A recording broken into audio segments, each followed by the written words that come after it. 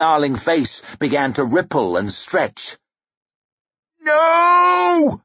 One clutching, clawing arm stretched desperately out towards the first of the Magi, fingertips straining. Yes, said Bayaz, the air around his smiling face trembling like the air above the desert. The nails tore from Mamun's fingers. His outstretched arm bent back, snapped, was ripped from his shoulder. Flawless skin peeled from bone, flapping like sailcloth in a squall, brown dust flying out of his torn body like a sandstorm over the dunes. He was dashed suddenly away, crashed through a wall near the top of one of the tall buildings. Blocks were sucked from the edges of the ragged hole he left and tumbled outwards, upwards. They joined the whipping paper, thrashing rock, spinning planks, flailing corpses that reeled through the air around the edge of the square, faster and faster, a circle of destruction that followed the iron circles on the ground. It reached now as high as the tall buildings, and now higher yet. It flayed and scoured at everything it passed, tearing up more stone, glass, wood, metal, flesh, growing darker, faster, louder, and more powerful with every moment. Over the mindless anger of the wind, Ferro could just hear Bayaz's voice. God smiles on results. Dogman got up and shook his sore head, dirt flying from his hair. There was blood running down his arm, red on white, Seemed as if the world hadn't ended after all. Looked like it had come close, though. Bridge and gatehouse both had disappeared. Where they'd stood, there was nothing but a great heap of broken stone and a yawning chasm carved out of the walls. That and a whole lot of dust. There were still some folk killing, but there were a lot more rolling about, choking and groaning, staggering through the rubbish, the fight all gone out of them. Dogman knew how they felt. Someone was clambering up onto that mass of junk where the moat used to be, heading towards the breach. Someone with a tangled mess of hair and a long sword in one hand. Who else but Logan Ninefingers? Ah, shit, cursed Dogman. He'd got some damn fool ideas all of a sudden, had Logan, but that wasn't halfway the worst of it. There was someone following him across that bridge of rubble. Shivers, axe in hand, shield on arm, and a frown on his dirty face like a man with some dark work in mind. Oh, shit! Grim shrugged his dusty shoulders. Let's get after him. Aye. Dogman jerked his thumb at Red Hat, just getting up from the ground and shaking a pile of grit off his coat. Get some lads together, eh? He pointed off towards the breach with the blade of his sword. We're going that way. Damn it, but he needed to piss, just like always. Jezal backed away down the shadowy hall, hardly daring even to breathe, feeling the sweat prickle at his palms, at his neck, at the small of his back. What are they waiting for? Someone muttered. There was a gentle creaking sound above, Jezal looked up towards the black rafters. Did you hear? A shape burst through the ceiling and hurtled down into the hallway in a white blur, flattening one of the knights of the body, her feet leaving two great dents in his breastplate, blood spraying from his visor. She smiled up at Jezal. Greetings from the Prophet Khalul. The Union! roared another knight, charging forward. One moment his sword whistled towards her, the next she was on the other side of the corridor. The blade clanged harmlessly into the stone floor, and the man tottered forward. She seized him under the armpit, bent her knees slightly, and flung him shrieking through the ceiling. Broken plaster rained down as she grabbed another knight round the neck and smashed his head into the wall with such force that he was left embedded in the shattered stonework, armoured legs dangling. Antique swords tumbled from their brackets and clattered down into the hallway around his limp corpse. This way! The High Justice dragged Jezal, numb and helpless, towards a pair of gilded double doors. Gorst lifted up one heavy boot, gave them a shivering kick, and sent them flying open. They burst through into the chamber of mirrors, cleared of the many tables that had stood there on Jezal's wedding night, an empty acre of polished tiles. He ran for the far door, his slapping footfalls and his heaving, wheezing, horrified breath echoing out around the huge room. He saw himself running, distorted, in the mirrors far ahead of him, the mirrors to each side. A ludicrous sight, a clown king, fleeing through his own palace, crown askew, his scarred face beaded with sweat, slack with terror and exhaustion. He skidded to a halt, almost fell over backwards in his haste to stop, Gorst nearly ploughing into his back. One of the twins was sitting on the floor beside the far doorway, leaning back against the mirrored wall, reflected in it, as though she were leaning against her sister. She lifted up one languorous hand, daubed crimson with blood, and she waved. Jezal spun towards the windows. Before he could even think of running, one of them burst into the room.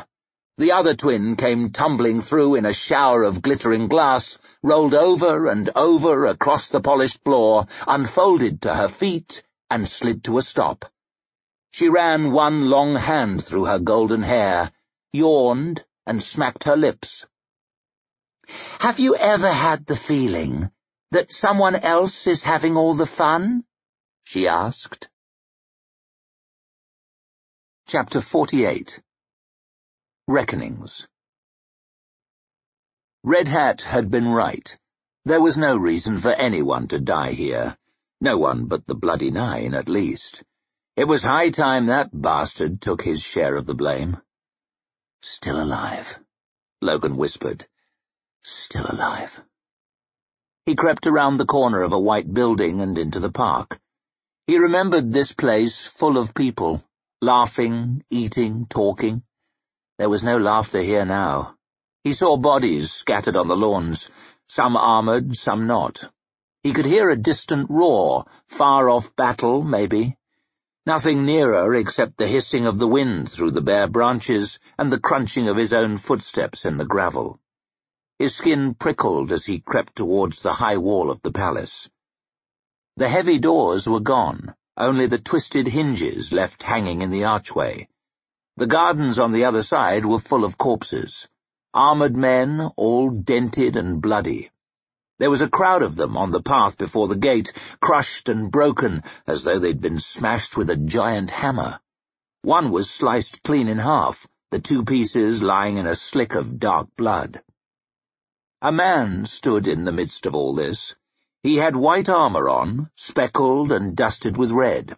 A wind had blown up in the gardens, and his black hair flicked around his face, dark skin smooth and flawless as a baby's.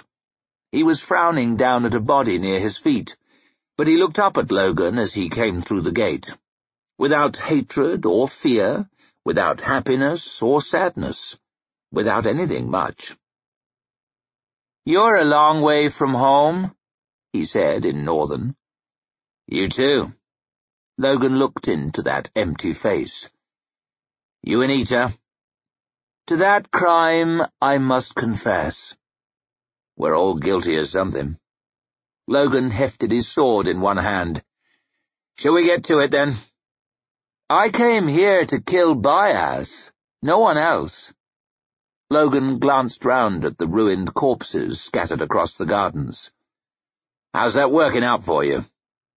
Once you set your mind on killing, it is hard to choose the number of the dead. That is a fact. Blood gets you nothing but more blood, my father used to tell me. A wise man. If only I'd listened. It is hard sometimes to know what is the truth. The eater lifted up his bloody right hand and frowned at it. It is fitting that a righteous man should have doubts. You tell me. Can't say I know too many righteous men. I once thought I did. Now I'm not sure. We must fight? Logan took a long breath. Looks that way. So be it.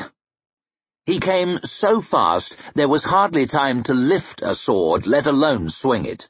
Logan threw himself out of the way, but still got caught in the ribs with something, elbow, knee, shoulder. It can be hard to tell when you're flopping over and over on the grass, everything tumbling around you. He tried to get up, found that he couldn't. Raising his head an inch was almost more than he could manage. Every breath was painful. He dropped back, staring up at the white sky. Maybe he should have stayed outside the walls. Maybe he should have just let the lads rest in the trees until after it was all settled. The tall shape of the eater swam into his blurry vision, black against the clouds. I am sorry for this. I will pray for you. I will pray for us both. He lifted up his armored foot. An axe chopped into his face and sent him staggering.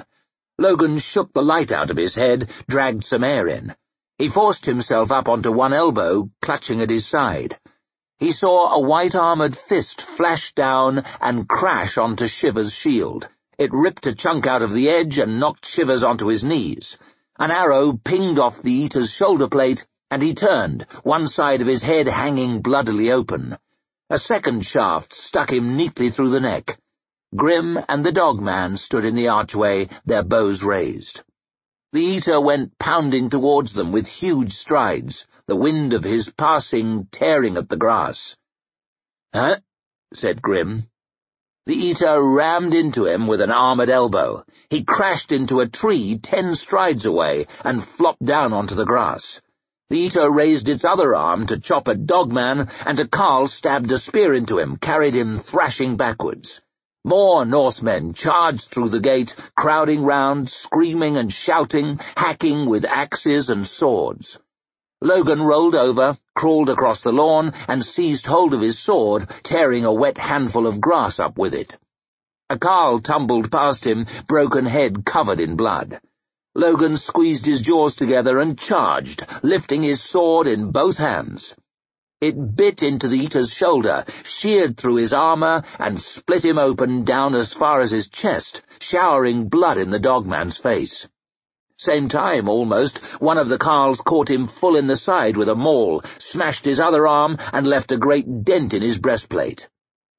The eater stumbled, and Red Hat hacked a gash in one of his legs.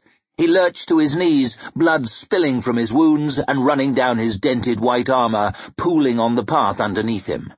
He was smiling, so far as Logan could tell, with half his face hanging off. Free, he whispered. Logan raised the Maker's blade and hacked his head from his shoulders. A wind had blown up suddenly, swirling through the stained streets, hissing out of the burned-out buildings, whipping ash and dust in West's face as he rode towards the Agriont. He had to shout over it. How do we fare? The fight's gone out of 'em, bellowed Brint, his hair dragged sideways by another gust. They're in full retreat. Seems as if they were too keen to get the Agriont surrounded, and they weren't ready for us. Now they're falling over each other to get away to the west. Still some fighting around Arnault's wall, but Orso has them on the run in the three farms. West saw the familiar shape of the Tower of Chains over the top of a ruin, and he urged his horse towards it.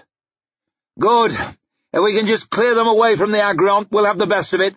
Then we can— He trailed off as they rounded the corner and could see all the way to the west gate of the citadel. Or, more accurately, where the West Gate had once been. It took him a moment to make sense of it. The Tower of Chains loomed up to one side of a monumental breach in the wall of the Agriont. The entire gatehouse had somehow been brought down, along with large sections of the wall to either side, the remains choking the moat below or distributed widely around the ruined streets in front. The Gurkish were inside the Agriont. The very heart of the Union lay exposed. Not far ahead now, a formless battle was still raging before the citadel. West urged his horse closer, through the stragglers and the wounded, into the very shadow of the walls. He saw a line of kneeling flatbow men deliver a withering volley into a crowd of Gurkish, bodies toppling. Beside him, a man screamed into the wind as another tried to secure a tourniquet on the bloody stump of his leg.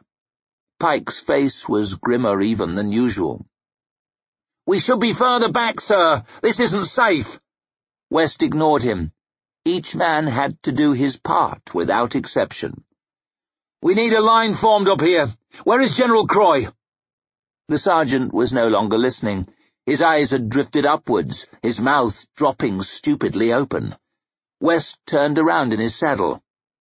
A black column was rising above the western end of the citadel. It seemed at first to be made of swirling smoke, but as West gained some sense of scale, he realized it was spinning matter. Masses of it. Countless tons of it. His eyes followed it upwards, higher and higher. The clouds themselves were moving, whipped round in a spiral at the centre, shifting in a slow circle above them. The fighting sputtered as Union and Gurkish alike gaped up at the writhing pillar above the Agriont, the tower of chains a black finger in front of it, the house of the Maker an insignificant pinprick behind. Things began to rain from the sky. Small things at first, splinters, dust, leaves, fragments of paper. Then a chunk of wood the size of a chair leg plummeted down and bounced spinning from the paving. A soldier squealed as a stone big as a fist smashed into his shoulder. Those who were not fighting were backing away, crouching to the ground, holding shields above their heads. The wind was growing more savage, clothes whipping in the storm, men stumbling against it, leaning into it, teeth gritted and eyes narrowed. The spinning pillar was growing wider, darker, faster, higher, touching the very sky. West could see specks around its edge dancing against the white clouds like swarms of midges on a summer's day except that these were tumbling blocks of stone, wood, earth, metal, by some freak of nature sucked into the heavens and set flying. He did not know what was happening or how. All he could do was stare. Sir! bellowed Pike in his ear. Sir! We must go! He seized hold of West's bridle. A great chunk of masonry crashed into the paving not far from them. West's horse reared up, screaming in panic. The world lurched, spun, was black, he was not sure how long for. He was on his face, mouth full of grit. He raised his head, wobbled drunkenly up to his hands and knees, wind roaring in his ears, flying grit stinging at his face. It was dark as dusk. The air was full of tumbling rubbish. It ripped at the ground, at the buildings, at the men, huddled now like sheep, all thoughts of battle long forgotten, the living sprawled on their faces with the dead. The Tower of Chains was scoured by debris, the slates flying from its rafters, then the rafters torn away into the storm. A giant beam plummeted down and crashed into the cobbles, spun end over end, flinging corpses out of its path to slice through the wall of a house and send its roof sliding inwards. West trembled, tears snatched away from his stinging eyes, utterly helpless. Was this how the end would come? Not covered in blood and glory at the head of a fool's charge like General Polder, not passing quietly in the night like Marshal Burr, not even hooded on the scaffold for the murder of Crown Prince Ladislaw, crushed at random by a giant piece of rubbish falling from the sky. Forgive me, he whispered into the tempest. He saw the black outline of the Tower of Chains shifting. He saw it lean outwards. Chunks of stone rained down, splashed into the churning moat. The whole vast edifice lurched, bulged, and toppled outwards with ludicrous slowness through the flailing storm and into the city. It broke into monstrous sections as it fell, crashing down upon the houses, crushing cowering men like ants, throwing deadly missiles in every direction. And that was all. There were no buildings now around the space that had once been the Square of Marshals. The gushing fountains, the stately statues in the Kingsway, the palaces full of soft pinks, all snatched away. The gilded dome had lifted from the Lord's round, cracked, split, and been ripped into chaff. The high wall of the Halls Marshal was a ravaged ruin. The rest of the proud buildings were nothing more than shattered stumps, torn down to their very foundations. They had all melted away before Ferro's watering eyes, dissolved into the formless mass of fury that whirled shrieking around the first of the Magi, endlessly hungry from the ground to the very heavens. Yes! She could hear his delighted laughter over the noise of the storm. I am greater than Juvens! I am greater than Euz himself! Was this vengeance? Then how much of it would make her whole? Ferro wondered dumbly how many people had been cowering in those vanished buildings. The shimmering around the seed was swelling up to her shoulder, then to her neck, and it engulfed her. The world grew quiet.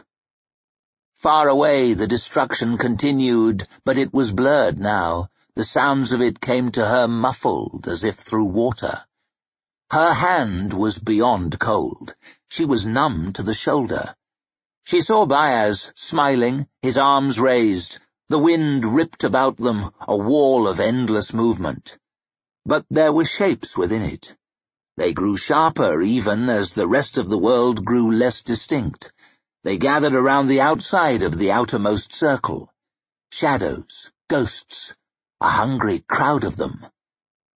Ferro, came their whispering voices.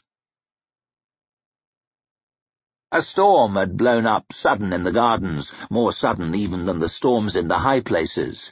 The light had faded, then stuff had started tumbling down from the dark sky.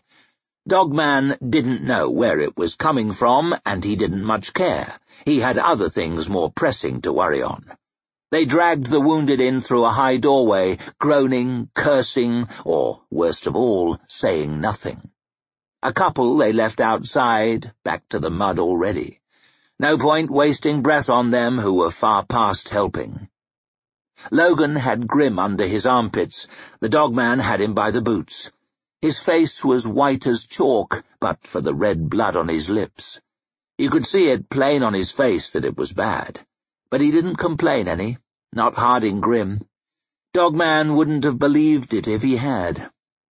They set him down on the floor, in the gloom on the other side of the door. Dogman could hear things rattling against the windows, thumping against the turf outside, clattering on the roofs above. More men were carried in, broken arms and broken legs, and worse besides. Shivers came after, bloody axe in one hand and his shield arm dangling useless. Dogman had never seen a hallway like it.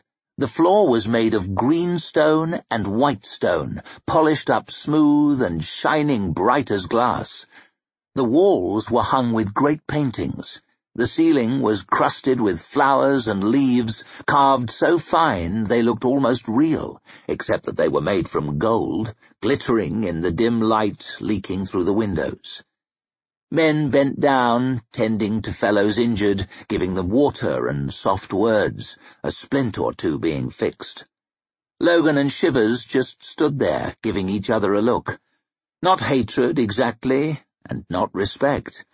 It was hard for the dogman to say what it was, and he didn't much care about that either. What were you thinking? he snapped. Pissing off on your own like that. Thought you were supposed to be chief now. That's a poor effort, ain't it? Logan only stared back, eyes gleaming in the gloom. Gotta help Ferro, he muttered, half to himself. Jezal, too. Dogman stared at him. Gotta help who? There's real folk here in need of help. I ain't much with the wounded. Only with the making of 'em. Go on then, bloody nine, if you must. Get to it. Dogman saw Logan's face flinch when he heard that name. He backed away, one hand clamped to his side, and his sword gripped bloody in the other. Then he turned and limped off down the glittering hallway. Hurts? Said Grim, as Dogman squatted down next to him. Where? He gave a bloody smile. Everywhere? Right, well... Dogman pulled his shirt up. One side of his chest was caved in, a great blue-black bruise spread out all across it like a tar stain. He could hardly believe a man could still be breathing with a wound like that. Ah, he muttered, not having a clue where to start even. I think I'm done. What, this? Dogman tried to grin, but didn't have it in him. No more'n a scratch. Scratch, hey?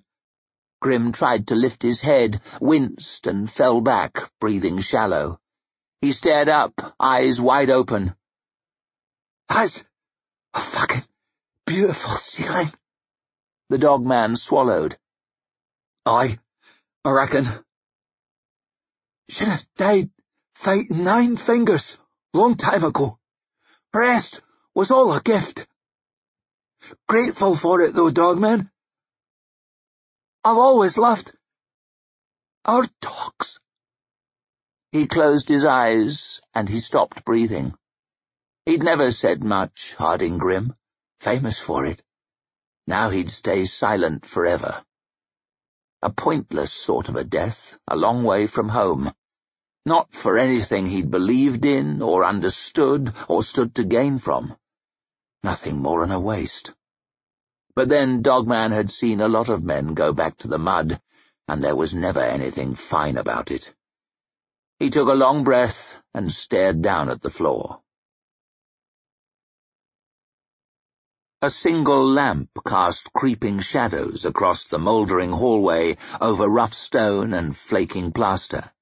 It made sinister outlines of the mercenaries, turned Cosca's face and Ardee's into unfamiliar masks. The darkness seemed to gather inside the heavy stonework of the archway and around the door within, ancient-looking, knotted and grained, studded with black iron rivets.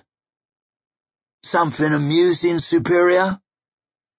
I stood here, murmured Glokta, in this exact spot, with Silber. He reached out and brushed the iron handle with his fingertips.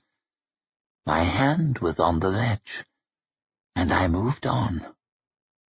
Ah, the irony the answers we seek so long and far for, so often at our fingertips all along. Glokta felt a shiver down his twisted spine as he leaned close to the door. He could hear something from beyond, a muffled droning in a language he did not recognize. The Adeptus Demonic calls upon the denizens of the abyss? He licked his lips, the image of High Justice Marovia's frozen remains fresh in his mind. It would be rash to plunge straight through, however keen we are to put our questions to rest. Very rash. Superior Goyle, since you have led us here, perhaps you would care to go first?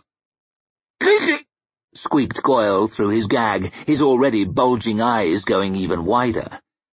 Cosca took the superior of Adua by his collar, seized the iron handle with his other hand, thrust it swiftly open, and applied his boot to the seat of Goyle's trousers. He stumbled through, bellowing meaningless nonsense into his gag. The metallic sound of a flatbow being discharged issued from the other side of the door, along with the chanting, louder and harsher now by far. What would Colonel Glokta have said? Onwards to victory, lads. Glokta lurched through the doorway, almost tripping over his own aching foot on the threshold, and gazed about him in surprise. A large circular hall with a domed ceiling, its shadowy walls painted with a vast, exquisitely detailed mural. And one that seems uncomfortably familiar. Kanedias, the master maker, loomed up over the chamber with arms outspread, five times life-size or more, fire blazing from behind him in vivid crimson, orange, white. On the opposite wall lay his brother Juvens, stretched out on the grass beneath flowering trees, blood running from his many wounds. In between the two men, the Magi marched to take their revenge, six on one side, five on the other, bald Bayaz in the lead. Blood, fire, death, vengeance. How wonderfully appropriate given the circumstances. An intricate design had been laid out with obsessive care, covering wide floor. Circles within circles, shapes, symbols, figures of frightening complexity, all described in neat lines of white powder. Salt, unless I am much mistaken. Goyle lay on his chest a stride or two from the door, at the edge of the outermost ring, his hands still tied behind him. Dark blood spread out from under him, the point of a flatbow bolt sticking out of his back. Just where his heart should be. I would never have taken that for his weak spot. Four of the university's adepti stood in various stages of amazement. Three of them, Chayle, Denka, and Kandelau, held candles in both hands, their sputtering wicks giving off a choking corpse stink. Saurizin, the Adeptus Chemical, clutched an empty flatbow. The faces of the old men, lit in bilious yellow from beneath, were pantomime masks of fear. At the far side of the room, Silber stood behind a lectern, a great book open before him, staring down with intense concentration by the light of a single lamp. His finger hissed across the page, his thin lips moving ceaselessly. Even at this distance, and despite the fact the room was icy cold, Glokta could see fat beads of sweat running down his thin face. Beside him, painfully upright in his pure white coat and glaring blue daggers across the width of the chamber, stood Arch-Lector Salt. Glokta, you crippled bastard! he snarled. What the hell are you doing here? I could well ask you the same question, Your Eminence. He waved his cane at the scene. Except the candles, the ancient books, the chanting, and the circles of salt rather give the game away, no? And a rather infantile game, it seems, suddenly. All that time, while I was torturing my way through the Mercers, while I was risking my life in Dagoska, while I was blackmailing votes in your name, you were up to this? but Salt seemed to be taking it seriously enough. Get out, you fool! This is our last chance! This? Seriously? Cosca was already through the door, masked mercenaries following. Silber's eyes were still fixed on the book, lips still moving, more sweat on his face than ever. Glokta frowned. Someone shut him up. No! shouted Chayle, a look of utter horror on his tiny face. You mustn't stop the incantations! It is a profoundly dangerous operation! The consequences could be... could be... disastrous! shrieked Kandelau. One of the mercenaries took a step towards the middle of the room, nonetheless. Don't tread near the salt! screeched Denka, wax dripping from his wobbling candle. Whatever you do! Wait! Snapped Glokta, and the man paused at the edge of the circle, peering at him over his mask. The room was growing colder even as they spoke, unnaturally cold. Something was happening in the center of the circles. The air was trembling, like the air above a bonfire, more and more, as Silber's harsh voice droned on. Glokta stood frozen, his eyes flicking between the old adepti. What to do? Stop him or don't stop him? Stop him or... Allow me!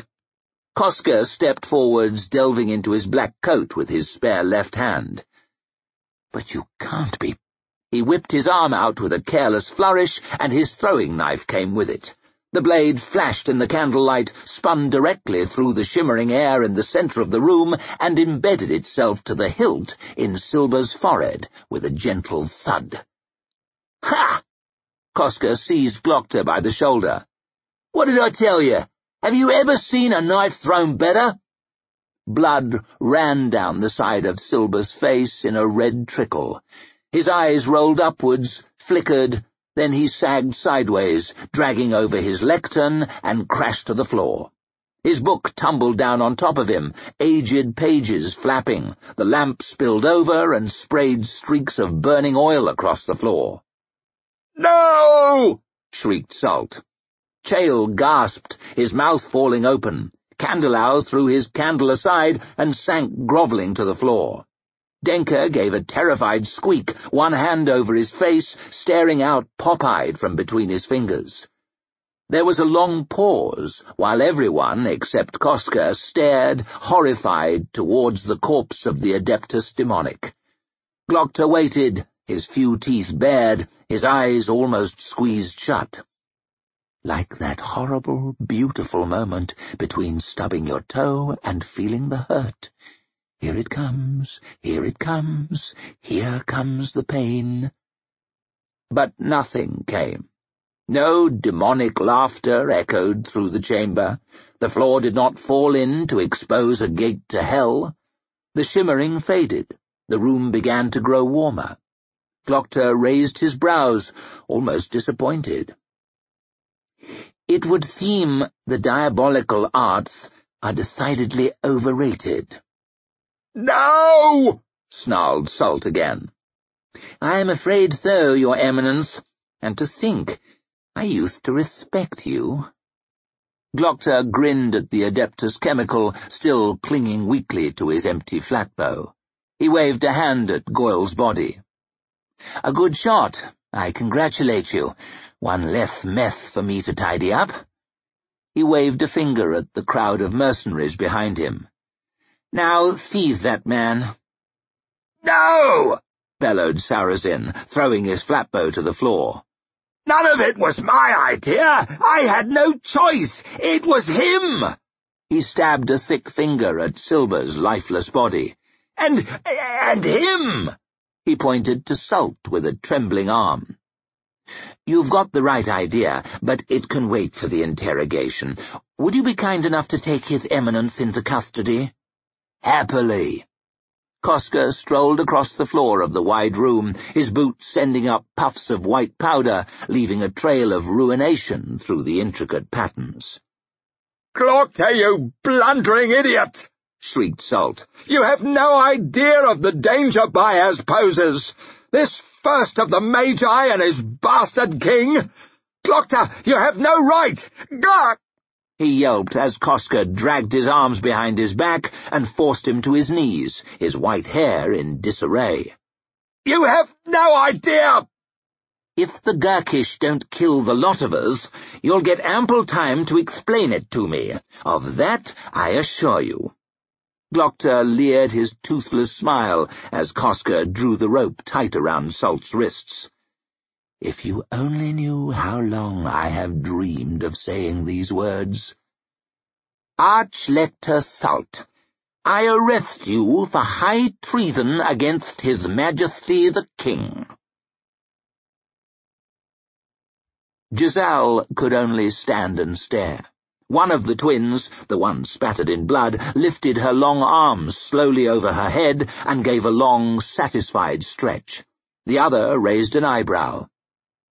How would you like to die? she asked. Your Majesty, get behind me! Gorst hefted his long steel in his one good hand. No, not this time. Jezal pulled the crown from his head, the crown that Bayaz had been so particular in designing, and tossed it clattering away.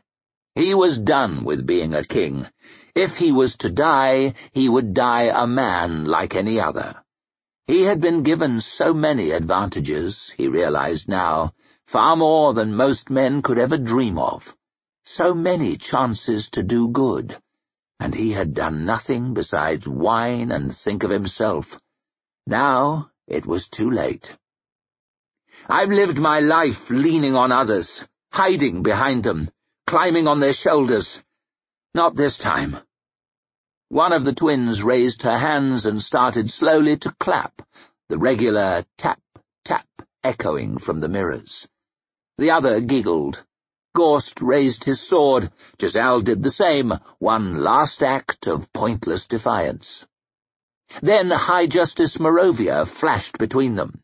The old man moved with impossible speed, his dark robes snapping around him. He had something in his hand, a long rod of dark metal with a hook on the end. What? muttered Jezal. The hook blazed suddenly, searingly white, bright as the sun on a summer's day. A hundred hooks burned like stars, reflected back from the mirrors round the walls, and back and back into the far distance.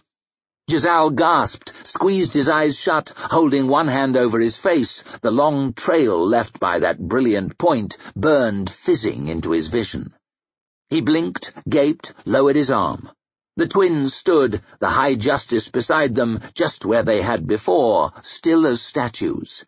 Tendrils of white steam hissed up from vents in the end of the strange weapon and curled around Marovia's arm. For a moment, nothing moved. Then a dozen of the great mirrors at the far end of the hall fell in half across the middle, as though they were sheets of paper slashed suddenly by the world's sharpest knife. A couple of the bottom halves and one of the top toppled slowly forwards into the room and shattered, scattering bright fragments of glass across the tiled floor. breathed the twin on the left. Jezal realized that blood was spurting out from under her armor. She lifted one hand towards him, and it dropped off the end of her arm and thudded to the tiles, blood squirting from the smoothly severed stump. She toppled to the left or her body did at least. Her legs fell the other way. The bigger part of her crashed to the ground, and her head came off and rolled across the tiles in a widening pool. Her hair, trimmed off cleanly at the neck, fluttered down into the bloody mess in a golden cloud. Armor, flesh, bone, all divided into neat sections as perfectly as cheese by a cheese wire. The twin on the right frowned, took a wobbling step towards Marovia. Her knees gave out, and she fell in half at the waist. The legs slumped down and lay still, dust sliding out in a brown heap. The top half dragged itself forward by the nails, lifted its head, hissing. The air around the High Justice shimmered, and the Eater's severed body burst into flames. It thrashed for a while, making a long squealing sound, then it was still a mass of smoking black ash. Marovia lifted up the strange weapon, whistling softly as he smiled at the hook on the end, a last few traces of vapour still drifting from it. Kanedias, he certainly knew how to make a weapon. The master maker indeed, eh, your majesty? What? muttered Jezal, utterly dumbfounded.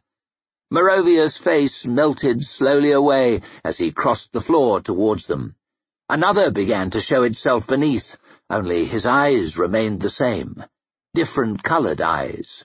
Happy lines around the corners, grinning at Jezal like an old friend. Yoru Sulfur bowed. Never any peace, eh, your majesty? Never the slightest peace. There was a crash as one of the doors burst open. Jezal raised his sword, heart in his mouth.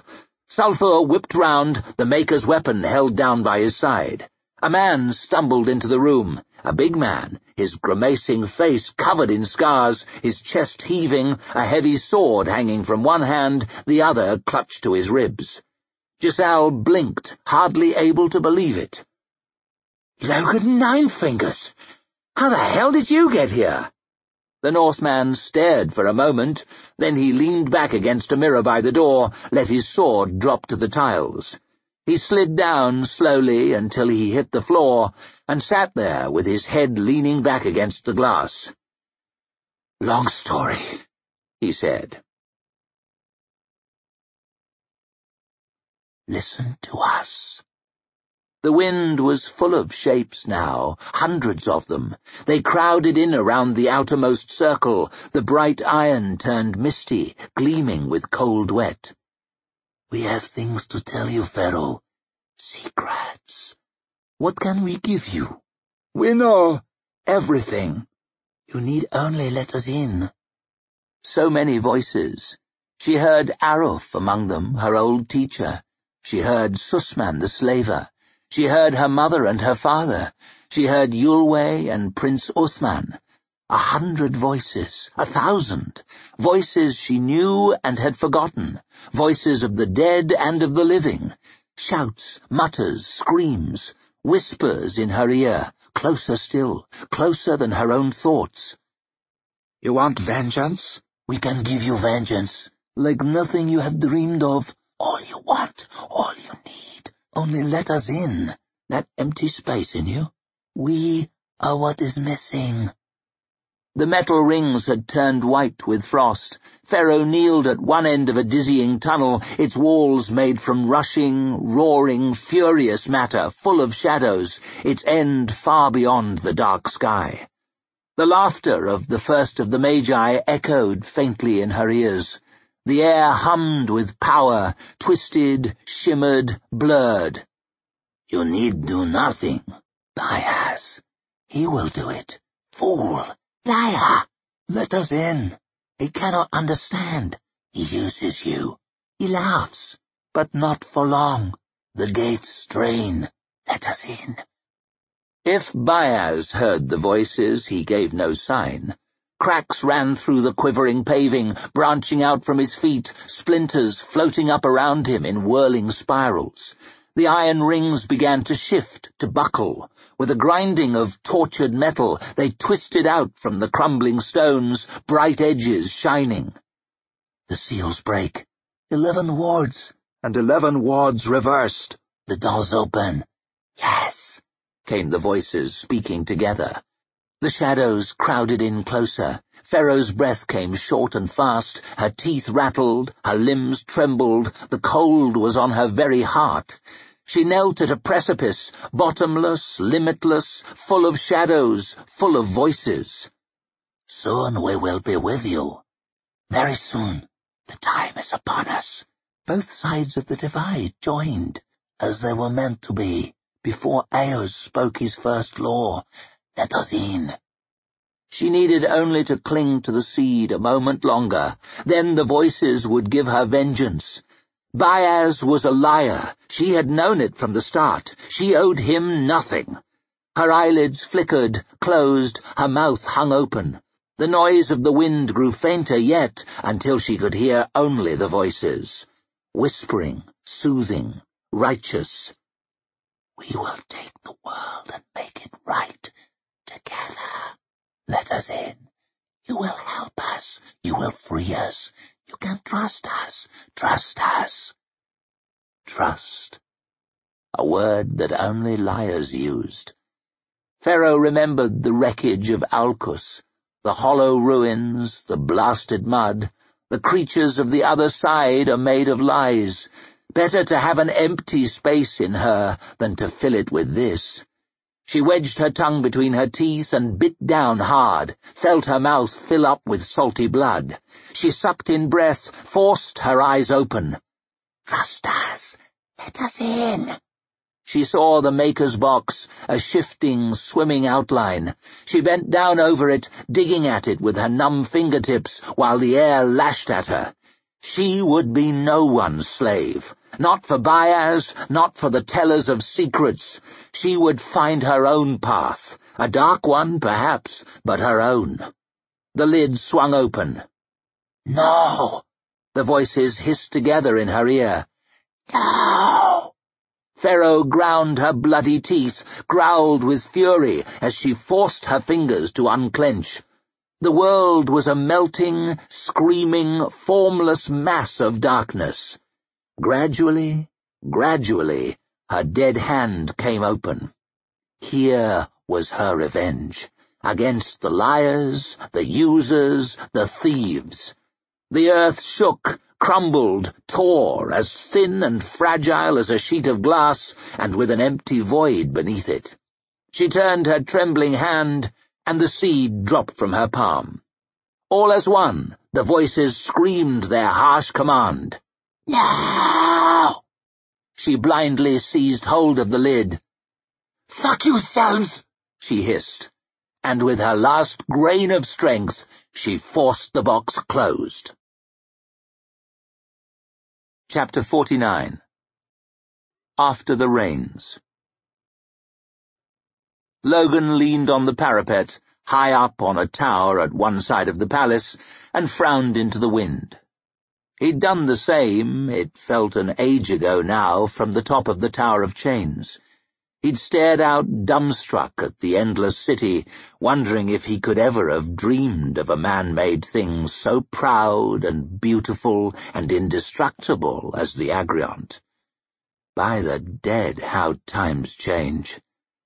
The green space of the park was scattered with fallen rubbish, trees broken, grass gouged, half the lake leaked away and sunken to a muddy bog. At its western edge, a sweep of fine white buildings still stood, even if the windows gaped empty. Further west, and they had no roofs, bare rafters hanging. Further still, their walls were torn and scoured, empty shells choked with rubble. Beyond that, there was nothing. The great hall with the golden dome, gone. The square where Logan had watched the sword game, gone the Tower of Chains, the mighty wall under it, and all the grand buildings over which Logan had fled with Ferro, all gone. A colossal circle of destruction was carved from the western end of the Agriont, and only acres of formless wreckage remained. The city beyond was torn with black scars, smoke still rising from a few last fires, from smouldering hulks still drifting in the bay. The house of the Maker loomed over the scene, a sharp black mass under the brooding clouds, uncaring and untouched. Logan stood there, scratching at the scarred side of his face over and over. His wounds ached, so many of them. Every part of him was battered and bruised, slashed and torn. From the fight with the Eater, from the battle beyond the moat, from the duel with the Feared, from seven days of slaughter in the high places, from a hundred fights and skirmishes and old campaigns, too many to remember, so tired and sore and sick. He frowned down at his hands on the parapet in front of him. The bare stone looked back where his middle finger used to be. He was nine fingers still, the bloody nine, a man made of death, just as Bethod had said. He'd nearly killed the dogman yesterday, he knew it. His oldest friend, his only friend. He'd raised the sword, and if it wasn't for a trick of fate, he would have done it. He remembered standing high up on the side of the great northern library, looking out over the empty valley, the still lake like a great mirror beneath it. He remembered feeling the wind on his fresh-shaved jaw and wondering whether a man could change. Now he knew the answer. Master Ninefingers! Logan turned quickly, hissed through his teeth as the stitches down his side burned. The first of the Magi stepped through the doorway and out into the open air. He was changed somehow. He looked younger, younger even than when Logan first met him. There was a sharpness to his movements, a gleam in his eye. It even seemed that there were a few dark hairs in the grey beard round his friendly grin. The first smile Logan had seen in a good while. You are hurt? he asked. Logan sucked sourly at his teeth. Hardly the first time. And yet it gets no easier. Bayaz placed his meaty fists on the stone next to Logan's and stared out happily at the view just as if it was a field of flowers instead of a sweep of epic ruin. I hardly expected to see you again so soon, and to see you so very far advanced. I understand that your feud is over. You defeated Bethod, threw him from his own walls, the way I heard it. A nice touch. Always thinking of the song they will sing, eh? And then you took his place. The Bloody Nine, King of the Northmen, imagine that. Logan frowned. That wasn't how it happened. Details. The result is the same, is it not? Peace in the north at last? Either way, I congratulate you. Bethod had a few things to say. Did he? asked Bayaz carelessly. I always found his conversation rather drab, all about himself, his plans, his achievements. It is so very tiresome when men think never of others, Poor manners. He said, You're the reason why he didn't kill me. that you bargained for my life. True, I must confess. He owed me, and you were the price I demanded. I like to keep one eye on the future. Even then I knew I might have need of a man who could speak to the spirits. It was an unexpected bonus that you turned out to be such a winning travelling companion. Logan found he was talking through gritted teeth. Would have been nice to know, is all. You never asked, Master Ninefingers. You did not want to know my plans, as I recall, and I did not want to make you feel indebted. I saved your life once would have been a poor start to our friendship. All reasonable enough, like everything Bayaz ever said, but it left a sour taste still, to have been traded like a hog. Where's Quai? I'd like to— Dead. Bayaz pronounced the word smartly, sharp as a knife thrust. We feel his loss most keenly. Back to the mud, eh? Logan remembered the effort he'd made to save that man's life, the miles he'd slogged through the rain trying to do the right thing, all wasted. Perhaps he should have felt more, but it was hard with so much death spread out in front of him. Logan was numb now. Either that, or he really didn't care a shit. It was hard to say which. Back to the mud, he muttered again. You carry on, though, don't you? Of course. That's the task that comes with surviving. You remember them, you say some words, then you carry on and hope for better. Indeed. You have to be realistic about these things. True. Logan worked at his sore side with one hand, trying to make himself feel something. But a scrap of extra pain helped no one. I lost a friend yesterday. It was a bloody day, but a victorious one. Oh, aye. For who? He could see people moving among the ruins, insects picking at the rubble, searching for survivors and finding the dead. He doubted many of them were feeling the flush of victory right now. He knew he wasn't. I should be with my own kind, he muttered, but without moving. Helping with the burying, helping with the wounded. And yet you are here, looking down. Bayaz's green eyes were hard as stones. That hardness that Logan had noticed from the very start and had somehow forgotten somehow grown to overlook. I entirely understand your feelings. Healing is for the young. As one gets older, one finds one has less and less patience with the wounded. He raised his eyebrows as he turned back towards the horrible view. I am very old. He lifted his fist to knock, then paused, fingers rubbing nervously against his palm. He remembered the sour, sweet smell of her, the strength of her hands, the shape of her frown in the firelight. He remembered the warmth of her, pressed up close to him in the night. He knew there had been something good between them, even if all the words they had said had been hard. Some people don't have soft words in them, however much they try. He didn't hold much hope, of course. A man like him was better off without it but you get nothing out if you put nothing in. So Logan gritted his teeth and knocked. No reply. He chewed at his lip and knocked again. Nothing. He frowned, twitchy and suddenly out of patience, wrenched the knob round and shoved the door open. Ferro spun about. Her clothes were rumpled and dirty, even more than usual.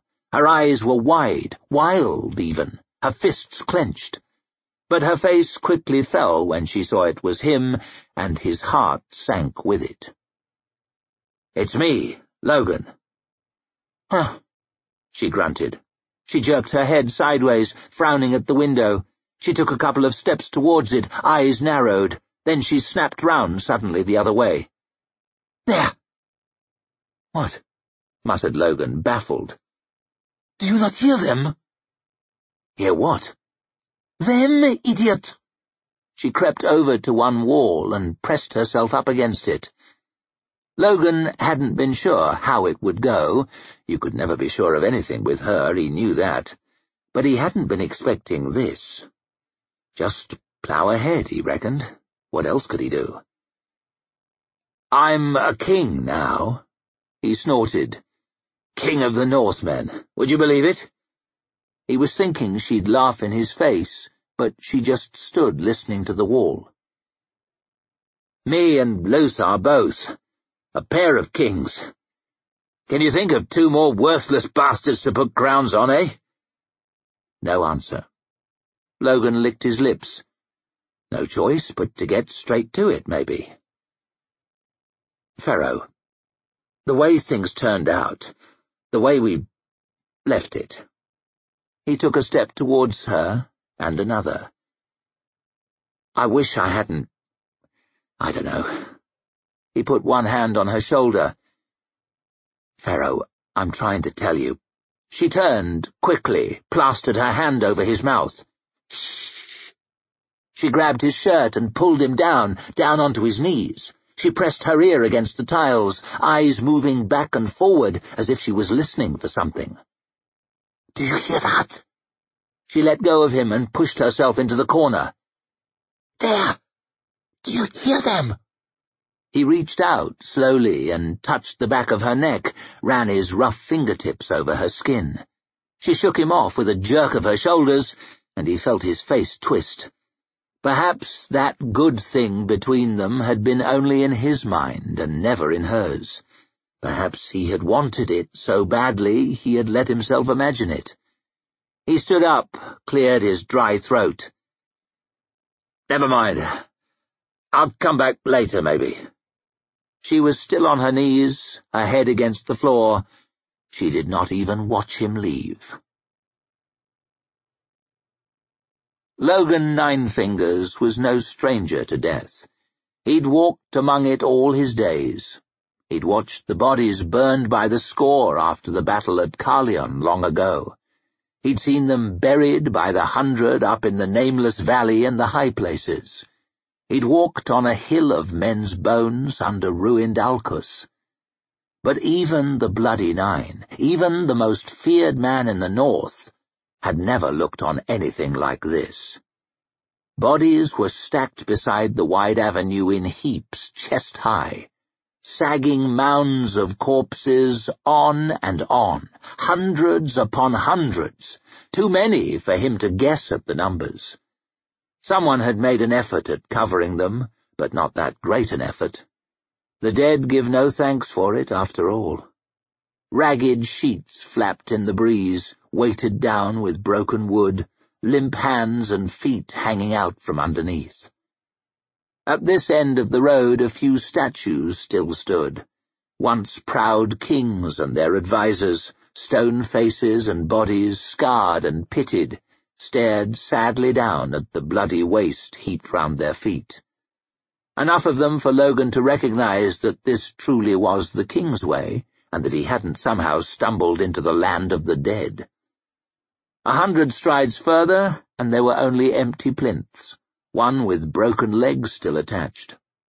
A strange group were clustered around them, withered-looking, somewhere between dead and alive.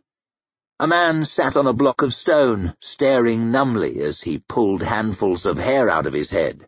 Another was coughing into a bloody rag. A woman and a man lay side by side, gawping at nothing, faces shriveled to little more than skulls. Her breath came crackling short and fast. His did not come at all. Another hundred strides, and it was as if Logan walked through some ruined hell. There was no sign that statues, buildings, or anything else had ever stood there. In their place were only tangled hills of strange rubbish. Broken stone, splintered wood, twisted metal, paper, glass, all crushed together and bound up with tons of dust and mud. Things stuck from the wreckage, strangely intact. A door, a chair, a carpet, a painted plate, the smiling face of a statue. Men and women struggled everywhere among this chaos, streaked with dirt, picking at the rubbish, throwing it down to the road, trying to clear paths through it. Rescuers, workmen, thieves, who knew? Logan passed by a crackling bonfire, high as a man, felt the kiss of its heat on his cheek. A big soldier in armour, stained with black soot, stood beside it. You find anything in white metal? He was roaring at the searchers. Anything at all? It goes in the fire. Flesh in white metal? Burn it! Orders of the closed council! A few strides further on, someone was on top of one of the highest mounds, straining at a great length of wood. He turned round to get a better grip. None other than Jezal dan Luthar. His clothes were torn and grubby, his face was smudged with mud. He barely looked any more like a king than Logan did. A thick-set man stood staring up, one arm in a sling. Your Majesty, this is not safe he piped in an oddly girlish voice. We really should be— No! This is where I'm needed! Jezal bent back over the beam, straining at it, veins bulging from his neck. There was no way he was going to get it shifted on his own, but still he tried. Logan stood watching him. How long's he been like this? All night and all day, said the thick-set man, and no sign of stopping. Those few we found alive, nearly all of them have this sickness. He waved his good arm towards the pitiful group beside the statues. Their hair falls out, their nails, their teeth, they wither. Some have died already, others are well on the way. He slowly shook his head. What crime did we commit to deserve this punishment? Punishment doesn't always come to the guilty. Nine Fingers! Jezal was looking down, the watery sun behind him. There's a strong back! Grab the end of that beam there! It was hard to see what good shifting a beam might do in all of this. But great journeys start with small steps, Logan's father had always told him. So he clambered up, wood cracking and stones sliding underneath his boots, hauled himself to the top, and stood there, staring. By the dead. From where he was standing, the hills of wreckage seemed to go on forever. People crawled over them, dragging frantically at the rubble, sorting carefully through it, or simply standing like him, stunned by the scale of it. A circle of utter waste, a mile across or more. Help me, Logan! Aye, right. He bent down and dug his hands under one end of the great length of scarred wood. Two kings dragging at a beam. The kings of mud. Pull then! Logan heaved, his stitches burning. Gradually he felt the wood shift. Yes! grunted Jezal through gritted teeth. Together they lifted it, hauled it to one side. Jezal reached down and dragged away a dry tree branch, tore back a ripped sheet. A woman lay beneath, staring sideways. One broken arm was wrapped around a child, curly hair dark with blood. All right. Jezal wiped slowly at his mouth with the back of one dirty hand. All right. Well, we'll put them with the rest of the dead. He clambered further over the wreckage. You! Bring that crowbar up here!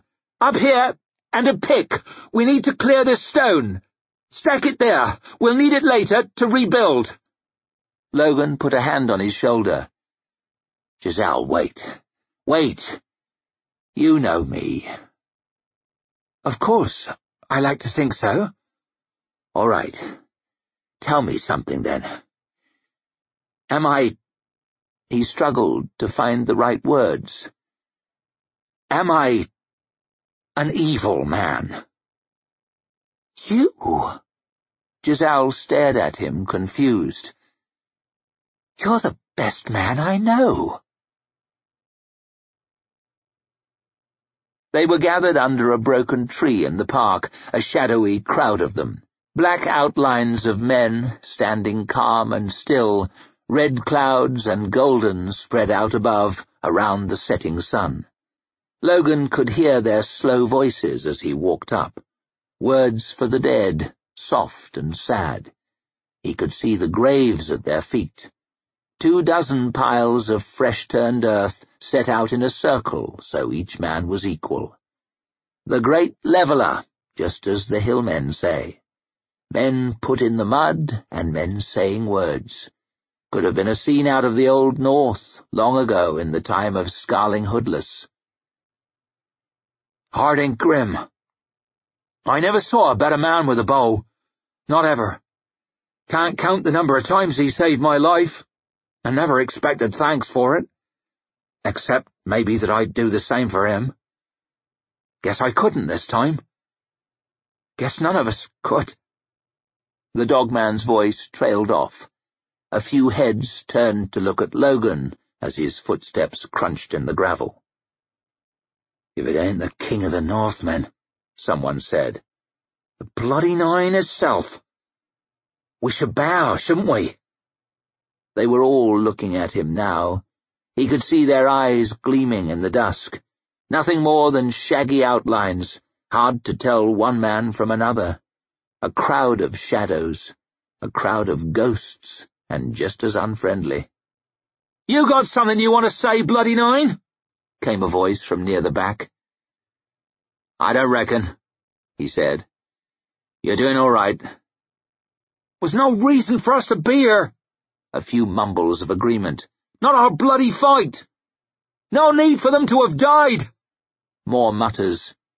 Should be you we're burying. Aye. Maybe. Logan would have liked to weep at that, but instead he felt himself smiling. The bloody nine smile. That grin that skulls have, with nothing inside but death. Maybe. But you don't get to pick who dies. Not unless you've got the bones to put your own hand to it. Have you? Have any of you? Silence. Well then. Good for Harding Grim. Good for the rest of the dead. They'll all be missed. Logan spat onto the grass. Shit on the rest of you. And he turned and walked back the way he came, into the darkness. Chapter 50 Answers So much to do. The House of Questions still stood, and someone had to take the reins. Who else will do it? Superior Goyle? A flatbow bolt through the heart prevents him, alas. Someone had to look to the internment and questioning of the many hundreds of Gurkish prisoners, more captured every day as the army drove the invaders back to Keln. And who else will do it? Practical Vitari? Left the Union forever with her children in tow. Someone had to examine the treason of Lord Brock, to dig him up and root out his accomplices, to make arrests and obtain confessions. And who else is there now? Archlector Sult? Oh, dear me, no. Glokta wheezed up to his door, his few teeth bared at the endless pains in his legs. A fortunate decision, at least, to move to the eastern side of the Agriont.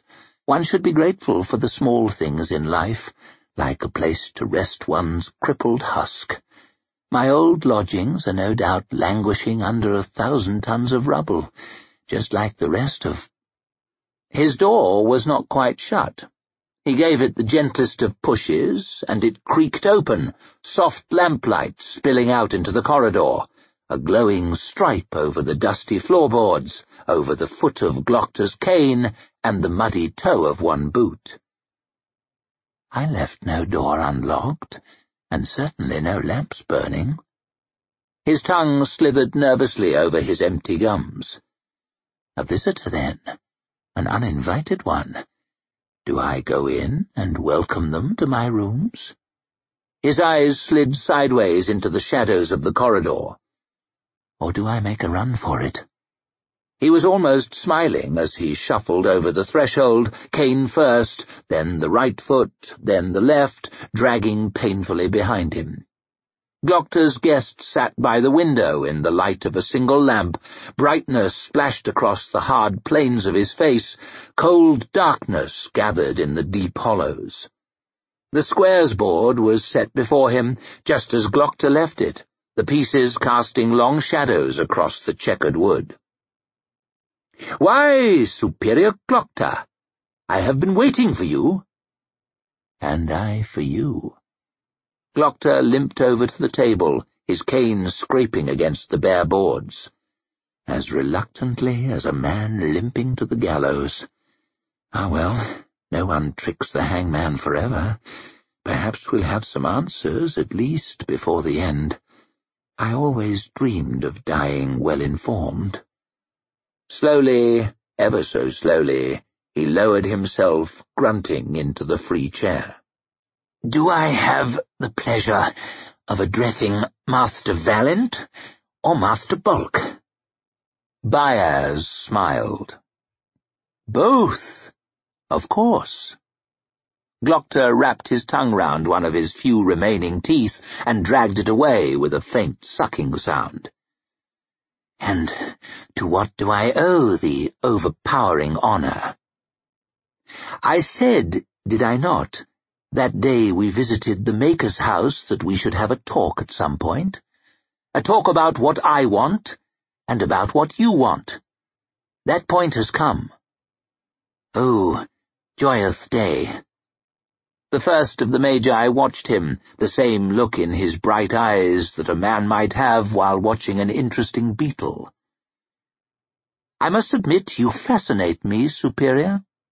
Your life would seem to be entirely unbearable, and yet you fight so very, very hard to stay alive. With every weapon and stratagem, you simply refuse to die. I am ready to die. Glokta returned his gaze, like for like, but I refuse to lose. Whatever the cost, eh? We are two of a kind, you and I and we are a rare kind indeed. We understand what must be done, and we do not flinch from doing it, regardless of sentiment. You remember Lord Chancellor Feekt, of course? If I cast my mind a long way back. The Golden Chancellor? They say he ran the Closed Council for forty years. They say he ran the Union. Sult said so. Sult said his death left a hole into which he and Marovia were both keen to step. That is where this ugly dance began for me, with a visit from the Arch-Lector, with the confession of my old friend Salem Rews, with the arrest of Sepp Teufel, master of the mints. Bayaz let one thick fingertip trail across the pieces on the squares board, as though considering his next move. We had an agreement, Feekt and I. I made him powerful. He served me utterly. Feekt, the foundation on which the nation rested, served you? I expected delusions of grandeur, but this will take some beating. You would have me suppose that you controlled the Union all that time? Bayaz snorted. Ever since I forced the damn thing together in the time of Harod the Great, so-called. It has sometimes been necessary for me to take a hand myself, as in this most recent crisis. But mostly I have stood at a distance behind the curtain, as it were. A little stuffy back there, one imagines. An uncomfortable necessity. The lamplight gleamed on the Magus's white grin. People like to watch the pretty puppets, Superior.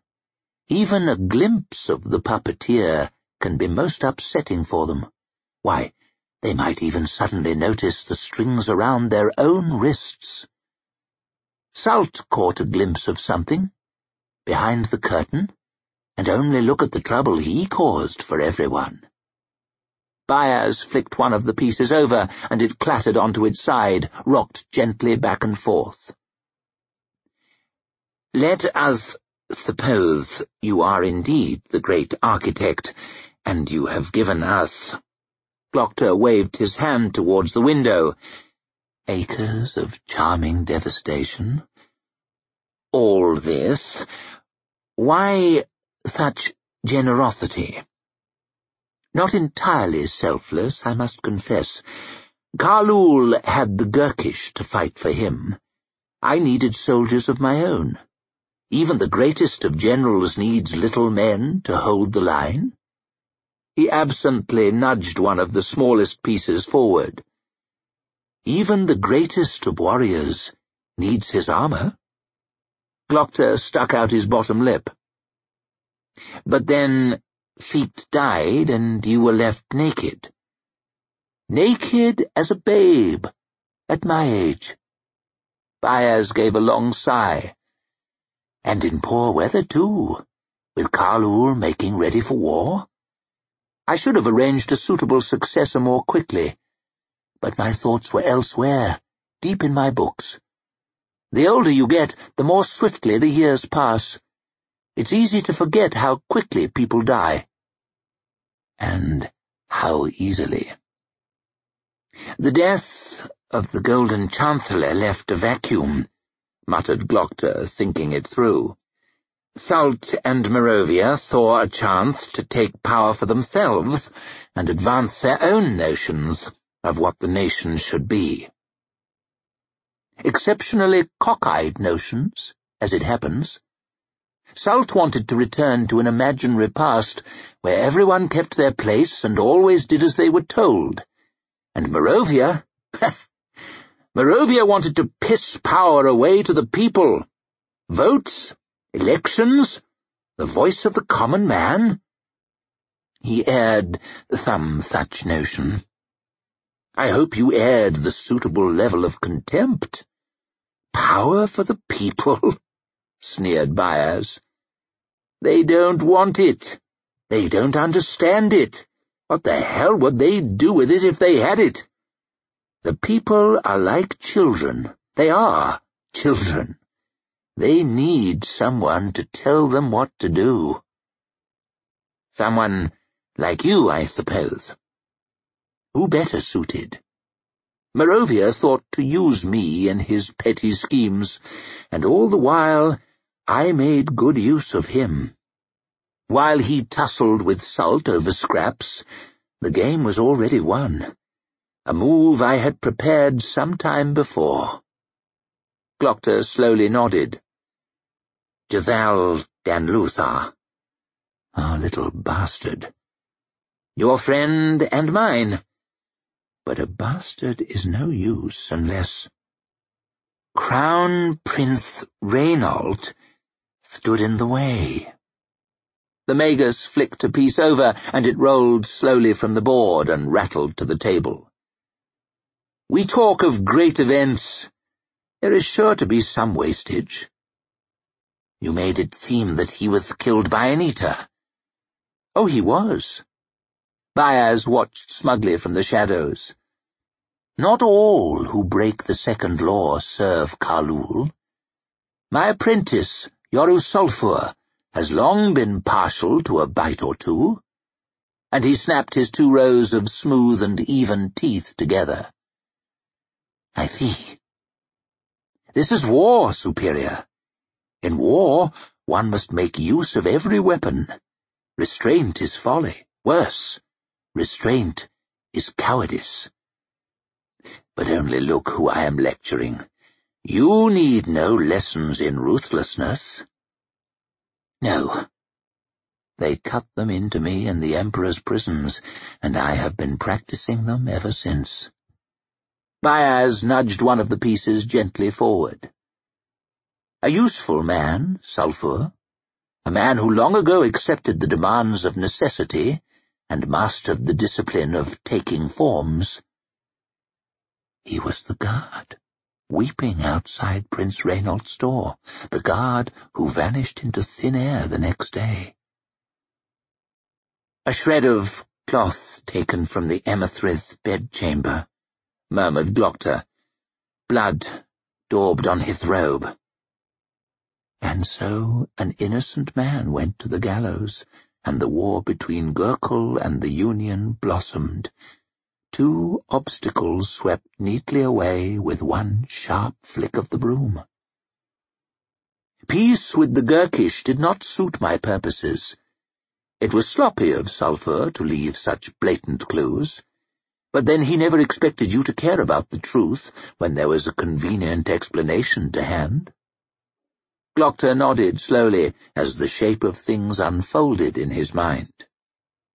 He heard of my investigations from Severard, and I received a charming visit from your walking corpse, Mauthis, telling me to halt or die. Exactly so.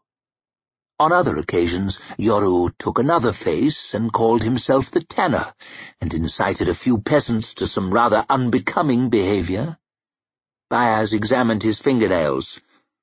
All in a good cause, though, Superior to lend glamour to your latest puppet, to make him a favourite with the people, to make him familiar to the nobles, to the closed council. You were the source of the rumours. Heroic acts in the ruined West? Jezal dan Luthar? Bayaz snorted. He did little more than whine about the rain. Amazing. The rubbish idiots will believe if you shout it loudly enough. And you rigged the contest, too. You noticed that? Bayaz's smile grew wider. I am impressed, Superior. I am most impressed. You have fumbled so very close to the truth this whole time, and yet so very far away. I wouldn't feel badly about it. I have many advantages. Sult groped towards the answers in the end, but far too late. I suspected from the first what his plans might be. Which is why you asked me to investigate? The fact that you did not oblige me until the very last moment was the source of some annoyance. Asking nicely might have helped. It would have been refreshing, at least. I regret that I found myself in a difficult position, a case of too many masters. No longer, though, eh? I was almost disappointed when I found out how limited Sult studies were. Salt and candles and incantations, how pathetically adolescent. Enough to put a timely end to that would-be Democrat Marovia, perhaps, but nothing to pose the slightest threat to me. Glokta frowned down at the squares board. Sult and Marovia, for all their cleverness, for all their power, their ugly little struggle was an irrelevance. They were small pieces in this game, so small they never even guessed how vast the board truly was. Which makes me what? a speck of dust between the squares at best. What of the mysterious visitor to your chambers the day I first met you? A visitor to my chambers, too, perhaps. A woman, and cold. Angry lines cut across Bayaz's forehead. A mistake made in my youth. You will speak no more of it. Oh, as you command. And the great prophet Khalul? The war will continue, on different battlefields, with different soldiers. But this will be the last battle fought with the weapons of the past. The magic leaks from the world. The lessons of the old time fade into the darkness of history. A new age dawns. The Magus made a careless movement with one hand, and something flickered into the air, clattered to the centre of the board, and spun round and round until it lay flat with the unmistakable sound of falling money. A golden fifty-mark piece, glinting warm and welcoming in the lamplight. Glokta almost laughed. Ah, even now, even here, it always comes down to this. Everything has a price. It was money that bought victory in King Guslav's half-baked Gurkish war, said Bayaz. It was money that united the Open Council behind their bastard king. It was money that brought Duke Orso rushing to the defence of his daughter and tipped the balance in our favour. All my money. It was money that enabled me to hold Dagoska as long as I did. And you know whose. Who would have thought? More first of the moneylenders than first of the Magi open council and closed, commoners and kings, merchants and torturers, all caught up in a golden web. A web of debts and lies and secrets, each strand plucked in its proper place, played like a harp by a master. And what of poor superior Glokta, fumbling buffoon? Is there a place for his sour note in this sweet music? Or is the loan of my life about to be called in? I suppose I should congratulate you on a hand well played, muttered Glokta bitterly. Bah! Bayaz dismissed it with a wave, forcing a clutch of primitives together under that cretin Harod and making them act like civilized men keeping the Union in one piece through the Civil War and bringing that fool Arnault to the throne, guiding that coward Casamir to the conquest of Angland, those were hands well played. This was nothing. I hold all the cards, and always will do. I have... I tire of this. And blah, blah, fucking blah. The stench of self-satisfaction is becoming quite suffocating. If you mean to kill me, blast me to a cinder now and let's be done. But for pity's sake, subject me to no more of your boasting. They sat still for a long moment, gazing at each other in silence across the darkened table. Long enough for Glokta's leg to start trembling, for his eye to start blinking, for his toothless mouth to turn dry as the desert. Sweet anticipation. Will it be now? Will it be now? Will it be? Kill you? asked Bayaz mildly. And rob myself of your winning sense of humour? Not now. Then, why reveal your game to me? Because I will soon be leaving Adua. The Magus leaned forwards, his hard face sliding into the light.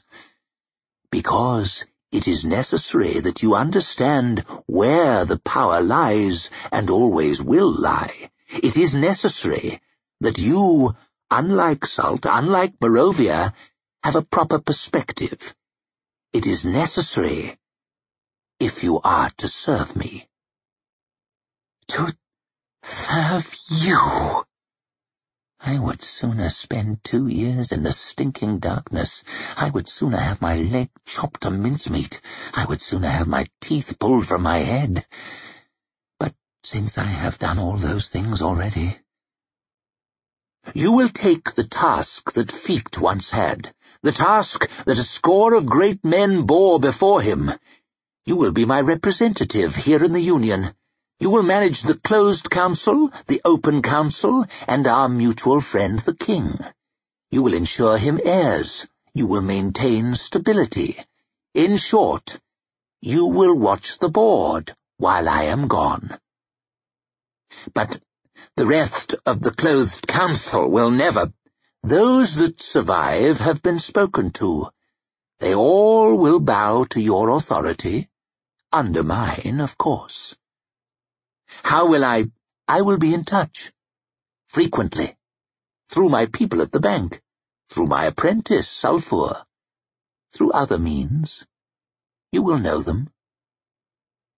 I don't suppose I have any choice in the matter.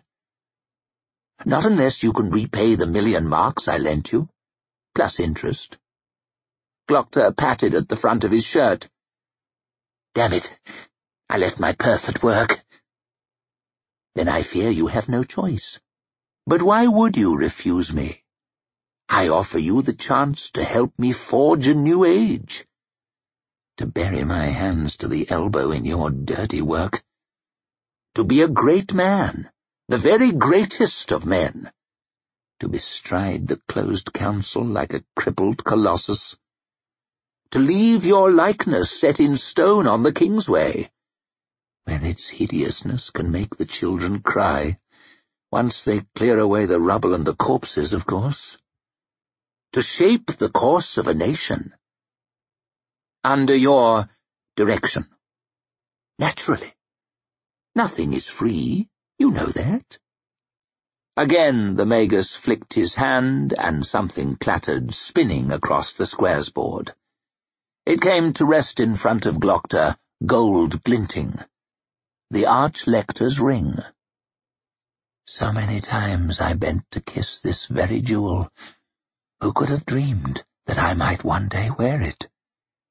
He picked it up, turned it thoughtfully round and round. And so I finally shake off a dark master, only to find my leash in the fist of another, darker and more powerful by far. But what choice do I have? What choices do any of us truly have? He slid the ring onto his finger. The great stone shone in the lamplight, full of purple sparks. From a dead man to the greatest in the realm, and all in one evening. It fits, murmured Glokta. Of course, your eminence. I always knew it would. Chapter 51 The Wounded West woke with a start and tried to jerk up to sitting. Pain shot up one leg, across his chest, through his right arm, and stayed there, throbbing. He dropped back with a groan and stared at the ceiling. A vaulted stone ceiling covered in thick shadows.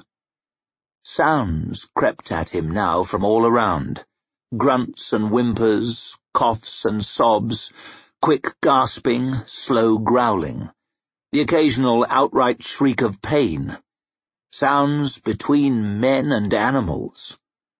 A voice whispered throatily from somewhere to his left, droning endlessly away like a rat scratching at the walls. I can't see! Bloody wind! I can't see! Where am I? Somebody! I can't see! West swallowed, feeling the pain growing worse.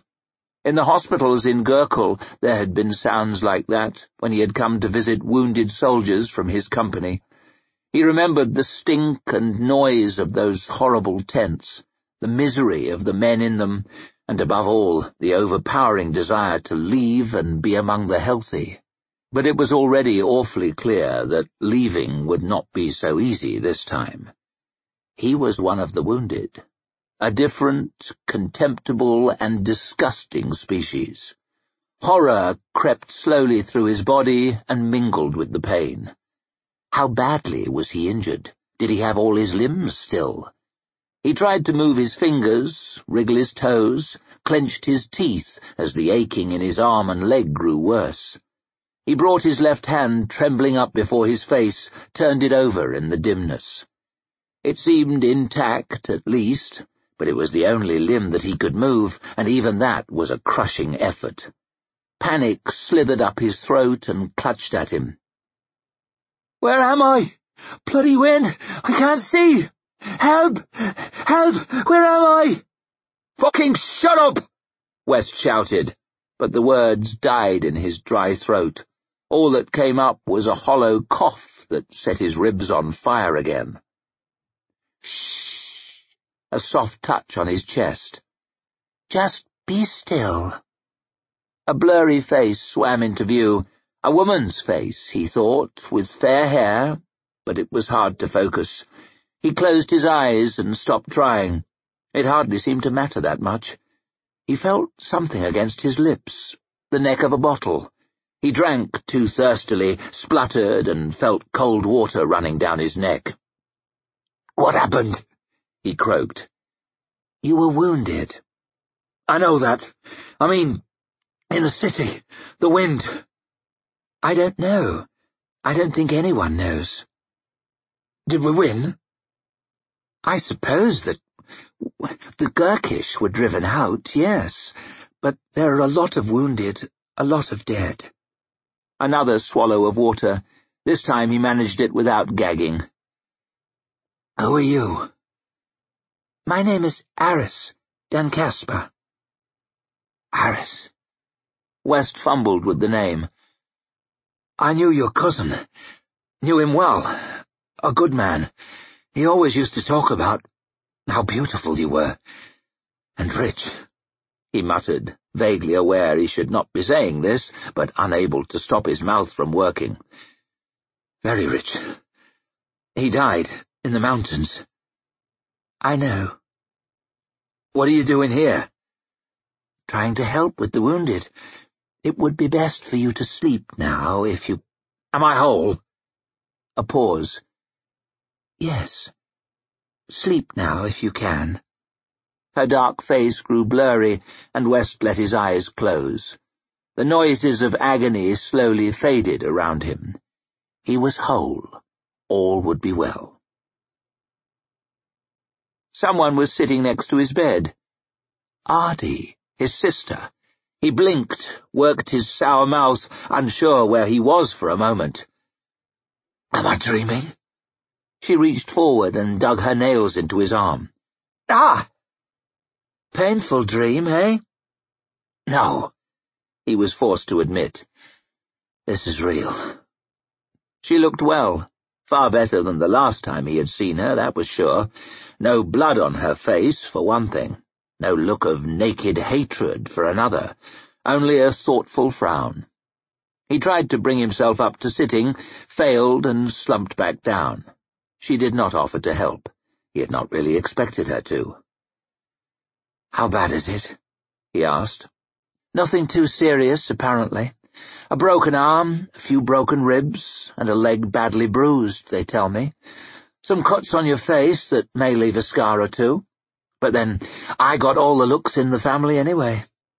He gave a snort of laughter and winced at the pain across his chest. True enough. The brains, too. Don't feel badly about it. I've used them to make the towering success of my life that you see before you. The kind of achievement that you, as the Lord Marshal of the Union, can only dream of. Don't, he hissed, clamping his good hand across his ribs. It hurts. No less than you deserve. His laughter quickly stuttered out, and they were silent for a moment, looking at each other. Even that much was difficult. Ardee, his voice caught in his sore neck. Can you forgive me? I already did. The first time I heard you were dead.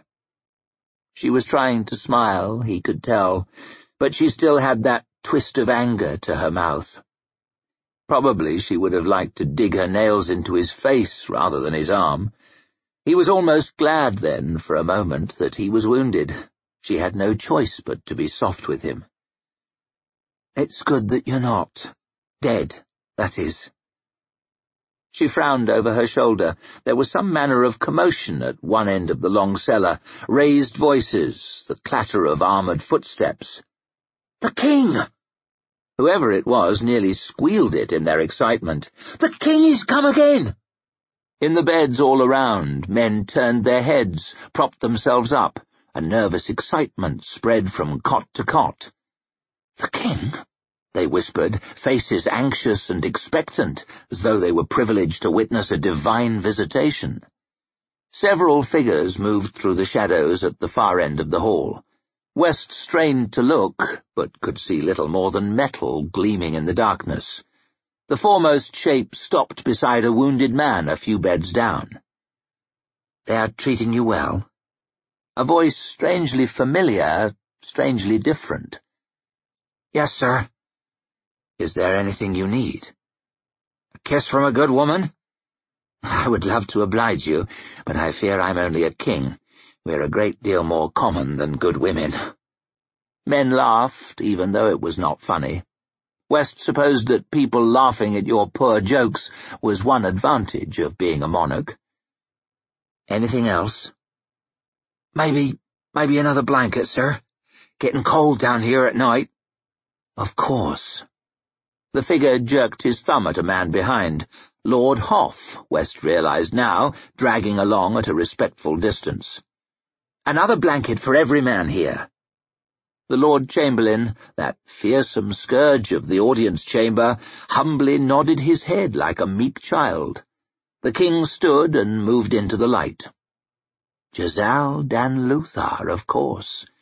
And yet it was hard to believe that it was the same man, and not only because of the rich fur mantle and the golden circlet on his forehead. He seemed taller, handsome still, but no longer boyish. A deep scar on his bearded jaw had given him an air of strength. The sneer of arrogance had become a frown of command. The carefree swagger had become a purposeful stride. He worked his way on slowly down the aisle between the cots, speaking to each man, pressing their hands, giving them thanks, promising them help. No one was overlooked. A cheer for the king! Someone gurgled through gritted teeth. No, no. The cheering should be for you, my brave friends.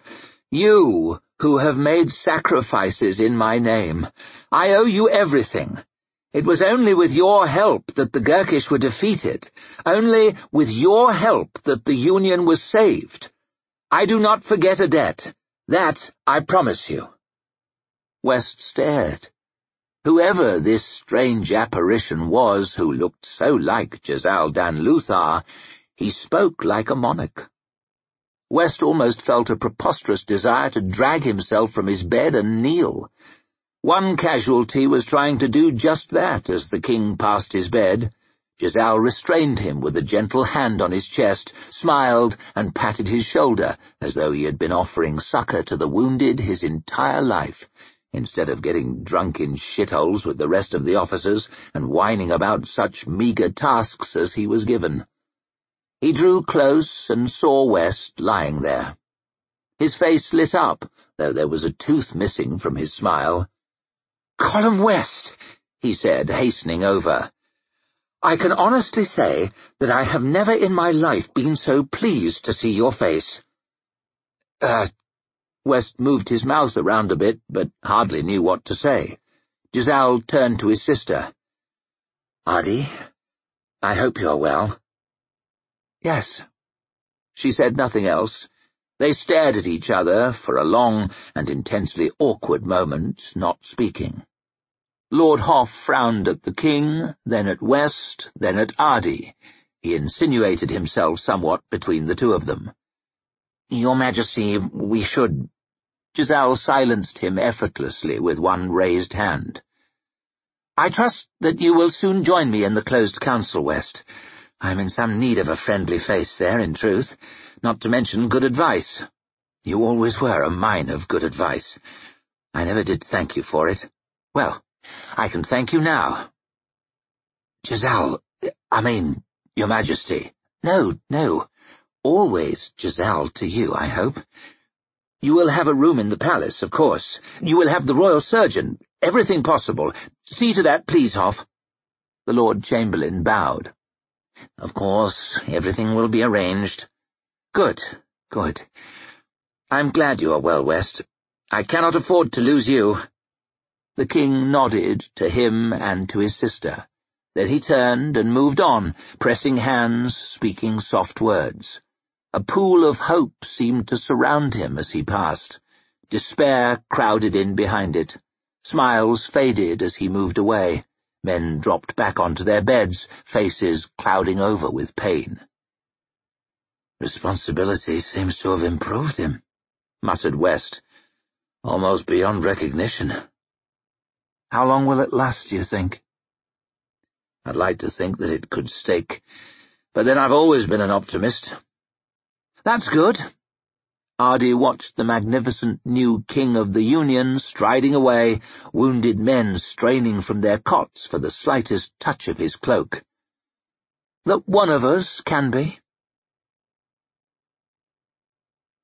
Marshal West. Jalenhorm, good to see you. West pulled back the blankets with his good hand, eased his legs over the edge of the bed, and winced his way up to sitting. The big man reached out and gave his hand a squeeze, clapped him on the shoulder. You're looking well. West smiled weakly. Better every day, Major. How's my army? Fumbling on without you. Croy's holding things together. Not such a bad sort, the General, once you get used to him. If you say so. How many did we lose? Still hard to say. Things are somewhat chaotic. Whole companies missing. Impromptu units still chasing Gurkish stragglers across half the countryside. I don't think we'll have numbers for a while. I don't know if we'll ever get 'em. No one did well, but the Ninth Regiment were the ones fighting at the western end of the Agriont. They took the worst of... He fumbled for the words. It... West grimaced. He remembered that black column of whirling matter reaching from the tortured earth to the circling clouds, the debris lashing at his skin, the screaming of the wind all around him. What was it? I'm damned if I know. Jalenhorm shook his head. Damned if anyone does. But the rumour is that this Bayaz was involved somehow. Half the Agriont's in ruins, and they've barely started shifting the rubble. You never saw anything like it, that I promise you. A lot of people dead and all that. Bodies stacked up in the open. Jalenhorm took a long breath. And there are more dying every day. A lot of people getting ill. He shuddered. This sickness. Disease. Always a part of war. Not like this. Hundreds of cases now. Some die in a day, almost before your eyes. Some take longer. They're withered as skin and bone. They have whole halls full of 'em. Stinking, hopeless places. But you don't need to worry about that. He shook himself. I have to go. Already? Fly and visit, sir. I'm helping to arrange Poulder's funeral, would you believe? He's being buried in state, by order of the king. That is to say, Jezal, Jezal Dan Luthar. He blew out his cheeks. Strange business. The strangest. All that time, a king's son sitting in the midst of us. I knew there had to be a reason why he was so bloody good at cards. He slapped West on the back again. Good to see you looking so well, sir. Knew they wouldn't be able to keep you down for long. Keep out of trouble, West called after him as he made for the door. Always! The big man grinned as he pulled it shut. West took his stick from the side of the bed, gritted his teeth as he pushed himself up to standing. He hobbled across the expanse of checkered tiles to the window, one painstaking step at a time, and finally stood blinking into the morning sunlight. Looking down on the palace gardens, it was hard to believe that there had been any war, that there were any acres of ruins, any heaps of dead. The lawns were neatly trimmed, the gravel well raked. The last few brown leaves had fallen from the trees, leaving the smooth wood black and bare. It had been autumn when he set out for Angland. Could it really have been only a year ago?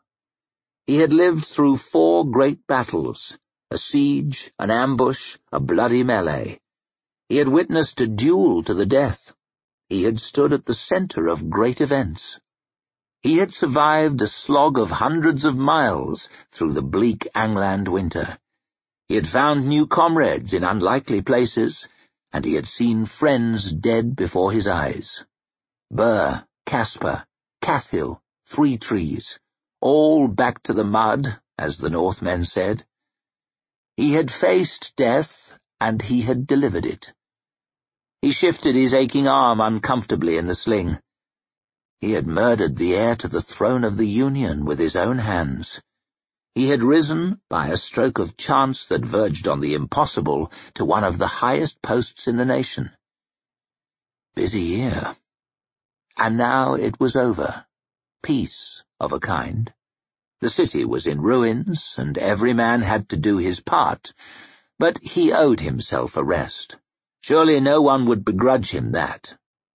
Perhaps he could insist on Ariss Dan Kaspa to tend him to health. A rich and beautiful nurse seemed like just the thing he needed. You shouldn't be up. Ardee stood in the doorway. He grinned. It was good to see her. For the last few days they had been close, almost as it had been long ago when they were children. Don't worry, getting stronger every day. She walked across to the window. Oh, yes, in a few weeks' time you'll be as strong as a little girl. Back to bed. She slid one arm under his and took the cane from his hand, started to guide him back across the room. West made no effort to resist. If he was being honest, he was starting to feel tired anyway. We're taking no chances, she was saying. You're all I have, I'm sorry to say, unless you count that other invalid, my good friend Sand dan Glokta. West almost snorted with laughter. That worked out. The man is utterly loathsome, of course, in a way, terrifying and pitiful at once. And yet, Having had no one else to talk to, I find that I've strangely warmed to him. he used to be loathsome in an entirely different way. I've never been sure quite why I warmed to him then, and yet I did. I suppose there's no... He felt a sudden wave of sickness cramp up his guts, stumbled, and almost fell, sank onto the bed, stiff legs stretched out in front of him. His vision was blurry, his head spun. He pressed his face into his palms, teeth gritted as spit rushed into his mouth. He felt Ardee's hand on his shoulder. Are you all right? Ah, yes. It's just... I've been having these sick spells. The feeling was already passing. He rubbed at his sore temples, then the back of his skull. He lifted his head and smiled up at her again. I'm sure it's nothing. Collem? There was hair wedged between his fingers. A lot of hair. His own, by the colour. He blinked at it, mystified, then coughed with disbelieving laughter. A wet, salty cough from down under his ribs. I know it's been thinning for years, he croaked. But really, this is too much. Ardee did not laugh. She was staring at his hands, eyes wide with horror. Chapter 52 Patriotic Duties Glokta winced as he carefully lowered himself into his chair. There was no fanfare to mark the moment when his aching arse touched the hard wood, no round of applause, only a sharp clicking in his burning knee. And yet it is a moment of the greatest significance, and not only for me. The designers of the White Chamber's furniture had ventured beyond austerity and into the realm of profound discomfort. One would have thought they could have stretched to some upholstery for the most powerful men in the realm. Perhaps the intention was to remind the occupants that one should never become too comfortable at the pinnacle of power. He glanced sideways and saw Bayaz watching him. Well, uncomfortable is about as good as I ever get. Have I not often said so? He winced as he tried to worm his way forwards, the legs of his chair squealing noisily against the floor. Long ago, when I was handsome, young, and promising, I dreamed of one day sitting at this table as a noble Lord Marshal, or a respected High Justice, or even an Honourable Lord Chamberlain. Who could ever have suspected, even in their darkest moments, that beautiful Sand dan Glokta would one day sit on the closed council as the feared, the abhorred, the all-powerful Arch-Lector of the Inquisition? He could scarcely keep the smile from his toothless mouth as he slumped back against the unyielding wood. Not everyone appeared amused by his sudden elevation, however. King Jezal, in particular, glowered at Glokta with the most profound dislike. "'Remarkable that you are confirmed already in your position,' he snapped. Bayaz interposed. Such things can happen quickly when there is the will, your majesty.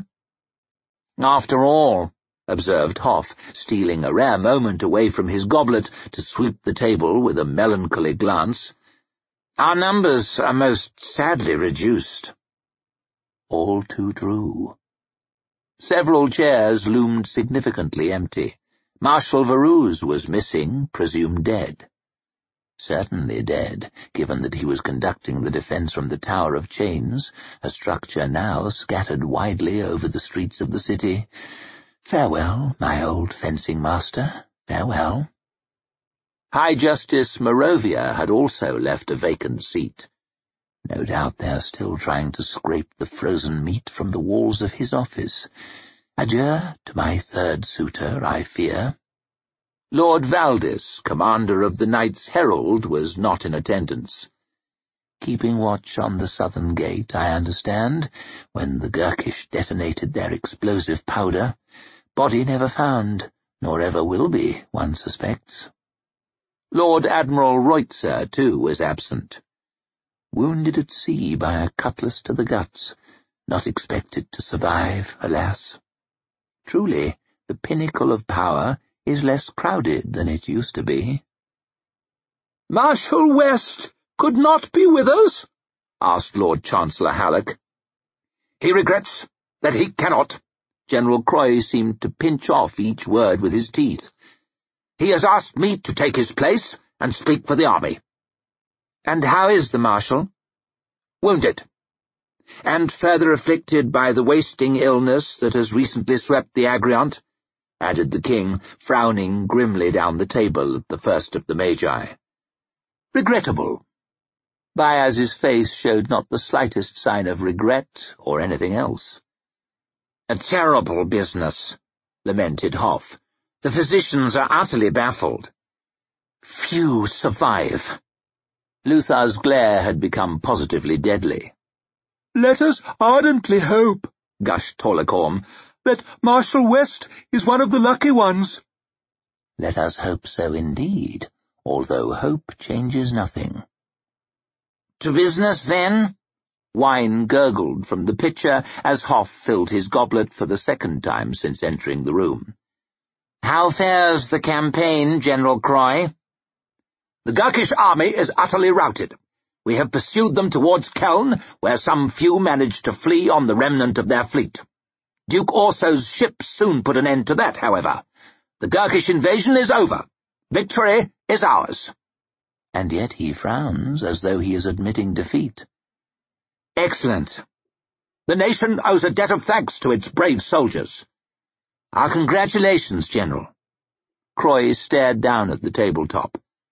The congratulations belong to Marshal West, who gave the orders, and to General Poulder and the others, who gave their lives carrying them out.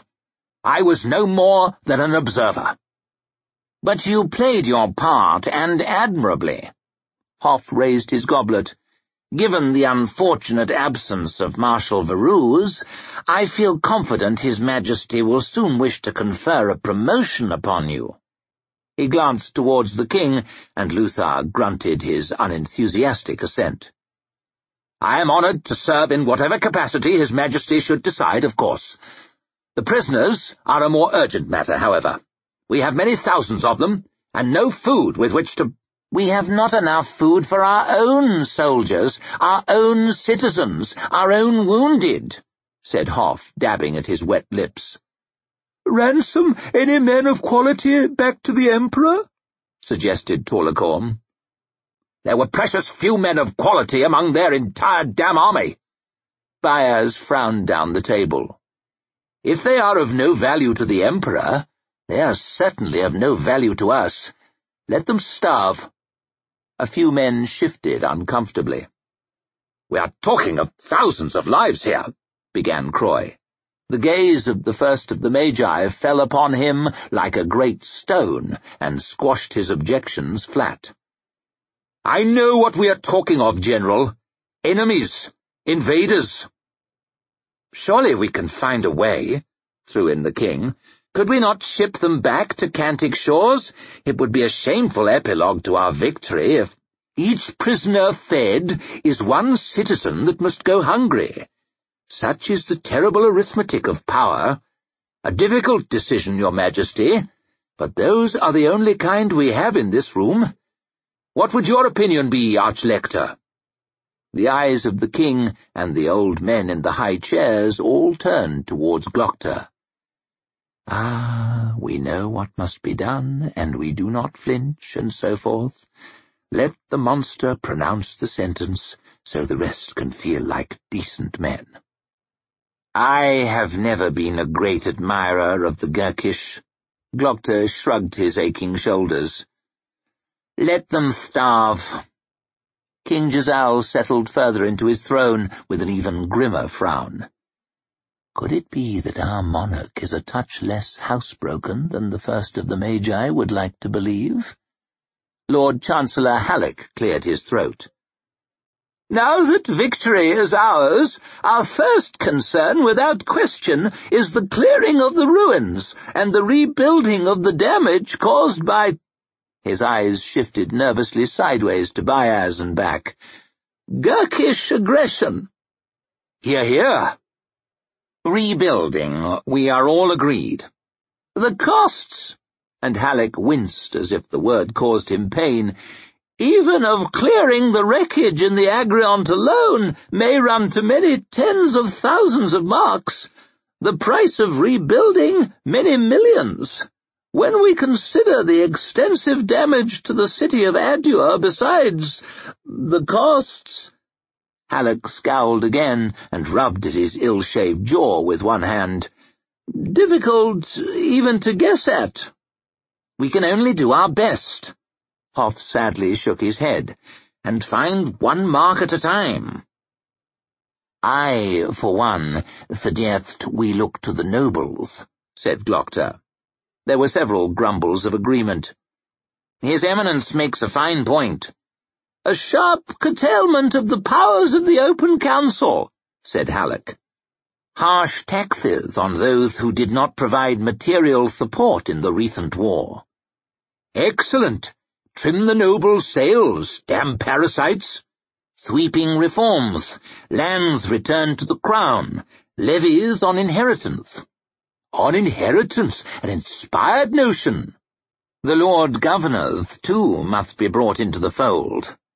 Skald and Meed, yes, they have long enjoyed too much independence. Meed can hardly be blamed. His province is a wreck. This is not a question of blame said Bayaz. No, indeed. We all know where that lies. This is a question of control. Victory has given us the opportunity for reform. We need to centralize. Westport as well. Too long they have played us off against the Gurkish. They need us now. Perhaps we should extend the Inquisition to their city, suggested Glokta. A foothold in Styria. We must rebuild. The first of the Magi thumped at the table with one meaty fist. Better and more glorious even than before. The statues in the Kingsway may have fallen, but they have left space for new ones. A new era of prosperity, said Halleck, eyes shining. A new era of power, said Hoff, raising his goblet. A golden age? Bayaz looked up the table at Glokta. An age of unity and opportunity for all, said the king. His offering fell somewhat flat, eyes swiveled uncomfortably towards the king's end of the table. Quite as if he noisily farted rather than spoke. Um, yes, your majesty said Hoff. Opportunities. For anyone lucky enough to sit on the closed council, that is. Perhaps heavier taxes on the merchant guilds, proffered Halleck.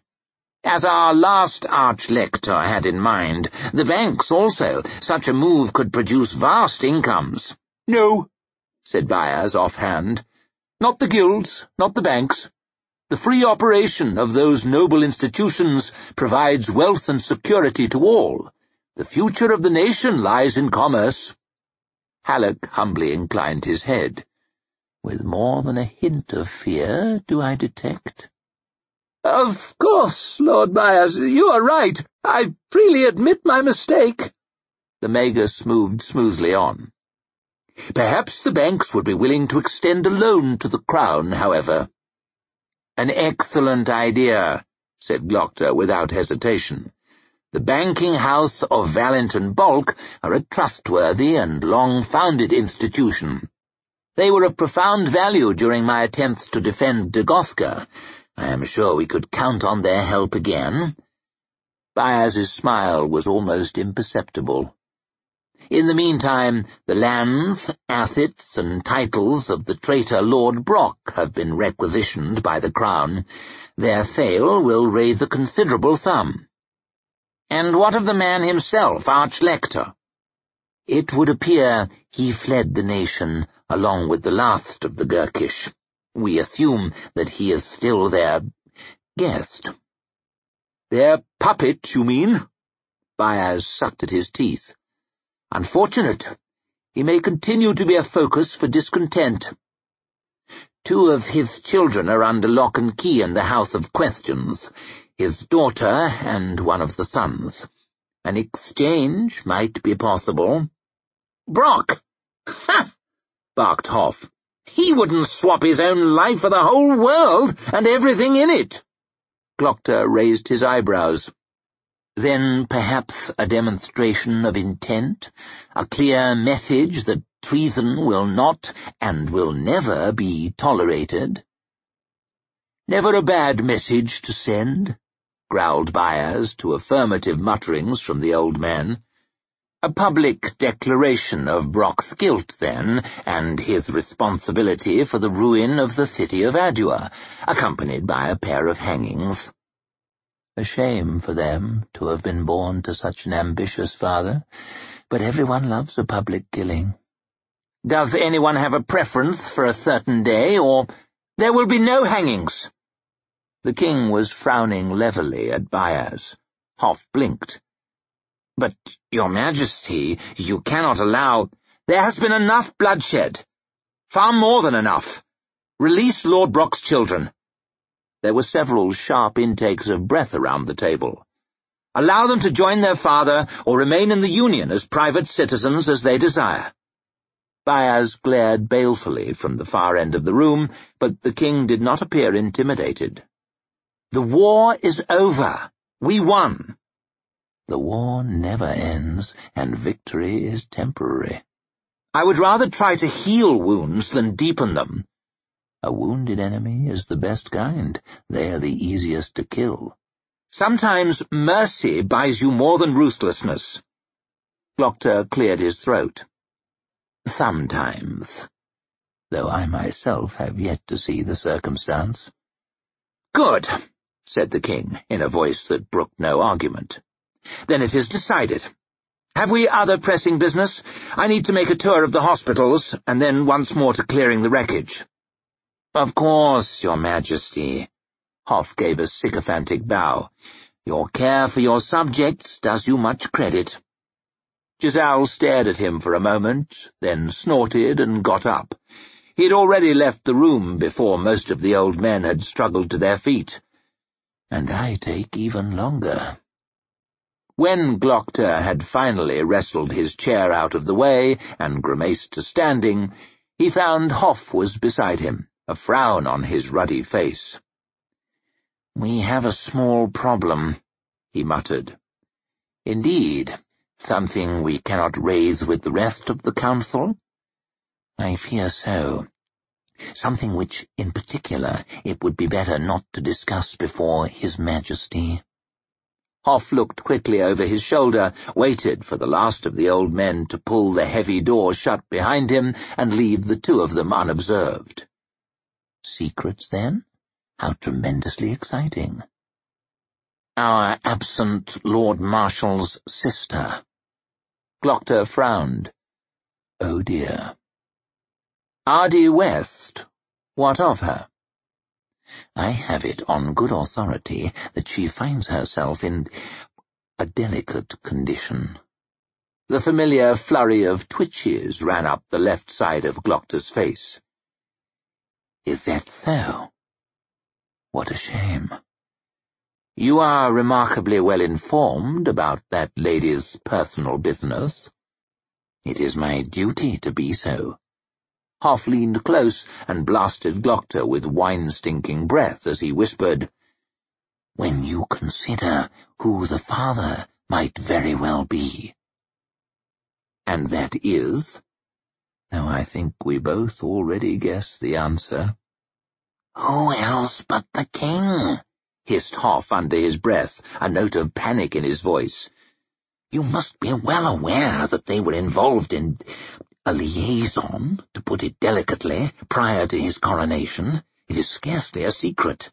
Now this, a bastard child, when the king's own claim to the throne is not of the purest, when he has so many enemies still on the open council, such a child could be used against us, if it became known of, and it will, of course. He leaned closer yet. Such a thing would constitute a threat to the state. Indeed, said Glokta icily. All too unfortunately true. What a terrible, terrible shame. Hoff's fat fingers fussed nervously with each other. I realize that you have some association with the lady and her family. I understand entirely if this is one responsibility that you would rather be free of. I can make the arrangements with no... Glokta flashed his craziest grin. Are you implying that I lack sufficient ruthlessness for the murder of a pregnant mother, Lord Chamberlain? His voice bounced loud from the hard white walls, merciless as a knife thrust. Hoff winced, his eyes darting nervously towards the door. I am sure you would not flinch from any patriotic duty. Good. You may rest easy then. Our mutual friend did not select me for this role because of my soft heart. Anything but. I will deal with the matter. The same small brick-built house in the same unremarkable street that Glokta had visited so often before. The same house where I spent so many enjoyable afternoons, as close as I have come to comfort since I was dragged drooling from the Emperor's prisons. He slid his right hand into his pocket, felt the cold metal brush against his fingertips. Why do I do this? Why? So that drunken asshole Hoff can mop his brow at a calamity averted? So that Jezal dan Luthar can sit a hair more secure on his puppet throne? He twisted his hips one way and then the other until he felt his back click. She deserves so much better. But such is the terrible arithmetic of power. He pushed back the gate, hobbled up to the front door, and gave it a smart knock. It was a moment before the cringing maid answered. Perhaps the one who alerted our court-drunkard Lord Hoff to the unfortunate situation. She showed him through into the over-furnished sitting-room with little more than a mumble, and left him there, staring at a small fire in the small grate. He caught a glimpse of himself in the mirror above the fireplace and frowned. Who is that man? That ruined shell? That shambling corpse? Can you even call it a face? So twisted and so lined, so etched with pain. What is this loathsome, pitiable species?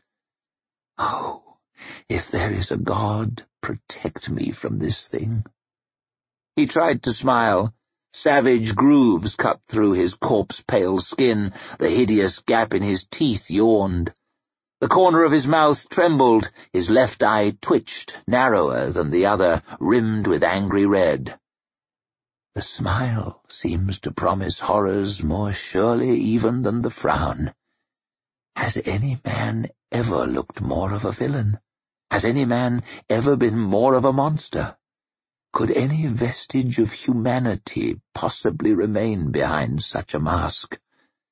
How did beautiful Sand dan become this? Mirrors, even worse than stairs. His lip curled with disgust as he turned away. Ardee stood in the doorway, watching him in silence. She looked well, to his mind, once he got over the awkward surprise of being observed. Very well, with perhaps the slightest swelling about her stomach already. Three months along now, four perhaps. Soon there will be no disguising it. Your Eminence, she gave him an appraising glance as she stepped into the room. White suits you. Truly? You do not feel it makes the skull like rings about my feverish eyes look all the darker? Why, not at all. It perfectly matches your ghoulish pallor. Glokta leered his toothless grin. The very effect I was hoping for. Have you come to take me on another tour of sewers, death and torture? A repeat of that performance will probably never be possible, alas. I seem to have used up all my friends and most of my enemies in that one throw. And regrettably the Gurkish army can no longer be with us. Busy elsewhere, I understand. He watched her cross to the table, look out of the window towards the street, the daylight glowing through her dark hair down the edge of her cheek. I trust that you are well, she asked. Busier even than the Gurkish. A great deal to do. How is your brother? I have been meaning to visit him, but... But I doubt even I could stand the stink of my own hypocrisy if I did. I cause pain. The easing of it is a foreign tongue to me. Ardee looked at her feet. He is always sick now. Every time I visit, he is thinner. One of his teeth fell out while I was with him. She shrugged her shoulders. It just came out while he was trying to eat. He nearly choked on it. But what can I do? What can anyone? I am truly sorry to hear it. But it changes nothing.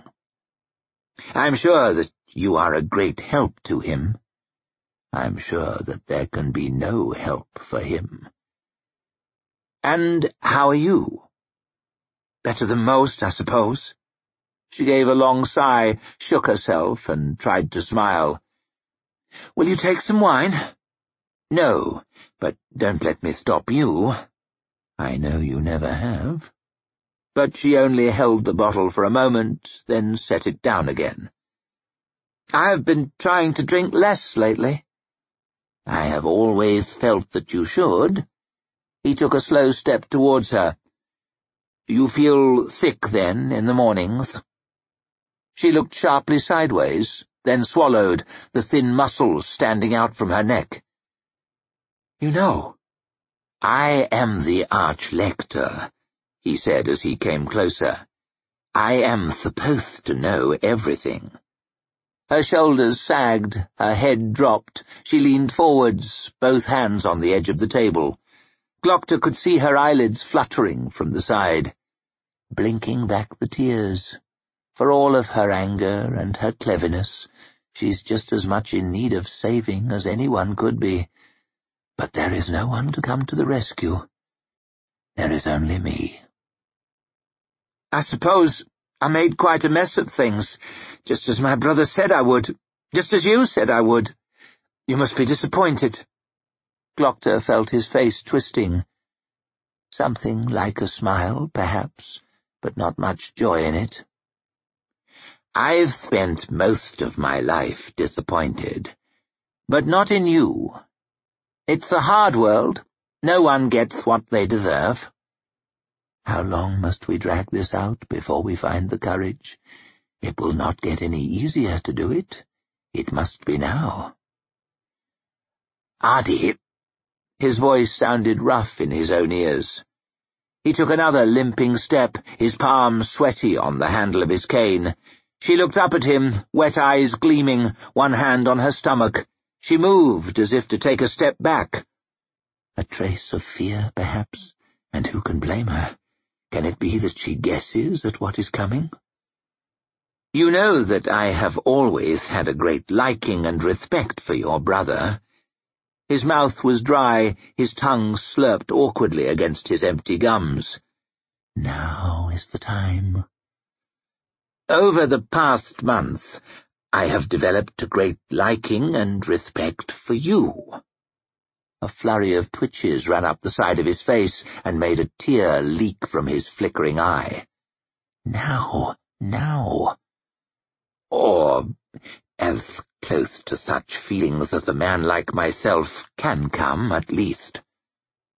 Glokta slid his hand into his pocket carefully so she would not notice. He felt the cold metal, the hard, merciless edges brushing against his skin. It must be now. His heart was pounding, his throat so tight that he could barely speak. This is difficult. I am sorry. For what? She said, frowning at him. Now. He lurched towards her, snatching his hand from his pocket. She stumbled back against the table, eyes wide, and they both froze. The ring glittered between them.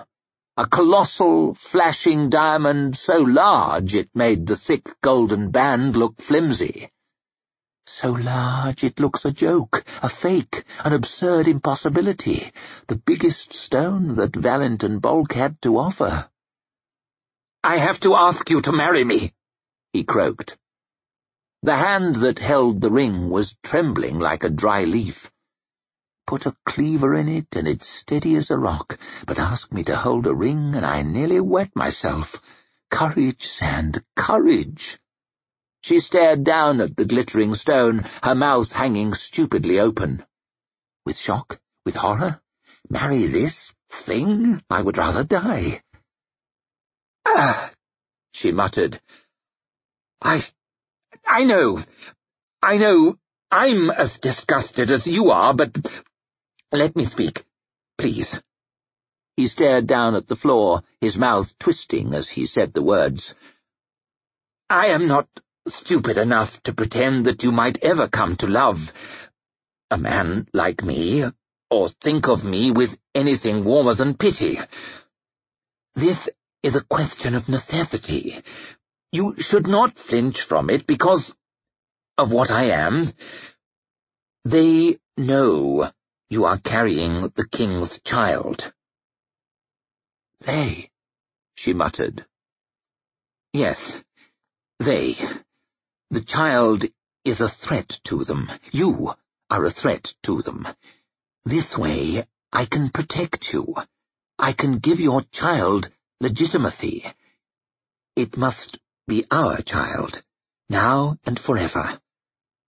Still she stared at the ring in silence like a prisoner staring horrified upon the instruments and deciding whether to confess. Two awful choices, but which is the worse? There are many things that I can give you. Safety, security, respect. You will have the best of everything. A high place in society, for what such things are worth, no one will dream of laying a finger upon you. No one will dare to talk down to you. People will whisper behind your back, of course, but they will whisper of your beauty, your wit, and your surpassing virtue. Glokta uh, narrowed his eyes. I will see to it. She looked up at him and swallowed. And now comes the refusal. My thanks, but I would rather die. I should be honest with you. When I was younger, I did some foolish things. Her mouth twisted. This isn't even the first bastard I've carried. My father threw me down the stairs and I lost it. He nearly killed me. I didn't think that it could happen again. We have all done things we are not proud of. You should hear my confession sometime, or rather, no one ever should. That changes nothing. I promised that I would look to your welfare. I see no other way. Then yes. She took the ring from him without any ceremony and slid it onto her finger. There is nothing to think about, is there? Scarcely the gushing acceptance, the tearful acquiescence, the joyful surrender that one reads of in the storybooks, a reluctant business arrangement, an occasion for sad reflection on all that might have been but is not.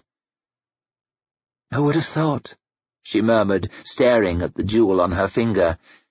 When I watched you fence with my brother all those years ago, that I would one day wear your ring. You always were the man of my dreams. And now of your nightmares. Life takes strange turns. The circumstances are not quite what anyone would have predicted. And so I saved two lives. How much evil can that possibly outweigh? Yet it is something on the right side of the scales, at least. Every man needs something on the right side of the scales. Her dark eyes rolled up to his. Could you not have afforded a bigger stone? Only by raiding the treasury he croaked.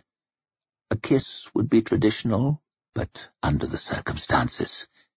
She stepped towards him, lifting one arm. He lurched back, winced at a twinge in his hip. Sorry, somewhat out of practice. If I am to do this, I mean to do it properly. To make the best of it, do you mean? To make something of it, anyway. She drew closer still.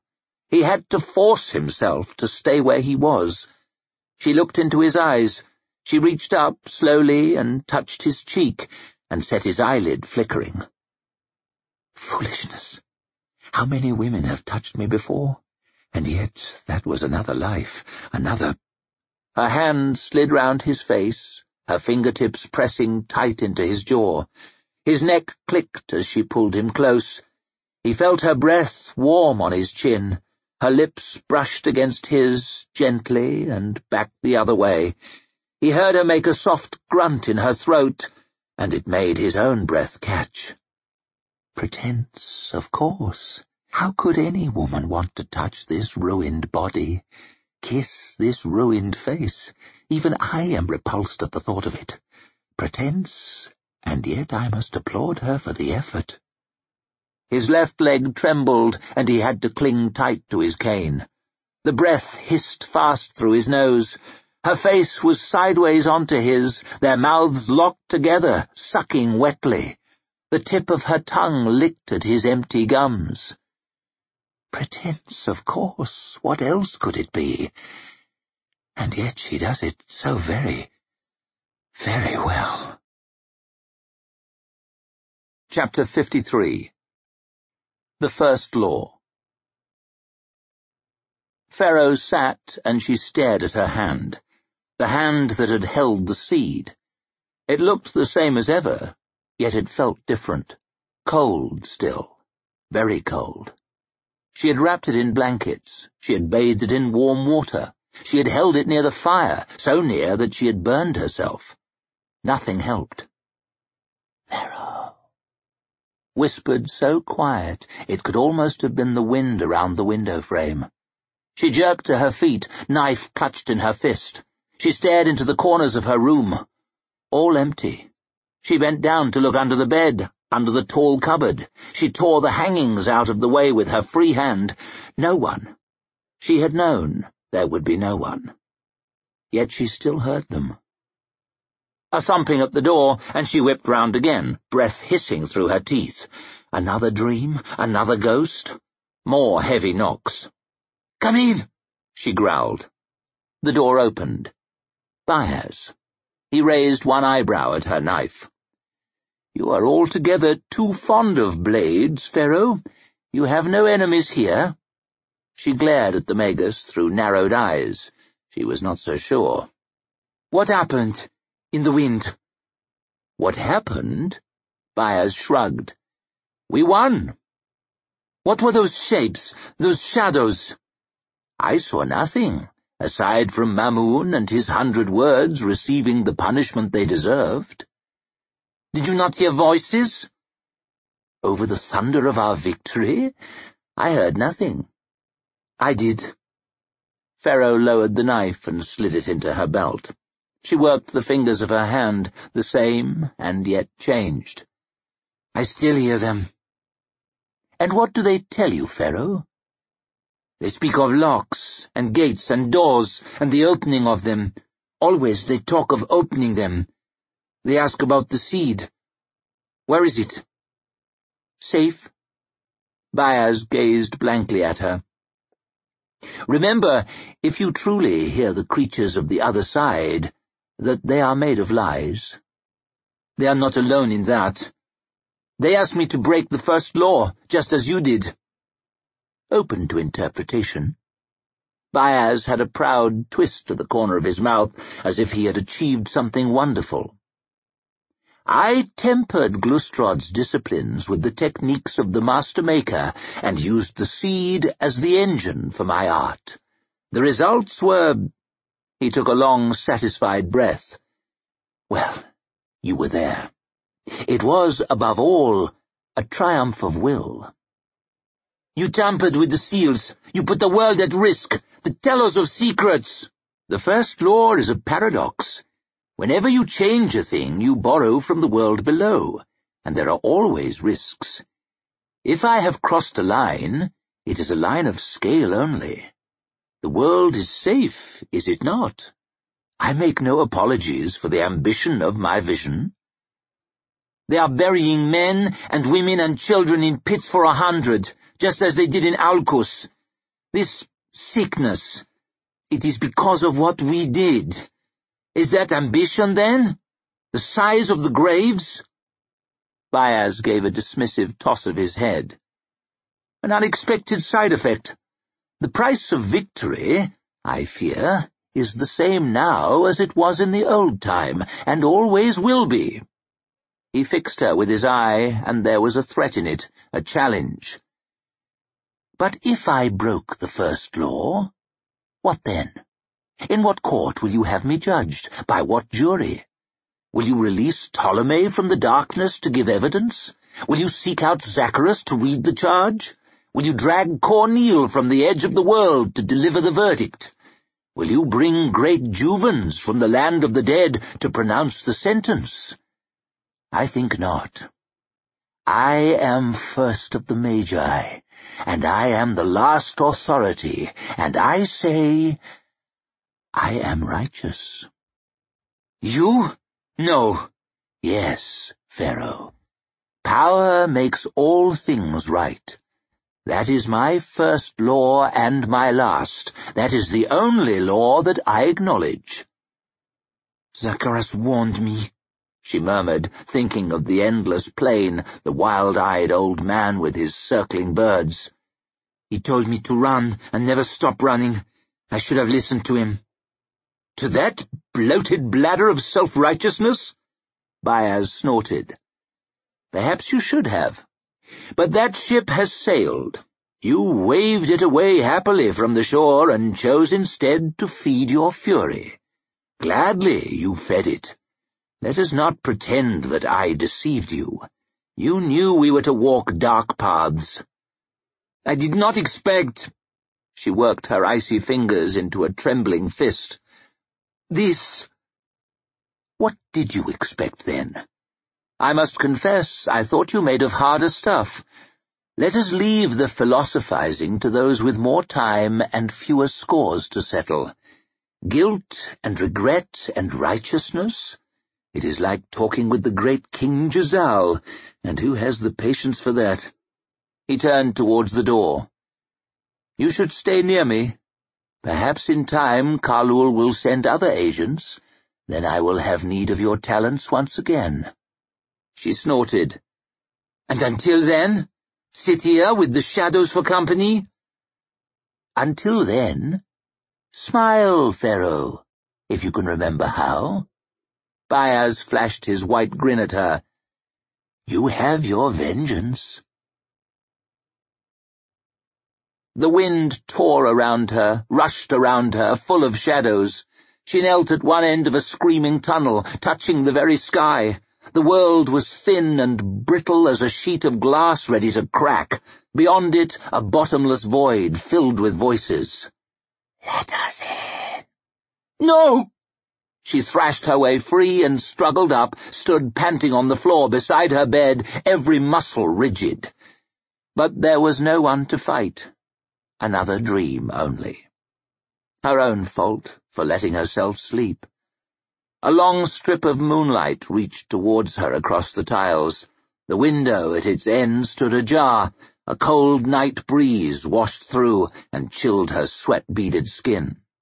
She walked to it, frowning, pushed it shut and slid the bolt. She turned around. A figure stood in the thick shadows beside the door, a one-armed figure swathed in rags. The few pieces of armor still strapped to him were scuffed and gouged.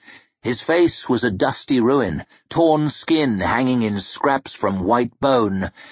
But even so, Ferro knew him. Mamun. We meet again, devil blood. His dry voice rustled like old paper. I am dreaming, she hissed. You will wish that you were. He was across the room in a breathless instant, his one hand closed round her throat like a lock snapping shut.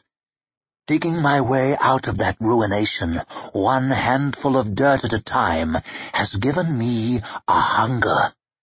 His dry breath tickled at her face. I will make myself a new arm from your flesh, and with it I will strike down Bayaz and take vengeance for great Juvens.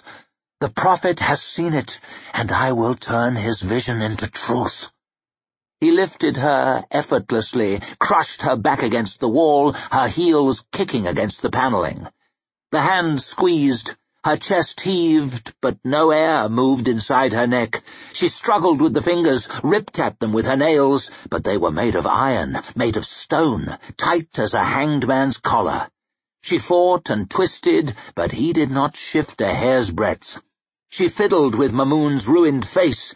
Her fingers worked their way into his ripped cheek, tore at the dusty flesh inside, but his eyes did not even blink. It had grown cold in the room. Say your prayers, child, he whispered, broken teeth grinding, and hope that God is merciful. She was growing weaker now. Her lungs were bursting. She tore at him still, but each effort was less weaker and weaker. Her arms drooped, her legs dangled, her eyelids were heavy, heavy. All was terrible cold. Now, he whispered, breath smoking. He brought her down, opening his mouth, his torn lips sliding back from his splintered teeth. Now. Her finger stabbed into his neck, through his skin and into his dry flesh up to the knuckle. It drove his head away. Her other hand wormed round his, prized it from her throat, bent his fingers backwards. She felt the bones in them snap, crunch, splinter as she dropped to the floor. White frost crept out across the black window panes beside her, squeaked under her bare feet as she twisted Mamun round and rammed him against the wall, crashed his body into the splintering panels, the cracking plaster. Dust showered down from the force of it. She drove her finger further into his throat, upwards, inwards. It was easy to do it. There was no end to her strength. It came from the other side of the divide. The seed had changed her as it had changed Tolomei, and there could be no going back. Ferro smiled. Take my flesh, would you? You have had your last meal, Mamun. The tip of her fingers slid out between his teeth, met her thumb, and hooked him like a fish. With a jerk of her wrist, she ripped the jawbone from his head and tossed it clattering away. His tongue lolled inside a ragged mass of dusty flesh. Say your prayers, Eater, she hissed, and hope that God is merciful. She clamped her palms around either side of his head. A long squeak came from his nose. His shattered hand pawed at her uselessly. His skull bent, then flattened, then burst apart, splinters of bone flying. She let the body fall, dust sliding out across the floor, curling round her feet. Yes. She did not startle, she did not stare. She knew where the voice came from, everywhere and nowhere. She stepped to the window and pulled it open. She jumped through, dropped a dozen strides down to the turf, and stood. The night was full of sounds, but she was silent. She padded across the moonlit grass, crunching frozen where her bare feet fell, crept up a long stair and onto the walls. The voices followed her. Wait. The seed. Ferro, let us in. She ignored them. An armoured man stared out into the night, out towards the house of the Maker, a blacker outline against the black sky. A wedge of darkness over the Agriont within which there were no stars, no moonlit clouds, no light at all. Ferro wondered if Tolomei was lurking in the shadows inside, scratching at its gates. Scratching, scratching forever. She had wasted her chance at vengeance. Ferro would not do the same. She slid down the battlements, around the guard, hugging his cloak tight about his shoulders as she passed, up onto the parapet, and she leapt, the wind rushing against her skin. She cleared the moat, creaking ice spreading out across the water beneath her. The cobbled ground beyond rushed up, her feet thumped into it, and she rolled over, over, away into the buildings. Her clothes were torn from the fall, but there was no mark on her skin, not so much as a bead of blood. No, Ferro. Back and find the seed. It is near him. Bayaz has it. Bayaz.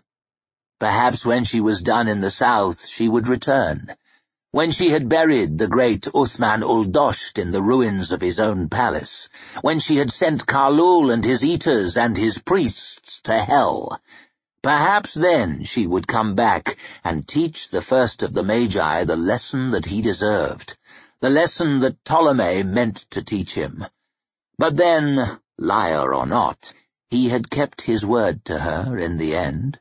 He had given her the means of vengeance. Now she would take it. Ferro stole through the silent ruins of the city, quiet and quick as a night breeze, south towards the docks.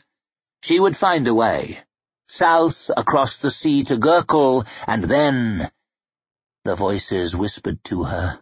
A thousand voices. They spoke of the gates that Euz closed, and of the seals that Euz put upon them. They begged her to open them. They told her to break them. They told her how, and they commanded her to do it. But Ferro only smiled. Let them speak. She had no masters. Chapter 54 Tea and Threats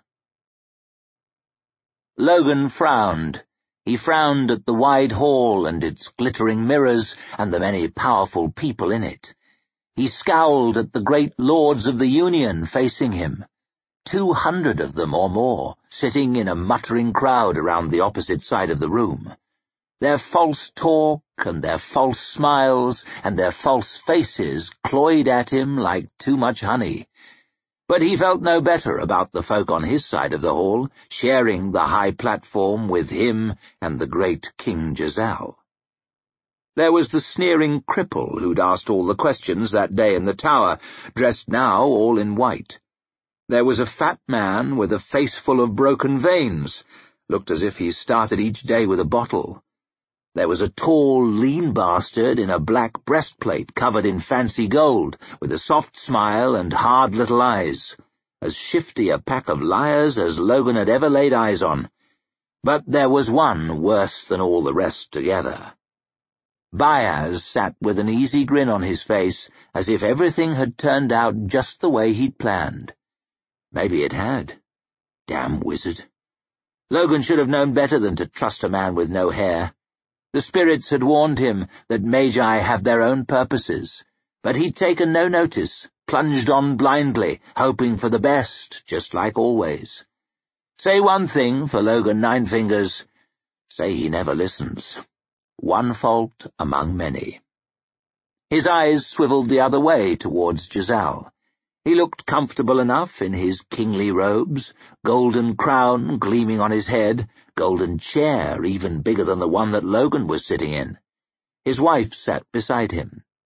She had a frosty pride about her, maybe, but no worse for that. Beautiful as a winter morning. And she had this look on her face when she looked at Jezal, a fierce kind of look, as if she could hardly stop herself tearing into him with her teeth. That lucky bastard always seemed to come out all right. She could have had a little bite out of Logen if she'd wanted, but what woman in her right mind did? He frowned most of all at himself in the mirrors opposite, raised up on the high platform beside Jezal and his queen. He looked a sullen and brooding, scarred and fearsome monster beside that beautiful pair. A man made of murder, then swaddled in rich-coloured cloth and rare white furs, set with polished rivets and bright buckles, all topped off with a great golden chain around his shoulders. That same chain that Bethod had worn. His hands stuck from the ends of his fur-trimmed sleeves, marked and brutal, one finger missing, grasping at the arms of his gilded chair. King's clothes, maybe, but killer's hands.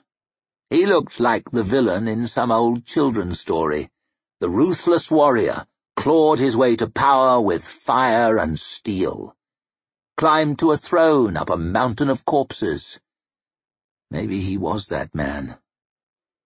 He squirmed around, new cloth scratching at his clammy skin. He'd come a long way since he dragged himself out of a river without even a pair of boots to his name dragged himself across the high places with nothing but a pot for company. He'd come a long way, but he wasn't sure he hadn't liked himself better before. He'd laughed when he'd heard that Bethod was calling himself a king. Now here he was doing the same, and even worse suited to the job. Say one thing for Logen Ninefingers. Say he's a cunt. Simple as that and that's not something any man likes to admit about himself. The drunkard Hoff was doing most of the talking. The Lord's Round lies in ruins, alas. For the time being, therefore, until a venue of grandeur suitable for this noble institution has been built, a new Lord's Round, richer and greater than the last, it has been decided that the Open Council will stand in recess. There was a pause. In recess? someone muttered. How will we be heard? Where will the nobles have their voice? The nobles will speak through the closed council. Hoff had that tone a man uses talking down to a child, or may apply to the Undersecretary for Audiences to obtain a hearing with the king. But any peasant may do so. Hoff raised his eyebrows. True. A ripple of anger spread out through the lords in front of them. Logen might not have understood too much about politics, but he could recognize one set of men getting stood on by another. Never a nice thing to be part of, but at least he was on the side doing the standing for once. The king and the nation are one and the same. Bayaz's harsh voice cut over the chatter. You only borrow your lands from him. He regrets that he requires some portion of them back, but such is the spur of necessity. A quarter. The cripple licked at his empty gums with a faint sucking sound. From each one of you. This will not stand! shouted an angry old man in the front row. You think not, Lord Isher? Bayaz only smiled at him. Those who do not think so may join Lord Brock in dusty exile and surrender all their lands to the crown instead of just a portion. This is an outrage, shouted another man. Always the king has been first among equals, the greatest of nobles, not above them. Our votes brought him to the throne, and we refuse. You dance close to a line, Lord Heugen, the cripple's face twitched with ugly spasms as he frowned across the room. You might wish to remain on that side of it, where it is safe and warm and loyal. The other side will not suit you so well, I think. A long tear ran from his flickering left eye and down his hollow cheek.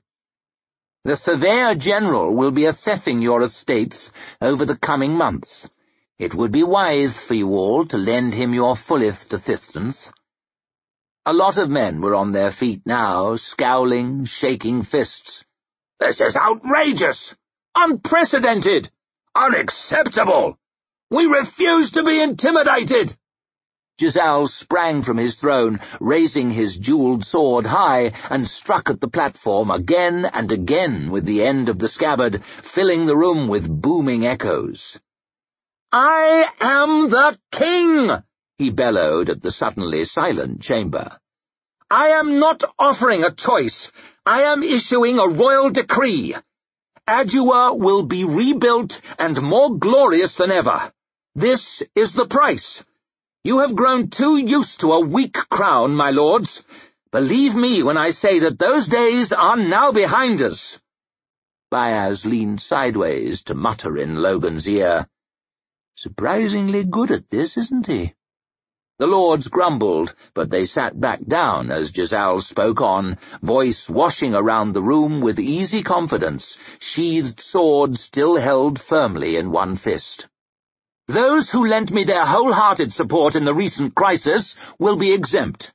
But that list, to your shame, is all too brief. Why, it was friends from outside the borders of the Union who sustained us in our time of need. The man in black swept from his chair. I, Orso of Talins, stand always at the side of my royal son and daughter. He seized Jezal's face and kissed both his cheeks. Then he did the same with the Queen. Their friends are my friends. He said it with a smile, but the meaning was hard to miss. Their enemies? Ah, you are all clever men. You can guess the rest. I thank you for your part in our deliverance, said Jezal. You have our gratitude. The war between the Union and the North is at an end. The tyrant Bethod is dead, and there is a new order. I am proud to call the man who threw him down my friend, Logen Ninefingers, King of the Northmen. He beamed, holding out his hand. It is fitting that we should stride into this bold new future as brothers. Aye, said Logen, pushing himself painfully up from the chair. Right. He folded Jezal in a hug, slapped him on the back with a thump that echoed round the great chamber. Reckon we'll be staying our side of the White Flow from now on, unless my brother has trouble down here, of course. He swept the sullen old men in the front row with a graveyard scowl. Don't make me fucking come back here.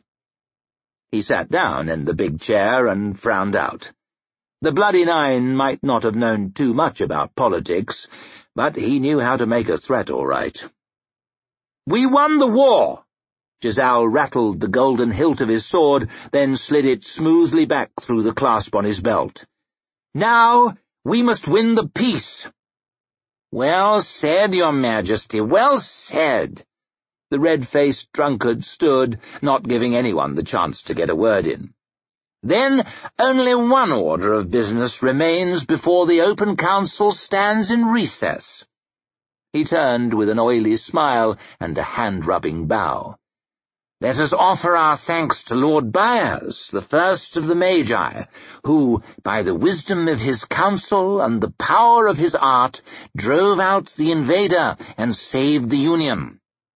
He began to clap. The cripple Glokta joined him, then Duke Orso. A burly lord in the front row sprang up. Lord Bayaz! he roared, smashing his fat hands together.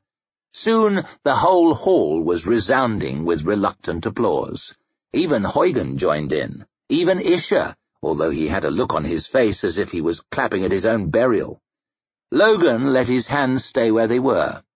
If he was honest, he felt a touch sick even being there, sick and angry. He slumped back in his chair and kept on frowning. Jezal watched the great worthies of the Union file unhappily out of the Chamber of Mirrors. Great men, Isher, Barezin, Heugen, and all the rest.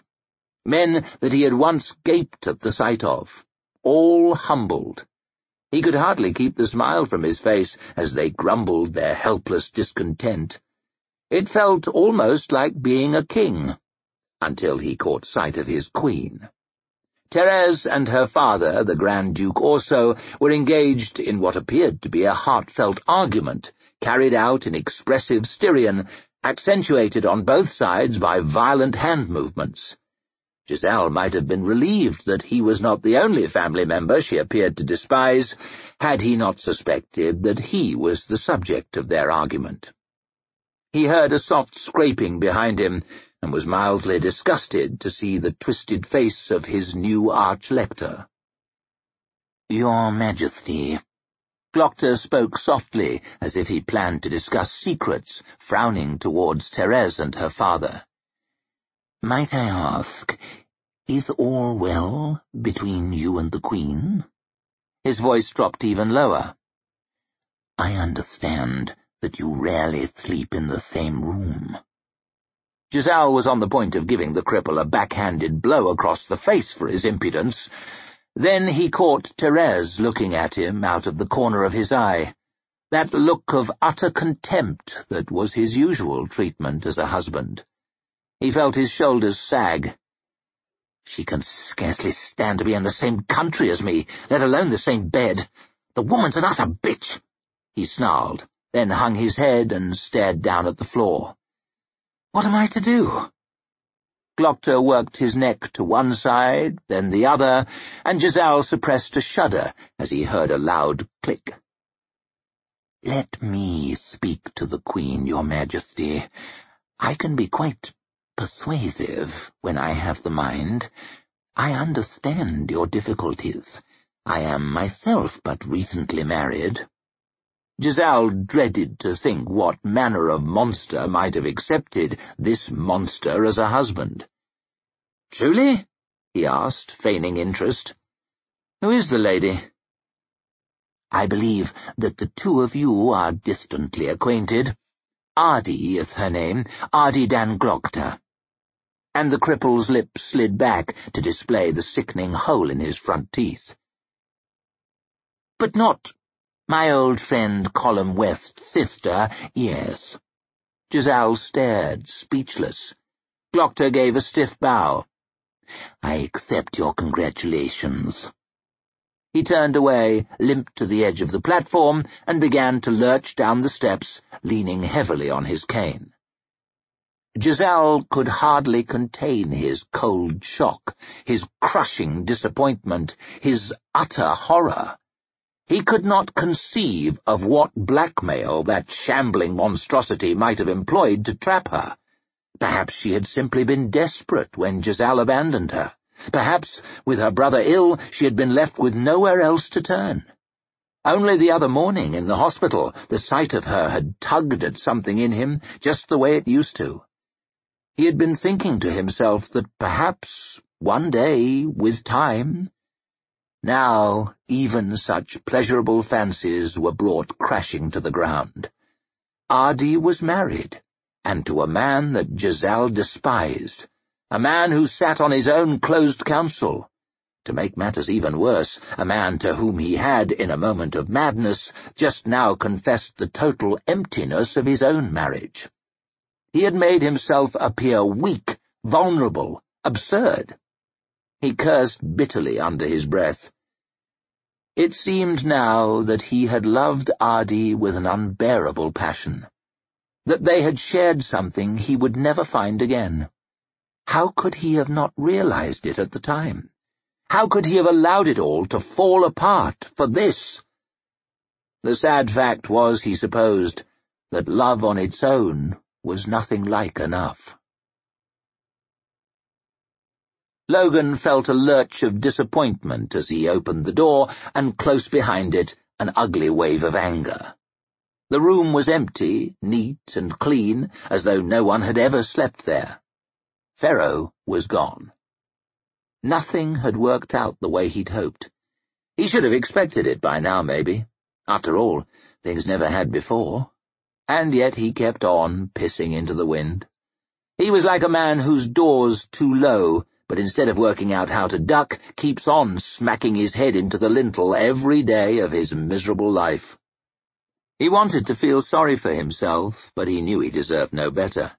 A man can't do the things he'd done and hope for happy endings. He strode out into the corridor and down the hallway, his jaw clenched. He shouldered open the next door without knocking. The tall windows stood open, sunlight pouring into the airy room, hanging stirring in the breeze. Bayaz sat in a carved chair in front of one of them, a teacup in his hand. A fawning servant in a velvet jacket was pouring into it from a silver pot, a tray and cups balanced on his outspread fingertips. Ah, the king of the Northmen, called Bayaz. How art? Where is Ferro? Gone. She left something of a mess behind, in fact, but I have tidied up, as I so often find myself. Where? The Magus shrugged. South, I would imagine. Vengeance, or some such, if I was forced to guess. She always said a very great deal about vengeance. A most ill-tempered woman. She has changed. Great events, my friend. None of us are quite the same. Now, will you take tea? The servant pranced forward, silver tray bobbing. Logan seized him by his velvet jacket and flung him across the room. He squealed as he crashed into the wall and sprawled on the carpet, cups clattering around him. Bayaz raised an eyebrow. A simple no would have sufficed. Shit on that, you old bastard! The first of the Magi frowned. Why, Master Ninefingers, you seem in bullish mood this morning. You are a king now, and it ill becomes you to let your baser passions rule you in this manner. Kings of that sort never last. You have enemies still in the north, Calder and Scale up in the hills causing trouble, I am sure. Manners should be repaid by like manners, I have always thought. You have been helpful to me, and I can be helpful in return. As you were to Bethod? Just so. Much good it did him. When he had my help, he prospered. Then he became proud and unruly, and demanded things all his own way. Without my help, well, you know the rest. Stay out of my business, wizard. Logan let his hand fall onto the hilt of the Maker's blade. If swords have voices, as the Magus had once told him, he made it give a grim threat now but Bayaz's face showed only the slightest trace of annoyance. A lesser man might find himself upset. Did I not buy your life from Bethod? Did I not give you purpose when you had nothing? Did I not take you to the very edge of the world, show you wonders few men have seen? These are poor manners. Why, the very sword with which you threatened me was my gift to you. I had hoped we might come to a— No, I see. Not even, we are done. Looks as if I'll never be a better man, but I can try not to be a worse. I can try that much at least. Bayaz narrowed his eyes. Well, Master Ninefingers, you surprise me to the last. I thought you a courageous yet restrained man, a calculating yet compassionate one. I thought you, above all, a realistic man, but the Northmen have ever been prone to petulance. I observe in you now an obstinate streak and a destructive temper. I see the bloody nine at last. I'm happy to disappoint you. Seems we misjudged each other entirely. I took you for a great man. Now I realize my mistake. Logan slowly shook his head. What have you done here? What have I done? Bayaz snorted with disbelieving laughter. I combined three pure disciplines of magic, and I forged a new one. It seems you do not understand the achievement, Master Ninefingers, but I forgive you. I realize that book learning has never been your strongest suit. Such a thing has not been contemplated since before the old time, when Euz split his gifts among his sons. Bayaz sighed. None will appreciate my greatest achievement, it seems. None except Khalul, perhaps, and it is unlikely he will ever proffer his congratulations. Why, such power has not been released within the circle of the world since... since... Glustrod destroyed himself and Aulcus with him? The Magus raised his eyebrows. Since you mention it, And the results are pretty much the same, it seems to me, except you wrought a touch less careless slaughter and ruined a smaller part of a smaller city in a smaller, meaner time. Otherwise, what's the difference between you and him? I would have thought that was entirely obvious. Bayaz lifted his teacup, gazing mildly over the rim. Glustrod lost. Logan stood there for a long while, thinking on that. Then he turned and stalked from the room, the servant cringing out of his way. Into the corridor, footsteps clapping from the gilded ceiling, Bethod's heavy chain jingling round his shoulders like laughter in his ear. He probably should have kept the ruthless old bastard on his side. Chances were that Logan would need his help, the way things were like to be in the north, once he got back. He probably should have sucked up that stinking piss he called tea and smiled as if it was honey. He probably should have laughed and called Bayaz old friend so he could come crawling to the great northern library when things turned sour. That would have been the clever thing to do. That would have been the realistic thing but it was just the way that Logan's father had always said. He'd never been that realistic. Chapter 55 Behind the Throne As soon as he heard the door open, Jezal knew who his visitor must be. He did not even have to look up. Who else would have the temerity to barge into a king's own chambers without so much as knocking? He cursed silently, but with great bitterness. It could only be Bayaz, his jailer, his chief tormentor, his ever-present shadow, the man who had destroyed half the Agriont and made a ruin of beautiful Adua, and now smiled and revelled in the applause as though he were the saviour of the nation. It was enough to make a man sick to the pit of his guts. Jezal ground his teeth, staring out of the window towards the ruins, refusing to turn round. More demands, more compromises, more talk of what had to be done. Being the head of state, at least with the first of the Magi at his shoulder, was an endlessly frustrating and disempowering experience. Getting his own way on even the tiniest of issues, an almost impossible struggle. Wherever he looked, he found himself staring directly into the Magus's disapproving frown. He felt like nothing more than a figurehead. A fine-looking, a gilded, a magnificent, yet utterly useless chunk of wood. Except a figurehead at least gets to go at the front of the ship. Your Majesty, came the old man's voice, the usual thin veneer of respect scarcely concealing the hard body of disdain beneath. What now? Jezal finally turned to face him.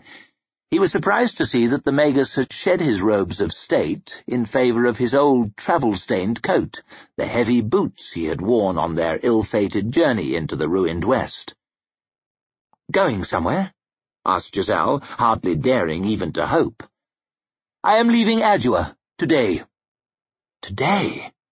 It was the most Jezal could do to stop himself leaping in the air and screaming for joy. He felt like a prisoner stepping from his stinking dungeon and into the bright sunlight of freedom. Now he could rebuild the Agriont as he saw fit. He could reorganize the closed council, pick his own advisers, perhaps even rid himself of that witch of a wife Bayaz had saddled him with. He would be free to do the right thing, whatever that was. He would be free to try and find out what the right thing might be, at least. Was he not the High King of the Union, after all? Who would refuse him? We will be sorry to lose you, of course. I can imagine. There are some arrangements that we must make first, however. By all means. Anything, if it meant he was rid of the old bastard. I have spoken with your new Arch-Lector, Glokta. The name alone produced a shiver of revulsion. Have you indeed? A sharp man? He has greatly impressed me. I have asked him to speak in my stead while I am absent from the closed council. Truly? Asked Jezal, wondering whether to toss the cripple from his post directly after the Magus left the gates, or to leave it a day. I would recommend, said in very much the tone of an order, that you listen closely to his opinions. Oh, I will, of course. The best of luck on your journey back to... I would like you, in fact, to do as he says. A cold knot of anger pressed at Jezal's throat. You would have me, in effect, obey him? Bayaz's eyes did not deviate from his own. In effect, yes. Jezal was left momentarily speechless. For the Magus to suppose that he could come and go as he pleased, leaving his maimed lackey in charge, above a king in his own kingdom, the overwhelming arrogance of the man. You have taken a high hand of late in my affairs, he snapped. I'm in no mind to trade one overbearing adviser for another. That man will be very useful to you, to us. Decisions will have to be made that you would find difficult. Actions will have to be taken which you would rather not take yourself. People who would live in sparkling palaces need others willing to carry away their ordure, lest it pile up in the polished corridors and one day bury them. All this is simple and obvious. You have not attended to me. No, you are the one who has failed to attend. Sand dan Glokta, that crippled bastard! He realized his unfortunate choice of words, but had to forge on regardless, growing angrier than ever. Sitting beside me at the closed council, leering over my shoulder every day of my life, and now you would have him dictate to me?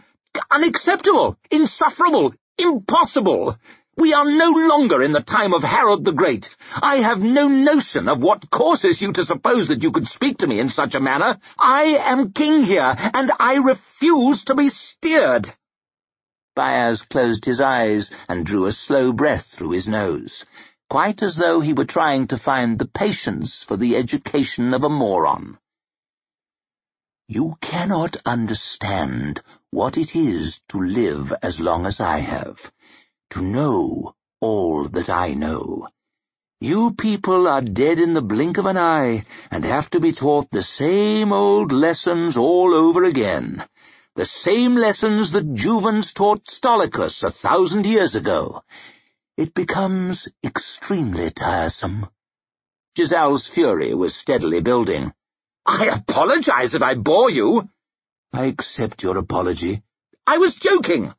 Ah, your wit is so very sharp I hardly noticed I was cut. You mock me. It is easily done. Every man seems a child to me.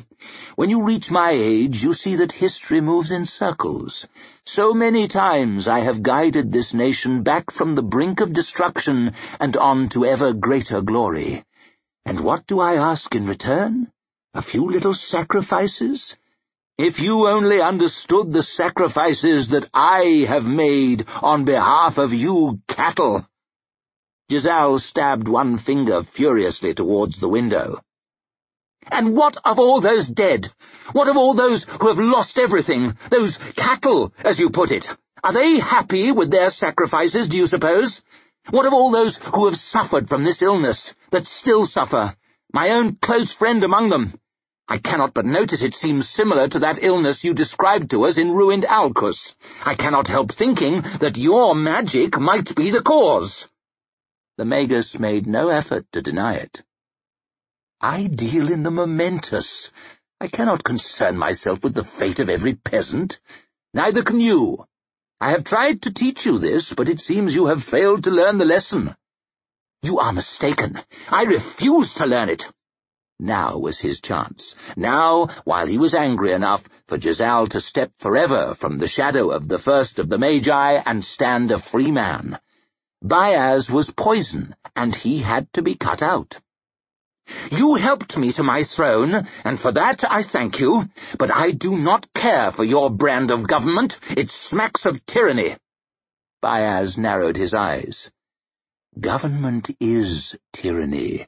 At its best it is dressed in pretty colours. Your callous disregard for the lives of my subjects. I will not stand for it. I have moved beyond you. You are no longer wanted here, no longer needed. I will find my own way from now on. He waved Bayaz away with what he hoped was a regal gesture of dismissal. You may leave. May I, indeed. The first of the Magi stood in silence for a long time, his frown growing darker and darker. Long enough for Jezal's rage to begin to wilt, for his mouth to go dry, for his knees to feel weak. I perceive that I have been far too soft with you, said Bayaz, each word sharp as a razor cut. I have coddled you like a favorite grandchild, and you have grown wilful. A mistake that I shall not make again. A responsible guardian should never be shy with the whip. I am a son of kings, snarled Jezal. I will not... He was doubled over by a spear of pain through his guts, stunningly sudden. He tottered a step or two, scalding vomit spraying from his mouth. He crashed onto his face, scarcely able even to breathe, his crown bouncing off and rolling away into the corner of the room. He had never known agony like it, not a fraction of it. I have no notion of what causes you to suppose that you could speak to me in such a manner. To me, the first of the Magi. Jezal heard Bayaz's footsteps thumping slowly towards him, voice picking at his ears as he squirmed helplessly in his own sick. Son of kings? I am disappointed after all that we have been through together, that you would so readily believe the lies I have spread on your behalf. That nonsense was meant for the idiots in the streets but it seems that idiots in palaces are lulled by sweet slop just as easily. I bought you from a whore. You cost me six marks. She wanted twenty, but I drive a hard bargain. The words were painful, of course, but far, far worse was the unbearable stabbing that cut up Jezal's spine, that tore at his eyes, burned his skin, seared the very roots of his hair, and made him thrash like a frog in boiling water. I had others waiting, of course.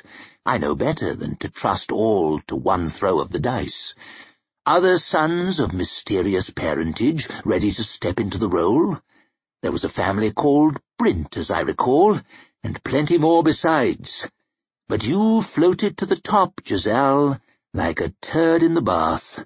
When I crossed that bridge into the Agriont and saw you groan, I knew you were the one. You simply looked right, and you can't teach that. You have even come to speak like a king, which is a bonus I never expected. Jezal moaned and slobbered, unable even to scream. He felt Bayaz's boots slide under him and kick him over onto his back.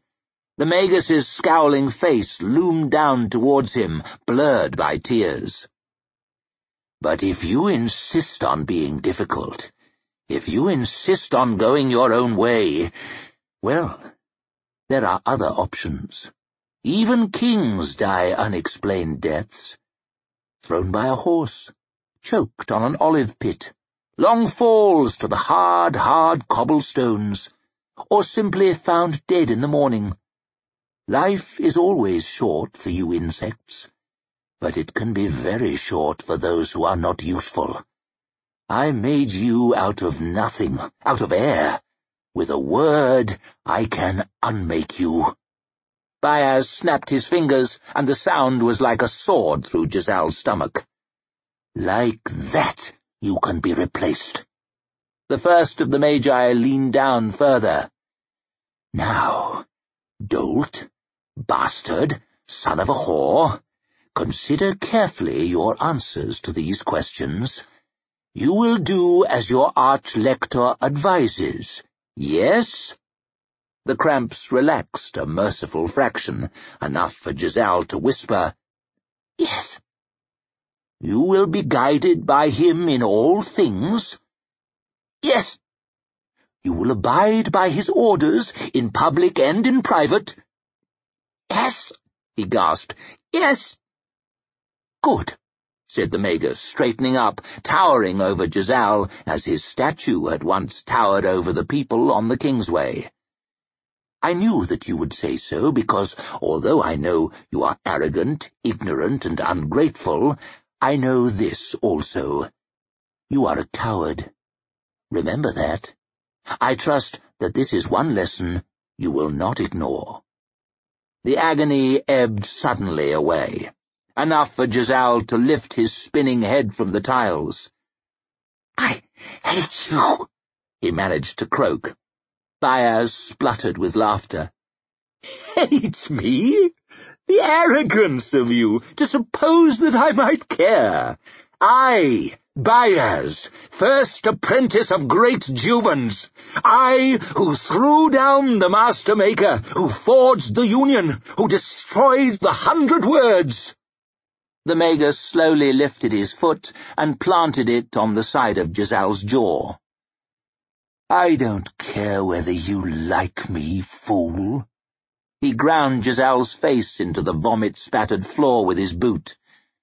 I care that you obey, and you will, yes? Yes, Jezal slobbered through his squashed mouth. Then, your majesty, I take my leave. Pray that you never give me cause to return. The crushing pressure on his face released, and Jezal heard the Magus's footsteps tap away to the far side of the room. The door creaked open, and then clicked firmly shut. He lay on his back, staring at the ceiling, his breath heaving quickly in and out. After a while he drew up the courage to roll over, dragged himself dizzily up to his hands and knees. There was an unpleasant stink, and not just from the vomit smeared across his face. He realized with a meagre flicker of shame that he had soiled himself. He crawled across to the window, still limp as a wrung-out rag, drew himself gasping up to his knees, and looked down into the chilly gardens. It only took a moment for Bayaz to come into view, striding down the gravel path between the neat lawns, the back of his bald pate shining. Yoru Sulfur walked behind him, staff in one hand, a box of dark metal held under the other arm. The same box that had followed Jezal and Logan and Ferro in a cart across half the circle of the world. What happy days those seemed now. Bayaz stopped, suddenly, turned, raised his head. He looked up, straight towards the window. Jezal pressed himself into the hangings with a whimper of terror, his whole body trembling, the after-image of that unbearable pain still stamped cold as ice into his guts. The first of the Magi stood there for a moment longer, the faintest hint of a smile on his face. Then he turned away smartly, strode between the bowing knights of the body flanking the gate, and was gone. Jezal knelt there, clinging to the curtains like a child to his mother. He thought about how happy he had once been and how little he had realized it. Playing cards, surrounded by friends, a bright future ahead of him. He dragged in a heavy breath, the tightness of tears creeping up his throat, spreading out around his eyes. Never in his life had he felt so alone. Son of kings? He had no one and nothing. He spluttered and sniffed. His vision grew blurry. He shook with hopeless sobs, his scarred lip trembling, the tears dripping down and spattering on the tiles. He wept with pain and fear, with shame and anger, with disappointment and helplessness. But Bayaz had been right. He was a coward so most of all, he wept with relief. Chapter 56 Good Men, Evil Men Grey morning time out in the cold, wet gardens, and the dogman was just stood there, thinking about how things used to be better. Stood there in the middle of that circle of brown graves, staring at the turned earth over Harding Grim. Strange how a man who said so little could leave such a hole. It was a long journey that Dogman had taken the last few years, and a strange one. From nowhere to nowhere, and he'd lost a lot of friends along the way. He remembered all those men gone back to the mud, Harding Grim, Tull Duru Thunderhead, Rudd Three Trees, Forley the Weakest. And what for? Who was better off because of it? All that waste.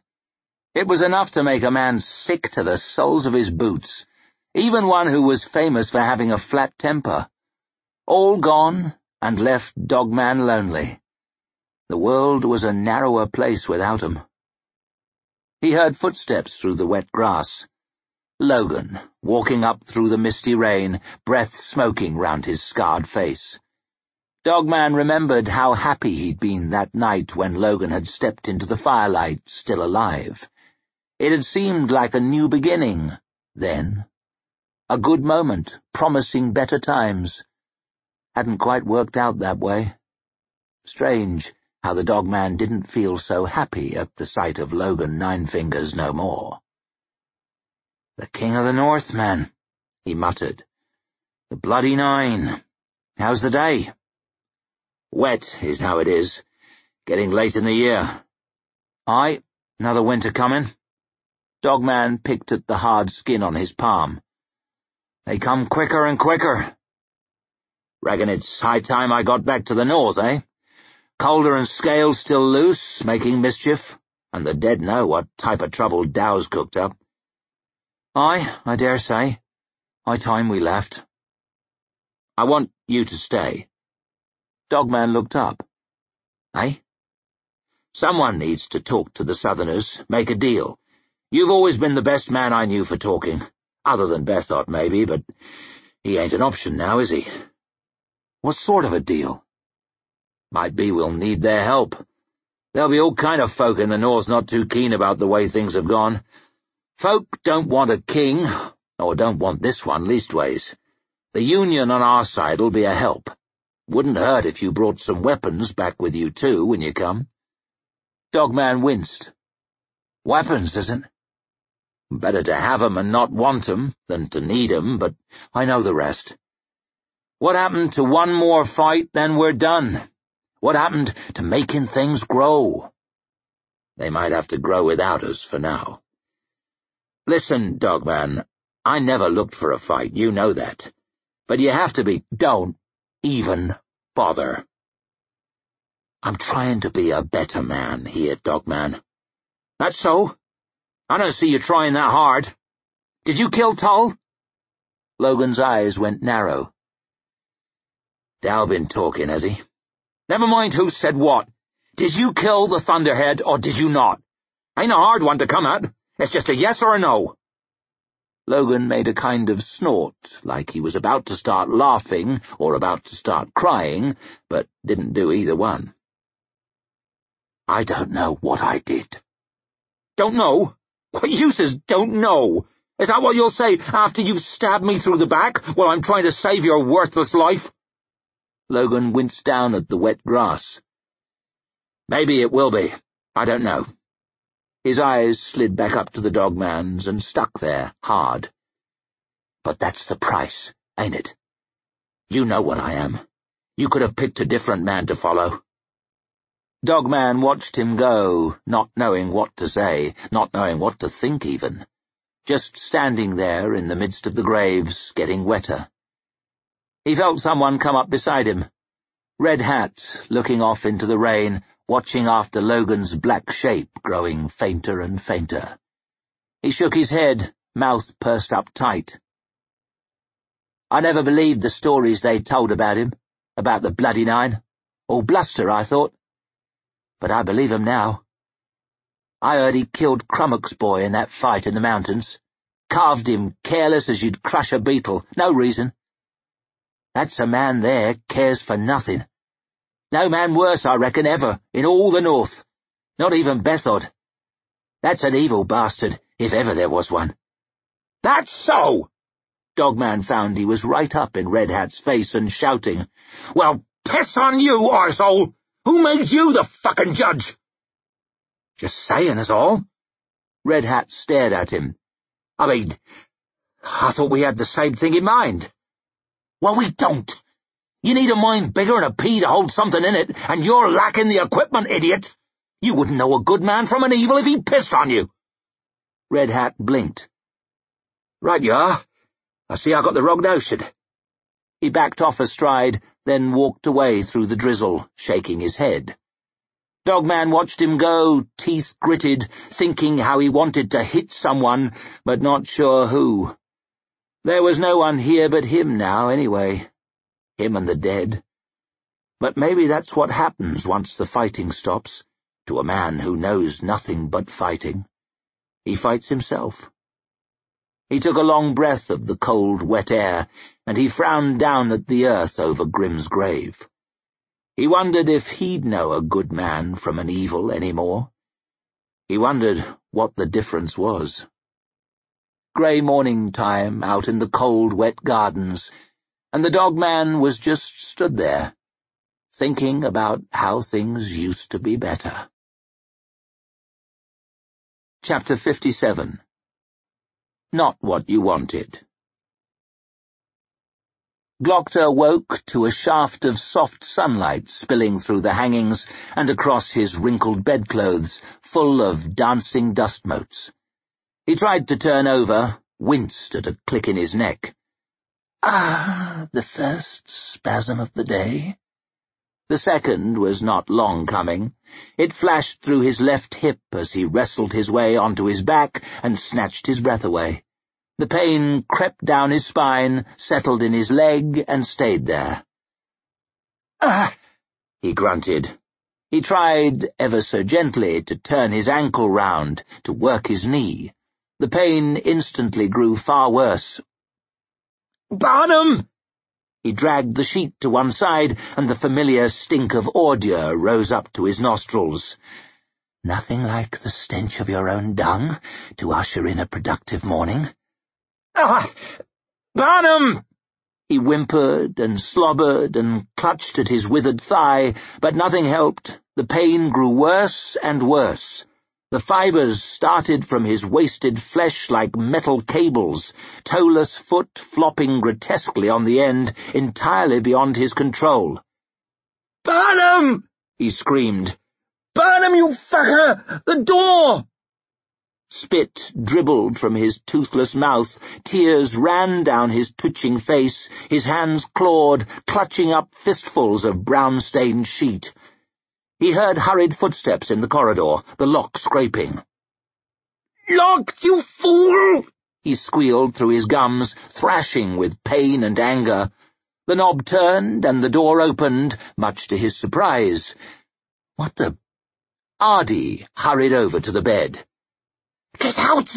he hissed, holding one arm pointlessly over his face, clutching at his bedclothes with the other. Get out! No. She tore the sheet away, and Glokta grimaced, waiting for her face to go pale, waiting for her to stagger back, one hand across her mouth, eyes wide with shock and disgust. I am married to this shit-daubed monstrosity?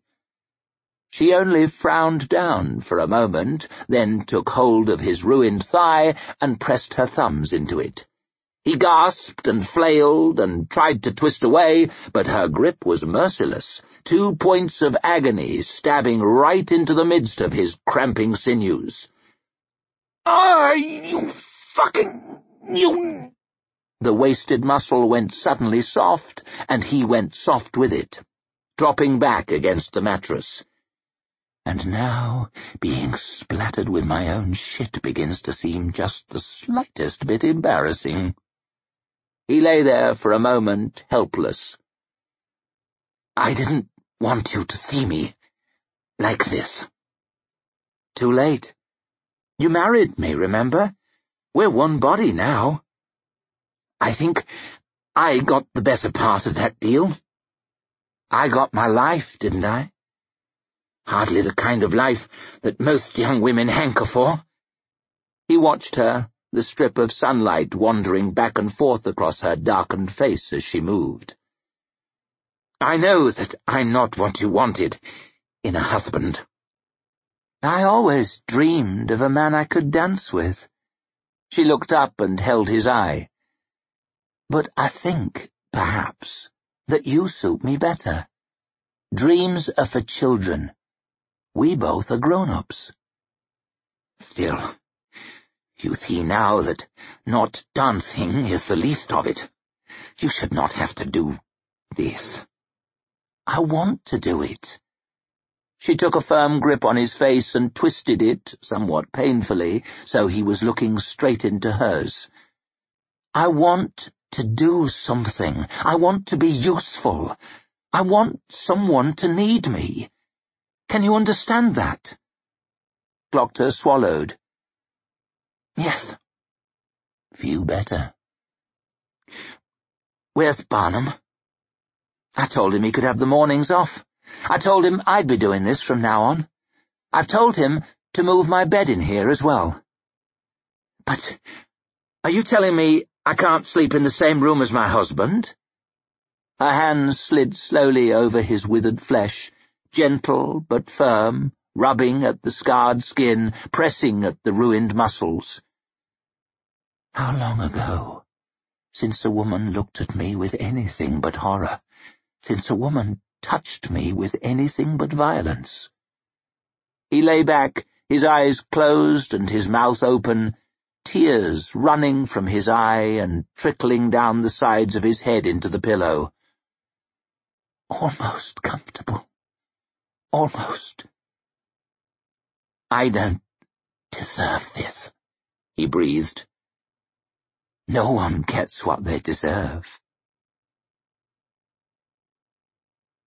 Queen Therese looked down her nose at Glokta as he lurched into her sunny salon without the slightest attempt to hide her utter disgust and contempt. As though she saw a cockroach crawling into her regal presence. But we will see. We know well the path, after all. We have followed it ourselves, and we have dragged so many others after. Pride comes first, then pain, Humility follows hard upon it. Obedience lies just beyond. My name is Glokta. I am the new Arch-Lector of His Majesty's Inquisition. Ah, the cripple, she sneered, with refreshing directness. And why do you disrupt my afternoon? You will find no criminals here. Only Styrian witches. Glokta's eyes flickered to the other woman, standing bolt upright near one of the windows. It is a matter we had better discuss alone. The Countess Shalere has been my friend since birth. There is nothing you can say to me that she cannot hear. The Countess glared at Glokta with a disdain little less piercing than the Queen's. Very well. No delicate way to say it. I doubt that delicacy will serve us here in any case. It has come to my attention, Your Majesty, that you have not been performing your duties as a wife. Therese's long, thin neck seemed to stretch with indignation. How dare you! That is none of your concern.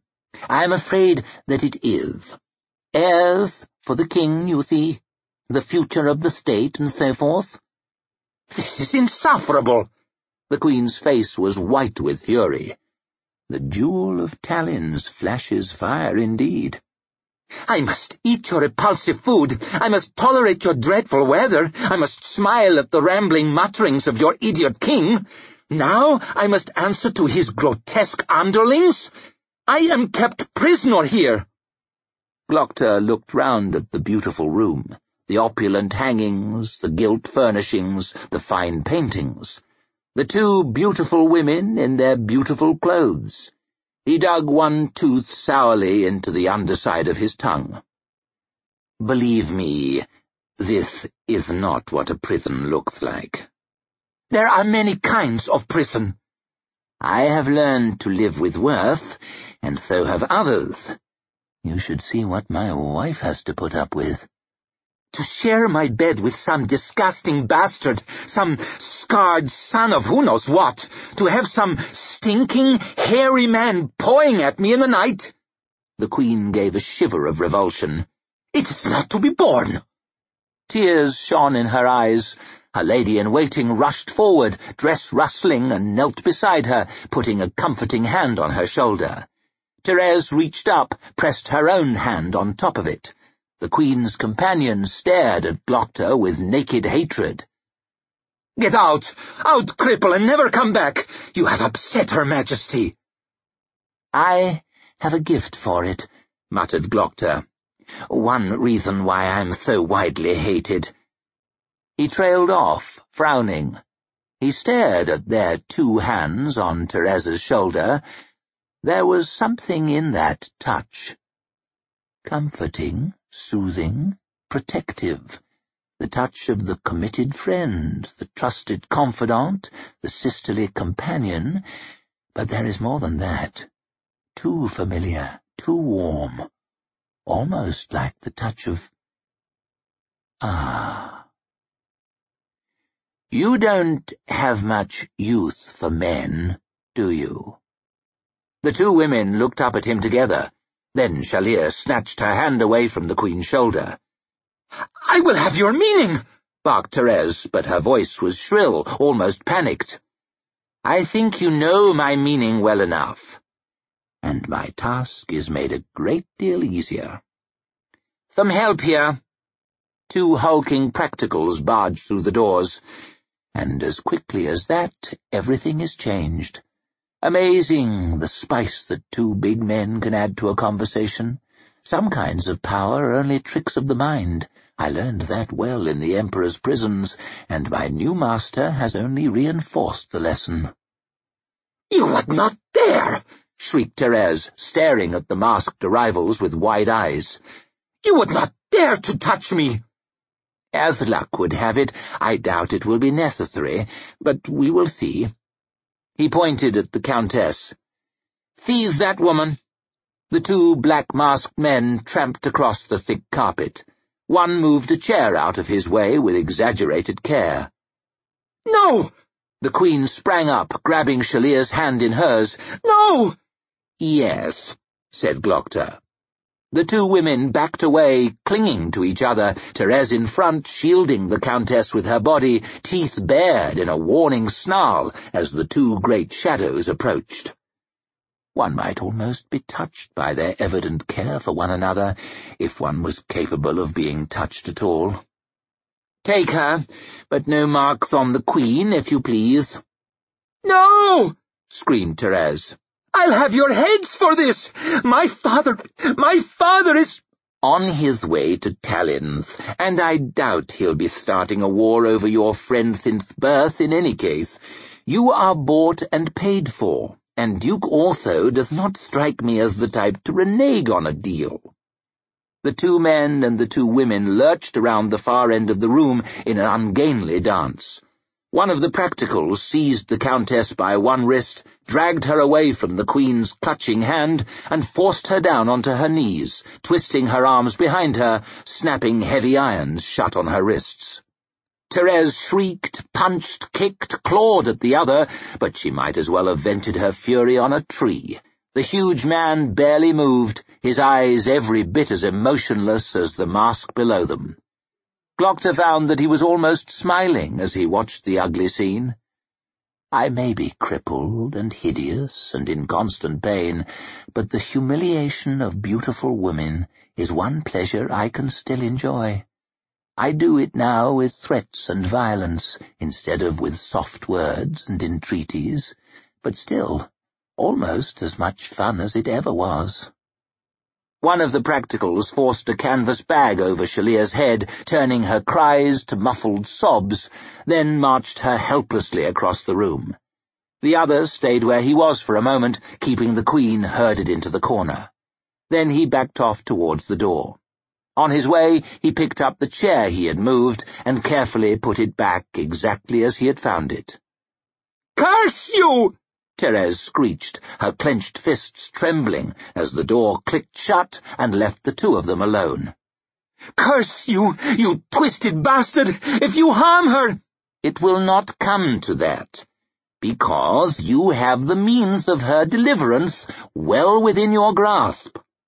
The Queen swallowed, chest heaving. What must I do? Fuck, The word somehow sounded twice as ugly in the beautiful surroundings. And bear children. I will give the Countess seven days in the darkness, unmolested. If, at the end of that time, I do not hear that you have set the king's cock on fire every night, I will introduce her to my practicals. Poor fellows, they get so little exercise. Ten minutes each should do the trick, but there are plenty of them in the House of Questions. I dare say we can keep your childhood friend quite busy night and day. A spasm of horror passed over Therese's face. And why not? This is a low chapter even for me. If I do as you ask, then the Countess will be kept quite safe and sound. Once you are verifiably with child, I will return her to you. Things can be as they are now, during the period of your confinement. Two boys as heirs, two girls to marry off, and we can be done with one another. The king can find his entertainment elsewhere. But that will take years. You could get it done in three or four, if you really ride him hard, and you might find it makes everyone's lives easier if you at least pretend to enjoy it. Pretend? she breathed. The more you seem to like it, the quicker it will be over. The cheapest whore on the docks can squeal for her coppers when the sailors stick her. Are you telling me you cannot squeal for the King of the Union? You offend my patriotic sensibilities. Ah! He gasped, rolling his eyes in a parody of ecstasy. Ah! Yes, just there. Don't stop! He curled his lip at her. You see, even I can do it. A liar of your experience should have no difficulty. Her teary eyes darted round the room as though she were looking for some way out. But there is none. The noble Arch-Lector Glokta, protector of the Union, great heart of the closed council, paragon of the gentlemanly virtues, displays his flair for politics and diplomacy. He felt some tiny stirring within him as he watched her wretched desperation, some negligible flutter in his guts. Guilt, perhaps, or indigestion. It hardly matters which. I have learned my lesson. Pity never works for me. He took one more slow step forward. Your Majesty, I hope you fully understand the alternative. She nodded and wiped her eyes. Then she proudly raised up her chin. I will do as you ask. Please, I beg of you, do not hurt her. Please. Please, please, please. Many congratulations, Your Eminence. You have my word. I will see the Countess has only the best of treatment.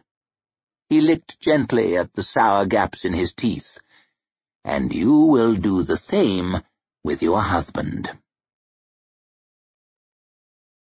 Jezal sat in the darkness.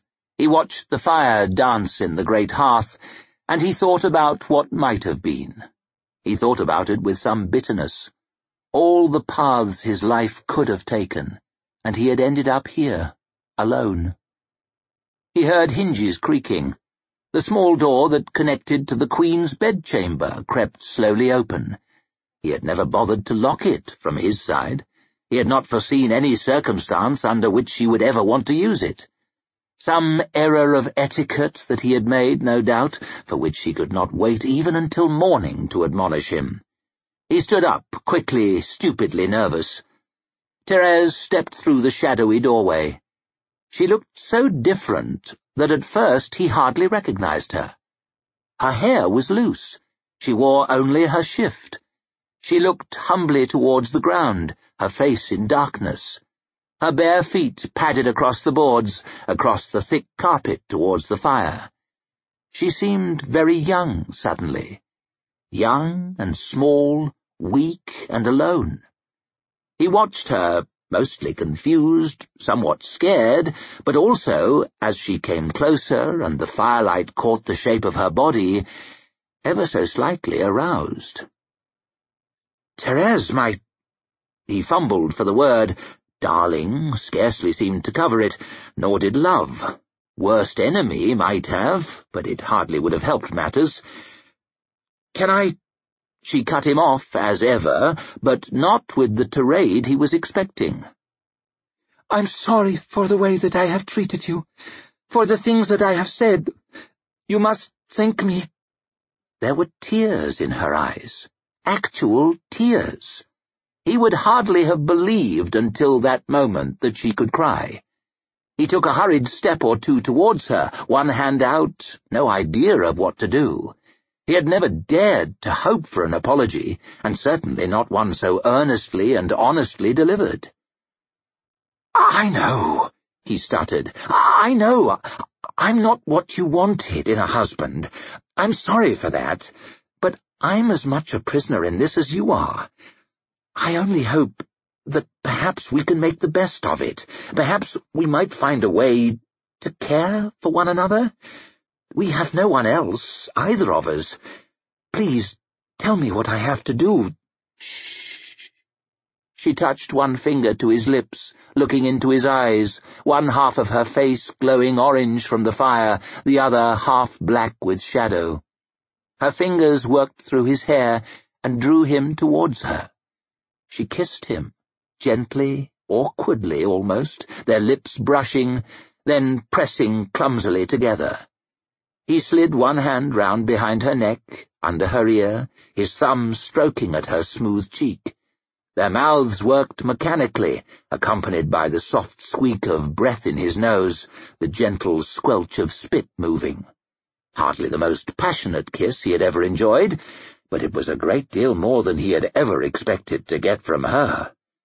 There was a pleasant tingling building in his crotch as he pushed his tongue into her mouth. He ran his other palm down her back, feeling the bumps of her spine under his fingers. He grunted softly as he slid his hand over her arse, down the side of her thigh, then up between her legs, the hem of her shift gathering round his wrist. He felt her shudder, felt her flinch and bite her lip in shock, it seemed, or even in disgust. He jerked his hand back, and they broke apart, both looking at the floor. I'm sorry, he muttered, inwardly cursing his eagerness. I... No, it's my fault. I'm not experienced with men. Jezal blinked for a moment, then almost smiled at a surge of relief. Of course. Now everything was clear. She was so assured, so sharp, it had never even occurred to him that she might be a virgin. It was simple fear that made her tremble so, fear of disappointing him. He felt a rush of sympathy. Don't worry. He murmured it softly, stepping forward and taking her in his arms. He felt her stiffen, no doubt with nervousness, and he gently stroked her hair. I can wait. We don't have to. Not yet. No. She said it with a touching determination, looking him fearlessly in the eye. No, we do. She dragged her shift up and over her head, let it drop to the floor. She came close to him, took hold of his wrist, guided it back to her thigh, then upwards. Ah! she whispered, urgent and throaty, her lips brushing his cheek, her breath hot in his ear. Yes, just there. Don't stop. She led him, breathless, to the bed. If that is all? Glokta looked around the table, but the old men were silent. All waiting for my word. The king was absent again, so he made them wait an unnecessarily long time. Just to stab home to any doubters who is in charge. Why not, after all? The purpose of power is not to be gracious. Then this meeting of the closed council is over. They rose, quickly, quietly, and in good order. Torlichorm, Halleck, Croy, and all the rest filed slowly from the room. Glokta himself struggled up, his legs still aching with the memory of the morning's cramps, only to find that the Lord Chamberlain had once again remained behind. And he looks far from amused. Hoff waited until the door shut before he spoke. Imagine my surprise, he snapped, to hear of your recent marriage. A swift and understated ceremony. Glokta showed the Lord Chamberlain the wreckage of his front teeth. Young love, you understand, brooks no delays. I apologize if the lack of an invitation offended you. An invitation? growled Hoff, frowning mightily. Hardly. This is not what we discussed. Discussed? I believe we have a misunderstanding. Our mutual friend, and Glokta let his eyes move significantly to the empty thirteenth chair at the far end of the table, left me in charge. Me, no other. He deems it necessary that the closed council speak with one voice. From now on, that voice will sound remarkably like mine. Hoff's ruddy face had paled slightly. Of course, but you are aware, I suppose, that I lived through two years of torture? Two years in hell, so I can stand before you now, or lean before you, twisted as an old tree root, a crippled, shambling, wretched mockery of a man, eh, Lord Hoff? Let us be honest with one another. Sometimes I lose control of my own leg, my own eyes, my own face. He snorted, if you can call it a face. My bowels, too, are rebellious. I often wake up daubed in my own shit. I find myself in constant pain, and the memories of everything that I have lost nag at me endlessly. He felt his left eye twitching. Let it twitch. So you can see how, despite my constant efforts to be a man of sunny temper, I find that I despise the world and everything in it, and myself most of all. A regrettable state of affairs for which there is no remedy. The Lord Chamberlain licked his lips uncertainly. You have my sympathy, but I fail to see the relevance. Glokta came suddenly very close, ignoring a spasm up his leg, pressing Hoff back against the table. Your Sympathy is less than worthless, and the relevance is this. Knowing what I am, what I have endured, what I still endure, can you suppose there is anything in this world I fear? Any act I will shrink from? The most unbearable pain of others is at the worst an irritation to me. Glokta jerked even closer, letting his lips work back from his ruined teeth, letting his face tremble and his eye weep. Knowing all that, can you possibly think it wise for a man to stand where you stand now and make threats? Threats against my wife? Against my unborn child? No threat was intended, of, of course. I would never— That simply would not do, Lord Hoff. That simply would not do. At the very slightest breath of violence against them, why, I would not wish you even to imagine the inhuman horror of my response. Closer yet, so close that his spit made a soft mist across Hoff's trembling jowls. I cannot permit any further discussion of this issue. Ever. I cannot permit even the rumor that there might be an issue. Ever. It simply would not do, Lord Hoff, for an eyeless, tongueless, faceless, fingerless, cockless bag of meat to be occupying your chair on the closed council? He stepped away, grinning his most revolting grin. Why, my Lord Chamberlain, who would drink all the wine? It was a beautiful autumn day in Adua, and the sun shone pleasantly through the branches of the fragrant fruit trees, casting a dappled shade onto the grass beneath. A pleasing breeze fluttered through the orchard, stirring the crimson mantle of the king as he strode regally around his lawn, and the white coat of his arch-lector, as he hobbled doggedly along at a respectful distance, stooped over his cane. Birds twittered from the trees, and His Majesty's highly polished boots crunched in the gravel and made faint, agreeable echoes against the white buildings of the palace. From the other side of the high walls came the faint sound of distant work. The clanking of picks and hammers, the scraping of earth and the clattering of stone, the faint calls of the carpenters and the masons. These were the most pleasant sounds of all to Jezal's ear the sounds of rebuilding. It will take time, of course, he was saying. Of course. Years, perhaps, but much of the rubble is already cleared. The repair of some of the more lightly damaged buildings has already begun. The Agriont will be more glorious than ever before you know it. I have made it my highest priority. Glokta bowed his head even lower. And therefore mine, and that of your closed council. Might I inquire, he murmured, after the health of your wife, the Queen? Jezal worked his mouth. He hardly liked discussing his personal business with this man, of all people, but it could not be denied that, whatever the cripple had said, there had been a most dramatic improvement. A material change. Jezal shook his head. I find now that she is a woman of almost insatiable appetites.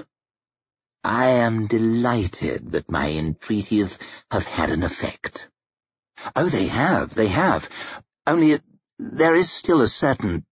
Jezal waved his hand in the air, searching out the right word. Sadness in her. Sometimes I hear her crying in the night. She stands at the open window and she weeps for hours at a time. Crying, your majesty? Perhaps she is merely homesick. I always suspected she was a much gentler spirit than she appears to be. She is! She is a, a gentle spirit. Jezal thought about it for a moment. Do you know, I think you may be right. Homesick. A plan began to take shape in his mind. Perhaps we should have the gardens of the palace redesigned to give a flavour of Talins, we could have the stream altered in the likeness of canals and so forth. Glokta leered his toothless grin. A sublime idea. I shall speak to the royal gardener. Perhaps another brief word with Her Majesty as well, to see if I can staunch her tears. I would appreciate whatever you can do. How is your own wife? He tossed over his shoulder, hoping to change the subject, then realizing he had strayed onto one even more difficult. But Glokta only showed his empty smile again. She is a tremendous comfort to me, Your Majesty. I really don't know how I ever managed without her. They moved on in awkward silence for a moment, then Jezal cleared his throat. I've been thinking, Glokta, about that scheme of mine, you know, about a tax on the banks, perhaps to pay for a new hospital near the docks, for those who cannot afford a surgeon.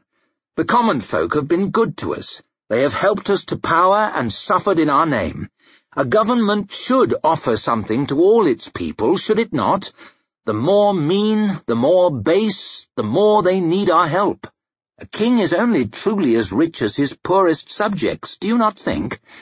Would you have the High Justice draw something up, Small to begin with, then we can go further.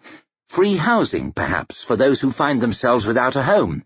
We should consider, Your Majesty, I have spoken to our mutual friend of this.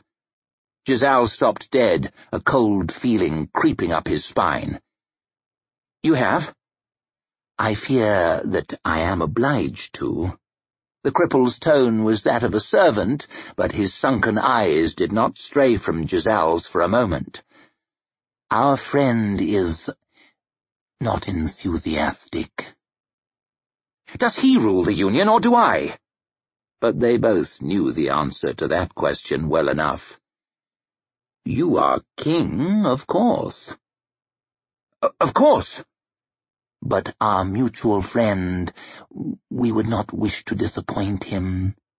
Glokta came a limping step closer, his left eye giving a repulsive flutter. Neither one of us, I am sure, would want to encourage a visit to Adua on his part. Jezal's knees felt suddenly very weak. The faint memory of that awful, unbearable pain nagged at his stomach. No, he croaked. No, of course not. The cripple's voice was only just above a whisper. Perhaps, in time, funds could be found for some small project.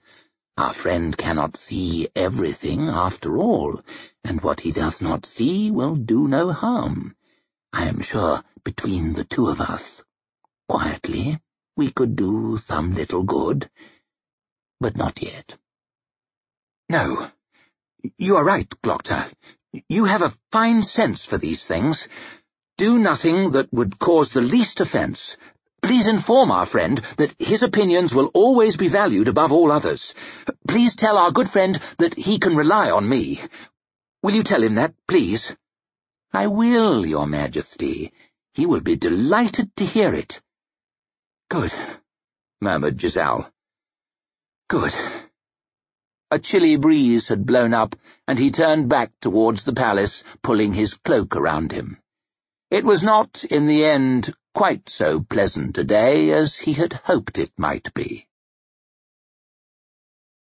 Chapter 58 Loose Ends a grubby white box with two doors facing each other. The ceiling was too low for comfort, the room too brightly lit by blazing lamps. Damp was creeping out of one corner, and the plaster had erupted with flaking blisters speckled with black mould. Someone had tried to scrub a long bloodstain from the wall, but hadn't tried nearly hard enough. Two huge practicals stood against the wall, their arms folded. One of the chairs at the bolted-down table was empty. Carlot dan Eider sat in the other. History moves in circles, so they say. How things have changed, and yet how they have stayed the same. Her face was pale with worry, there were dark rings of sleeplessness around her eyes, but she still seemed beautiful. More than ever, in a way the beauty of the candle flame that has almost burned out again. Glokta could hear her scared breathing as he settled himself in the remaining chair, leaned his cane against the scarred tabletop, and frowned into her face. I am still wondering whether, in the next few days, I will receive that letter you spoke of. You know the one. The one you meant for Sult to read the one that lays out the history of my self-indulgent little Mercy to you. The one that you made sure will be sent to the Arch-Lector in the event of your death. Will it find its way onto my desk now, do you suppose? A final irony? There was a pause. I realize that I made a grave mistake when I came back and an even worse one when you didn't leave fast enough. I hope you will accept my apology. I only wanted to warn you about the Gurkish. If you could find it in your heart to be merciful— Did you expect me to be merciful once? No, she whispered. Then what, do you suppose, are the chances of my making the same mistake twice? Never come back, I said, not ever. He waved with his hand, and one of the monstrous practicals stepped forward and lifted the lid of his case. No, no! Her eyes darted over his instruments and back. You won, you won, of course. I should have been grateful the first time. P please. She leaned forward, looking him in the eyes. Her voice dropped, grew husky. Please, surely there must be something that I can do To make up for my foolishness? A peculiar mixture of feigned desire and genuine disgust, fake longing and genuine loathing, and rendered still more distasteful by the edge of mounting terror. It makes me wonder why I was merciful in the first place. Glokta snorted. Must this be embarrassing as well as painful? The effort at seduction leaked quickly away. But I note that the fear is going nowhere. It was joined now by a rising note of desperation. I know that I made a mistake. I was trying to help. Please, I meant you no real harm. I caused you no harm, you know it. He reached out slowly towards the case, watched her horrified eyes follow his white-gloved hand, her voice rising to a squeal of panic. Only tell me what I can do, please! I can help you, I can be useful! Tell me what I can do! Glokta's hand paused on its remorseless journey across the table, he tapped one finger against the wood, the finger on which the Arch-Lector's ring glittered in the lamplight. Perhaps there is a way. Anything, she gurgled, teary eyes gleaming. Anything, only name it. You have contacts in Talins? She swallowed. In Talins? Of, of course. Good.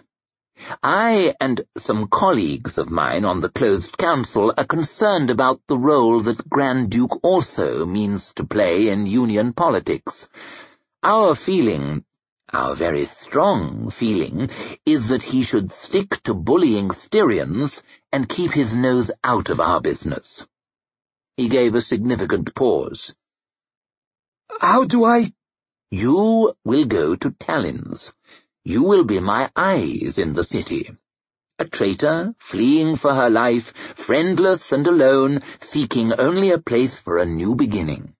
A beautiful yet wretched traitor, in desperate need of a strong arm to protect her. You get the idea. I suppose, I suppose that I could do that. Glokta snorted. You had better. I will need money.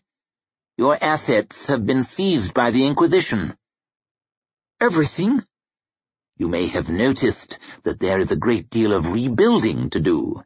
The king needs every mark he can lay his hands on, and confessed traitors can hardly expect to keep their chattels in such times as these. I have arranged passage for you. When you arrive, make contact with the banking house of Valint and Balk. They will arrange a loan to get you started. Valentin Bulk? Eider looked even more scared than before, if that was possible. I would rather be in debt to anyone but them. I know the feeling, but it's that or nothing. How will I— A woman of your resourcefulness? I'm sure that you will find a way. He winced as he pushed himself up from his chair. I want to be snowed in by your letters. What happens in the city, what Orso is about, who he makes war with, who he makes peace with, who are his allies and his enemies. You leave on the next tide. He turned back briefly at the door. I'll be watching. She nodded dumbly, wiping away the tears of relief with the back of one trembling hand. First it is done to us, then we do it to others, then we order it done. Such is the way of things.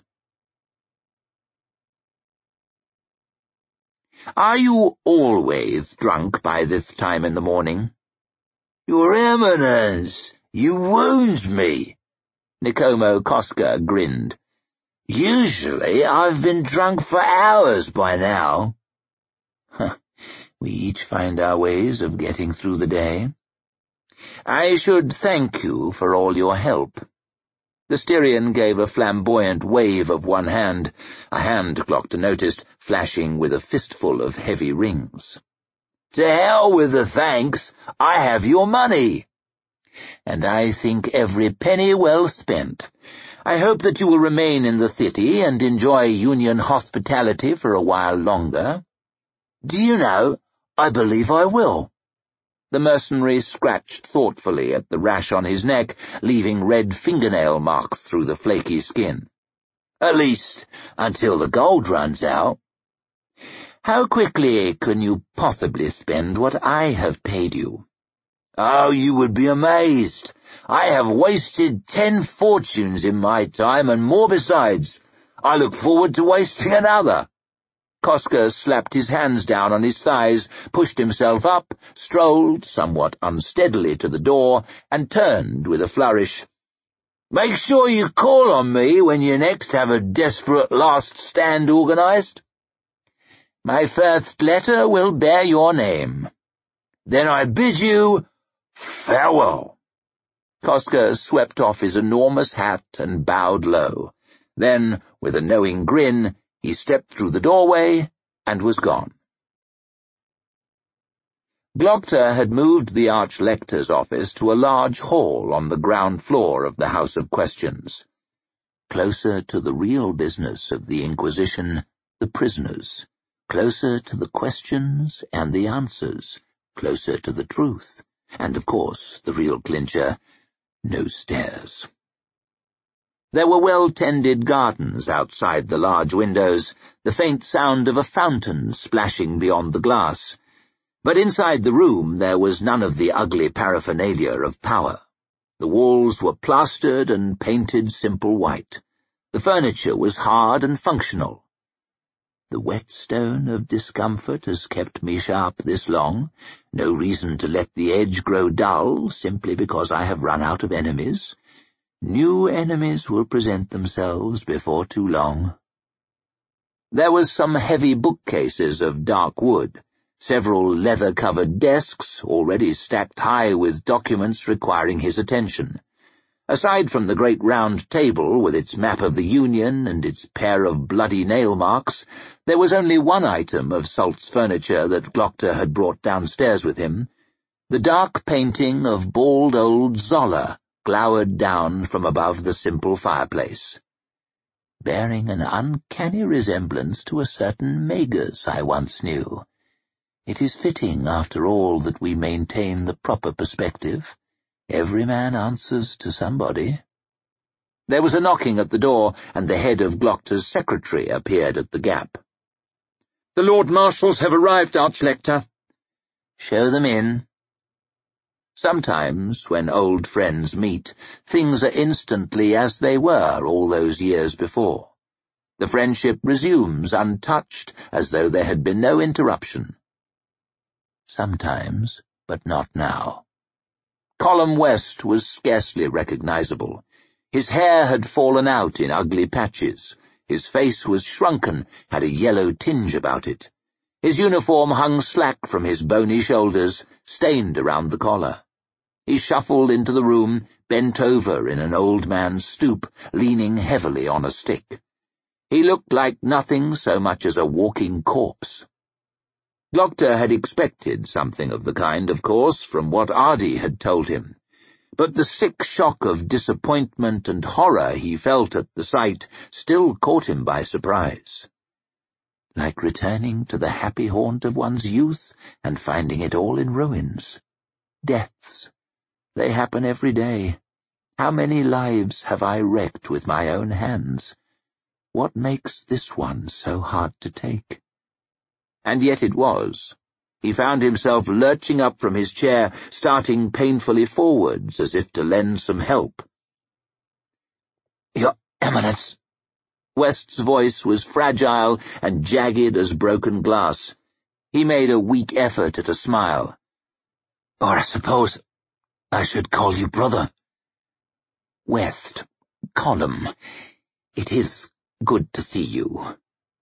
Good and awful both at once. A cluster of officers followed West into the room. The wonderfully competent Lieutenant Jalenhorm I remember, of course, but a major now. And Brint, too, made a captain by his friend's swift advancement, Marshal Croy we know and love from the closed council. Congratulations all on your advancement.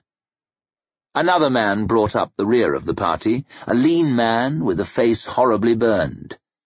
But we, of all people, should hardly hold a repulsive disfigurement against him. Each one of them frowned nervously towards West, as though ready to pounce forward if he should slump to the floor. Instead, he shuffled to the round table and sagged trembling into the nearest chair. I should have come to you, said Glokta. I should have come to you far sooner. West made another effort at a smile, even more bilious than the last. Several of his teeth were missing. Nonsense. I know how busy you are now, and I'm feeling much better today. Good, good. That is, good. Is there anything that I can get you? What could possibly help? Anything at all? West shook his head. I do not think so. These gentlemen you know, of course, apart from Sergeant Pike. The burned man nodded to him. A pleasure, to meet someone even more maimed than myself, always. I hear happy news from my sister. Glokta winced, almost unable to meet his old friend's eye. I should have thought your permission, of course. I surely would have, had there been time. I understand. West's bright eyes were fixed on his. She has explained it all. It is some kind of comfort to know that she'll be well taken care of. On that you can depend. I will see to it. She will never be hurt again. West's gaunt face twisted. Good. Good. He rubbed gently at the side of his face. His fingernails were black, edged with dried blood, as though they were peeling from the flesh beneath. There's always a price to be paid, eh, Sand, for the things we do? Glokta felt his eye twitching. It would seem so. I have lost some of my teeth. I see that, and can sympathize. Soup, I find... I find utterly disgusting. I am scarcely able to walk. I sympathize with that also. Your cane will be your best friend as it will soon be mine, I think. I'm a pitiable shell of what I was. I truly feel your pain, truly, almost more keenly than my own. West slowly shook his withered head. How can you stand it? One step at a time, my old friend. Steer clear of stairs where possible, and mirrors always. Wise advice. West coughed, an echoing cough from right down beneath his ribs. He swallowed noisily. I think my time is running out. Surely not. Glokta's hand reached out for a moment, as if to rest on West's shrunken shoulder, as if to offer comfort. He jerked it back awkwardly. It is not suited to the task. West licked at his empty gums. This is how most of us go, isn't it? No final charge, no moment of glory. We just fall slowly apart. Glokta would have liked to say something optimistic, but that rubbish comes from other mouths than mine. Younger, prettier mouths, with all their teeth, perhaps. Those who die on the battlefield are in some ways the lucky few forever young, forever glorious. West nodded slowly. Here's to the lucky few, then. His eyes rolled back. He swayed, then slumped sideways. Jalenhorm was the first forward, catching him before he hit the ground. He flopped in the big man's arms, a long string of thin vomit splattering against the floor. "'Back to the palace!' snapped Croy. "'At once!' Brint hurried to swing the doors open, while Jalenhorm and Croy steered West out of the room, draped between them with his arms over their shoulders. His limp shoes scraped against the floor, his piebald head lolling. Glokta watched them go, standing helpless, his toothless mouth half open as if to speak. as if to wish his friend good luck, or good health, or a merry afternoon. None of them seemed quite to fit the circumstance, however. The doors clattered shut, and Glokta was left staring at them. His eyelid flickered. He felt wet on his cheek. Not tears of compassion, of course. Not tears of grief. I feel nothing, fear nothing, care for nothing. They cut away the parts of me that could weep in the Emperor's prisons. This can only be salt water and nothing more, merely a broken reflex in a mutilated face. Farewell, brother. Farewell, my only friend. And farewell to the ghost of beautiful Sand dan Glokta, too. Nothing of him remains. All for the best, of course. A man in my position can afford no indulgences. He took a sharp breath and wiped his face with the back of his hand. He limped to his desk, sat, composed himself for a moment, assisted by a sudden twinge in his toeless foot. He turned his attention to his documents. Papers of confession, tasks outstanding, all the tedious business of government. He looked up. A figure had detached itself from the shadows behind one of the high bookcases, and now stepped out into the room, arms folded the man with the burned face who had come in with the officers. In the excitement of their exit, it seemed that he had remained behind. Sergeant Pike, was it? murmured Glokta, frowning. That's the name I've taken. Taken? The scarred face twisted into a mockery of a smile. One even more hideous than my own, if that's possible. Not surprising, that you shouldn't recognize me. My first week there was an accident in a forge. Accidents often happen in Angland. Angland? That voice. Something about that voice.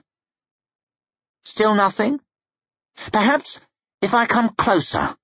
He sprang across the room without warning. Glokta was still struggling up from his seat as the man dived across the desk. They tumbled to the floor together in a cloud of flying paper, Glokta underneath, the back of his skull cracking against the stone, his breath all driven out in a long, agonized wheeze. He felt the brush of steel against his neck. Pike's face was no more than a few inches from his, the mottled mass of burns picked out in particularly revolting detail. How about now? he hissed. Anything seem familiar? Glokta felt his left eye flickering as recognition washed over him like a wave of freezing water. Changed, of course, changed utterly and completely, and yet I know him. Ruth, he breathed. None other. Rews bit off the words with grim satisfaction. You survived. Glokta whispered it, first with amazement, then with mounting amusement. You survived. You're a far harder man than I gave you credit for. Far, far harder. He started to chuckle, tears running down the side of his cheek again. Something funny? Everything. You have to appreciate the irony.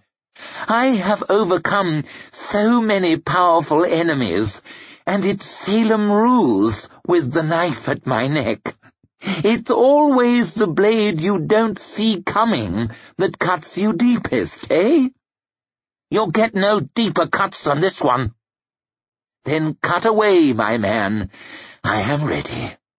Glokta tipped his head back, stretched his neck out, pressing it up against the cold metal.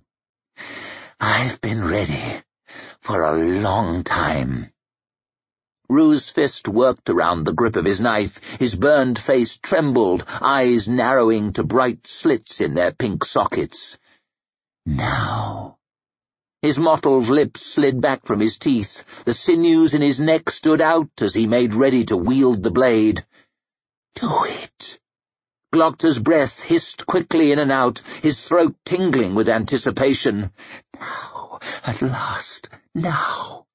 But Rews' arm did not move. And yet, you hesitate. whispered Glokta through his empty gums. Not out of mercy, of course, not out of weakness. They froze all that out of you, eh, in Angland? You pause because you realize, in all that time dreaming of killing me, you never thought of what would be next. What will you truly have gained with all your endurance, with all your cunning and your effort? Will you be hunted? Will you be sent back? I can offer you so much more. Rews' melted frown grew even harder. What could you give me, after this? Oh, this is nothing. I suffered twice the pain and ten times the humiliation getting up in the morning. A man like you could be very useful to me. A man as hard as you have proved yourself to be, a man who has lost everything, including all his scruples, all his mercy, all his fear. We both have lost everything.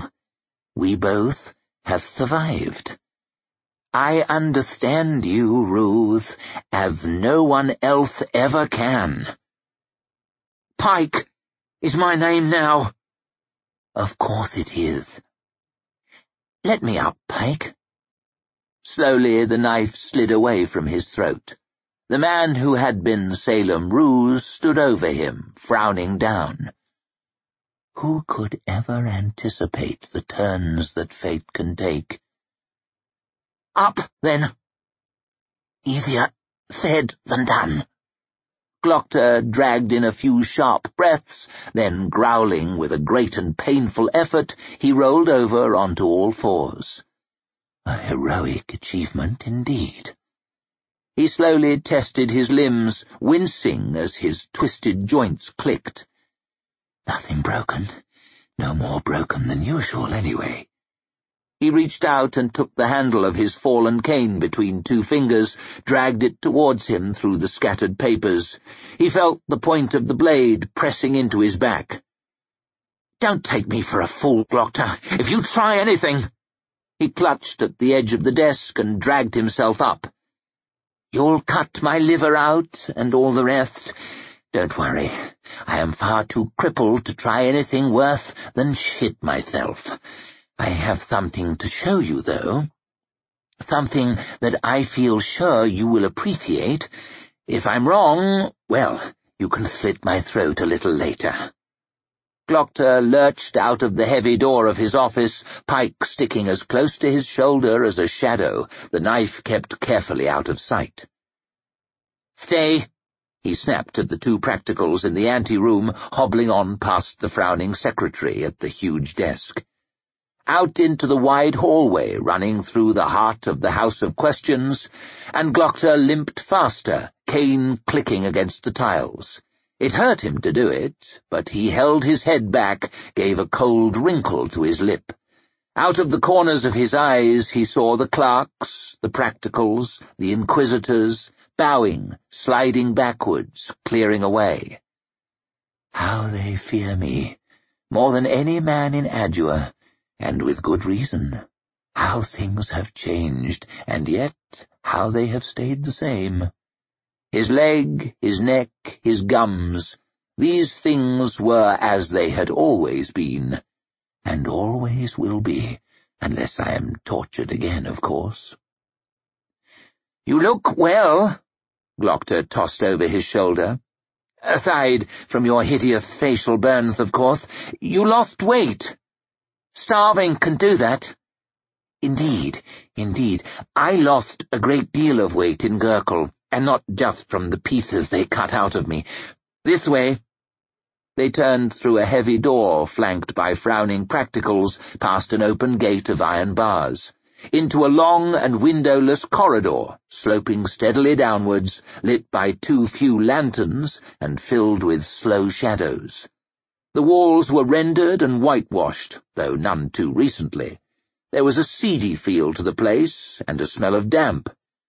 Just as there always is. The clicking of Glokta's cane, the hissing of his breath, the rustling of his white coat, all fell dead on the chill, wet air.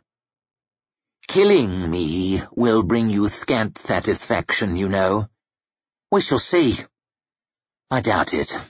I was hardly the one responsible for your little trip northwards. I did the work, perhaps, but others gave the orders. They were not my friends. Glokta snorted. Please, friends are people one pretends to like in order to make life bearable. Men like us have no need of such indulgences. It is our enemies by which we are measured. And here are mine. Sixteen steps confronted him. That old familiar flight, cut from smooth stone, a little worn towards the centre. Steps, bastard things. If I could torture one man, do you know who it would be? Pike's face was a single, expressionless scar. Well, never mind. Glokta struggled to the bottom without incident, limped on a few more painful strides to a heavy wooden door bound with iron. We are here. Glokta slid a bunch of keys from the pocket of his white coat, flicked through them until he found the right one, unlocked the door, and went in. Arch-Lector Sult was not the man he used to be. But then none of us are, quite. His magnificent shock of white hair was plastered greasily to his gaunt skull, dry blood matted in a yellow-brown mass on one side. His piercing blue eyes had lost their commanding sparkle, sunken as they were in deep sockets and rimmed with angry pink. He had been relieved of his clothes, and his sinewy old man's body, somewhat hairy around the shoulders, was smeared with the grime of the cells. He looked, in fact, like nothing so much as a mad old beggar. Can this truly once have been one of the most powerful men in the wide circle of the world? You would never guess. A salutary lesson to us all. The higher you climb, the further there is to fall. Doctor! he snarled, thrashing helplessly, chained to his chair. You treacherous, twisted bastard! Glokta held up his white-gloved hand, the purple stone on his ring of office glinting in the harsh lamplight. I believe your eminence is the proper term of address. You? Sult barked sharp laughter. Arch-Lector? A withered, pitiable husk of a man? You disgust me! Don't give me that. Glokta lowered himself, wincing, into the other chair. Disgust! It's for the innocent. Sult glared up at Pike, looming menacingly over the table, his shadow falling across the polished case containing Glokta's instruments. What is this thing? This is an old friend of ours, Master Sult, but recently returned from the wars in the north and seeking new opportunities. My congratulations! I never believed that you could find an assistant even more hideous than yourself. You are unkind, but thankfully we are not easily offended. Let us call him equally hideous. And just as ruthless, too, I hope. When will be my trial? Trial? Why ever would I want one of those?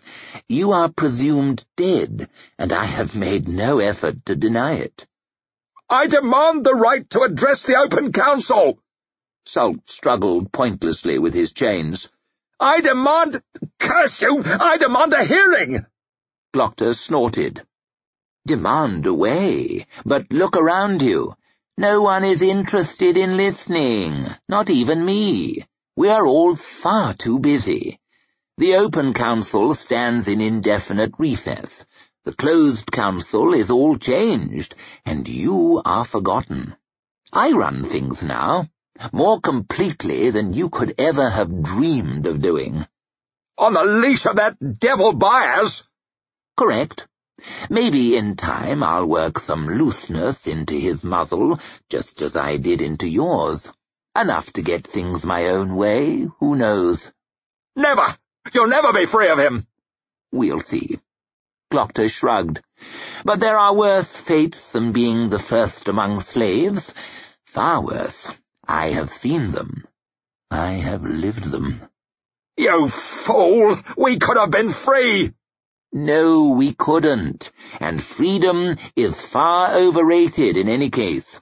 We all have our responsibilities. We all owe something to someone. Only the entirely worthless are entirely free. The worthless and the dead. What does it matter now? Sult grimaced down at the table. What does any of it matter? Ask your questions. Oh, we're not here for that. Not this time. Not for questions. Not for truth. Not for confessions. I have my answers already. Then why do I do this? Why? Glokta leaned slowly forwards across the table. We are here for our amusement. Sult stared at him for a moment, then he shrieked with wild laughter. Amusement? You'll never have your teeth back! You'll never have your leg back! You'll never have your life back! Of course not. But I can take yours. Glokta turned stiffly, slowly, painfully, and he gave a toothless grin.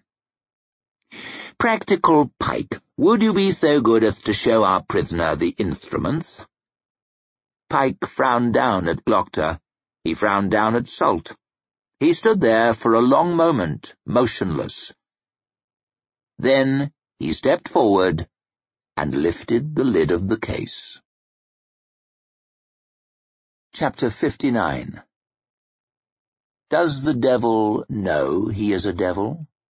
Elizabeth Maddox Roberts The Beginning The sides of the valley were coated in white snow.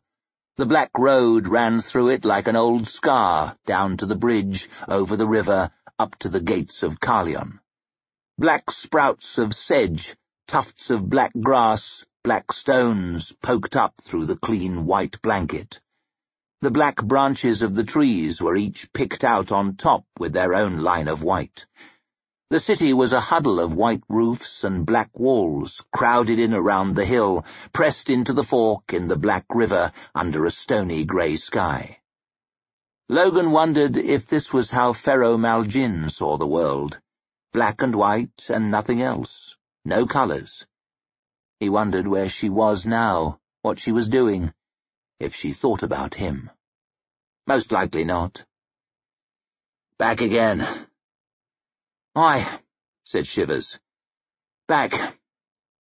He hadn't had much to say the whole long ride from Uffrith. They might have saved each other's lives, but conversation was another matter. Logan reckoned he still wasn't Shiver's favourite man, doubted that he ever would be. They rode down in silence, a long file of hard riders beside the black stream no more than an icy trickle. Horses and men snorted out smoke, harness jingled sharp on the cold air. They rode over the bridge, hooves thumping on the hollow wood, onto the gate where Logan had spoken to Bethod. The gate he'd thrown him down from. The grass had grown back, no doubt, in the circle where he'd killed the feared, then the snow had fallen down and covered it. So it was with all the acts of men in the end, covered over and forgotten. There was no one out to cheer for him, but that was no surprise. The Bloody Nine arriving was never any cause for celebration, especially not in Carleon. Hadn't turned out too well for anyone the first time he visited nor any of the times after. Folk were no doubt barred into their houses, scared that they'd be the first to get burned alive. He swung down from his horse, left Red Hat and the rest of the boys to see to themselves. He strode up through the cobbled street, up the steep slope towards the gateway of the inner wall, shivers at his shoulder. A couple of carls watched him come, a couple of Dow's boys, rough-looking bastards, one of them gave him a grin with half the teeth missing. The king! He shouted, waving his sword in the air. The bloody nine! shouted the other, rattling his shield. King of the Northmen! He crunched across the quiet courtyard, snow piled up into the corners, over to the high doors of Bethod's great hall. He raised his hands and pushed them creaking open. It wasn't much warmer inside than out in the snow. The high windows were open at the far end, the noise of the cold, cold river roaring from far below. Skarling's chair stood on its raised-up platform at the top of the steps, casting a long shadow across the rough floorboards towards him. Someone was sitting in it, Logan realized, as his eyes got used to the dark. Black Dow. His axe and his sword leaned up against the side of the chair, the glint of sharpened metal in the darkness. Just like him, that. Always kept his weapons close to hand. Logan grinned at him. Getting comfortable, Dow. Bit hard on the arse, being honest, but it's better than dirt for sitting in. Did you find Calder and Scale? I? I found 'em. Dead then, are they? Not yet. Thought I'd try something different. We've been talking. Talking, is it? To those two bastards? I can think of worse. Where's the dogman at? Still back there trading words with the Union sorting out an understanding. Grim? Logan shook his head. Back to the mud. Ah. Well, there it is. Makes this easier anyway. Dow's eyes flickered sideways. Makes what easier? Logan looked round. Shivers was standing right at his shoulder, scowling as if he had someone's murder in mind. No need to ask whose. Steel gleamed beside him in the shadows, a blade out and ready. He could have stabbed Logan in the back with time to spare, but he hadn't done, and he didn't now. It seemed as if they all stayed still for quite a while, frozen as the cold valley out beyond the windows. Shit on this! Shivers tossed the knife away, clattering across the floor. I'm better than you, bloody nine. I'm better than the pair of you. You can get your own work done, Black Dow. I'm done with it. He turned round and strode out, shoving his way past the two Carls from the gate, just now coming the other way. One of them hefted his shield as he frowned at Logan. The other one pulled the doors shut, swung the bar down with a final-sounding clunk.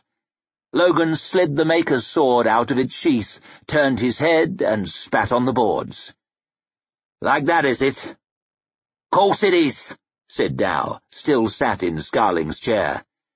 If you'd ever looked a stride further than the end of your nose, you'd know it. What about the old ways, eh? What about your word? The old ways are gone. You killed 'em. You and Bethod. Men's words ain't worth much these days. Well then, he called over his shoulder, now's your chance, ain't it? Logan felt the moment. A lucky choice, maybe, but he'd always had plenty of luck, good and bad. He dived sideways, heard the rattle of the flatbow at the same moment, rolled across the floor, and came up in a crouch as the bolt clattered against the wall behind him. He saw a figure in the dark now, kneeling up at the far end of the hall. Calder. Logan heard his curse, fishing for another bolt. Bloody nine, you broken dog! Scale came pounding out of the shadows, boots battering the floorboards, an axe in his great fists with a blade big as a cartwheel. Here's your death! Logan stayed where he was, crouching loose and ready, and he felt himself smile. The odds were against him, maybe, but that was nothing new. It was almost a relief not to have to think. Fine words and politics, none of that meant anything to him, but this this he understood. The blade crashed into the boards, sent splinters flying. Logan had already rolled out of the way. Now he backed off, watching, moving, letting Scale cleave the air around him. The air healed quick, after all. The next blow flashed sideways, and Logan dodged back, let it chop a great lump of plaster from the wall. He stepped in closer as Scale snarled again, his furious little eyes bulging, ready to swing his axe round in a blow to split the world. The pommel of the Maker's sword crunched into his mouth before he got the chance, jerked his head up, spots of black blood and a chunk of white tooth flying. He staggered back, and Logan followed him. Scale's eyes rolled down, axe going up high, opening his bloody mouth to make another bellow. Logan's boot rammed hard into the side of his leg. His knee bent back the wrong way with a sharp pop, and he dropped to the boards, axe flying from his hands, his roar turning to a shriek of pain. My knee! Oh, fuck! My knee! He thrashed on the floor, blood running down his chin, trying to kick his way back with only one good leg. Logan laughed at him. You bloated pig! I warned you, didn't I? By the fucking dead! barked Dow. He sprang up out of Skarling's chair, axe and sword in his hands. If you want a thing done fucking right, you'd best get ready to set your own hand to it. Logan would have liked to stab Scale right through his fat head, but there were too many other men needed watching. The two Carls were still standing by the door. Calder was loading up his next bolt. Logan sidled into space, trying to keep his eye on all of them at once, and Dow most of all. Aye, you faithless bastard, he shouted. Let's have you. Faithless? Me? Dow snorted as he came on slow down the steps, one at a time. I'm a dark bastard, I. I know what I am, but I'm nothing to you. I know my friends from my enemies. I never killed me own. Bethod was right about one thing, Bloody Nine. You're made of death. If I can put an end to you, do you know what? That'll be the best thing I've done in my life. That all? Dow showed his teeth. That, and I'm just plain sick of taking your fucking say-so. He came on fast as a snake, axe swinging over, sword flashing across waist-high. Logan dodged the axe, met the blade with his own, metal clanging on metal. Dow caught him in his sore ribs with his knee and sent him gasping back towards the wall, then came at him again, blades leaving bright traces in the darkness.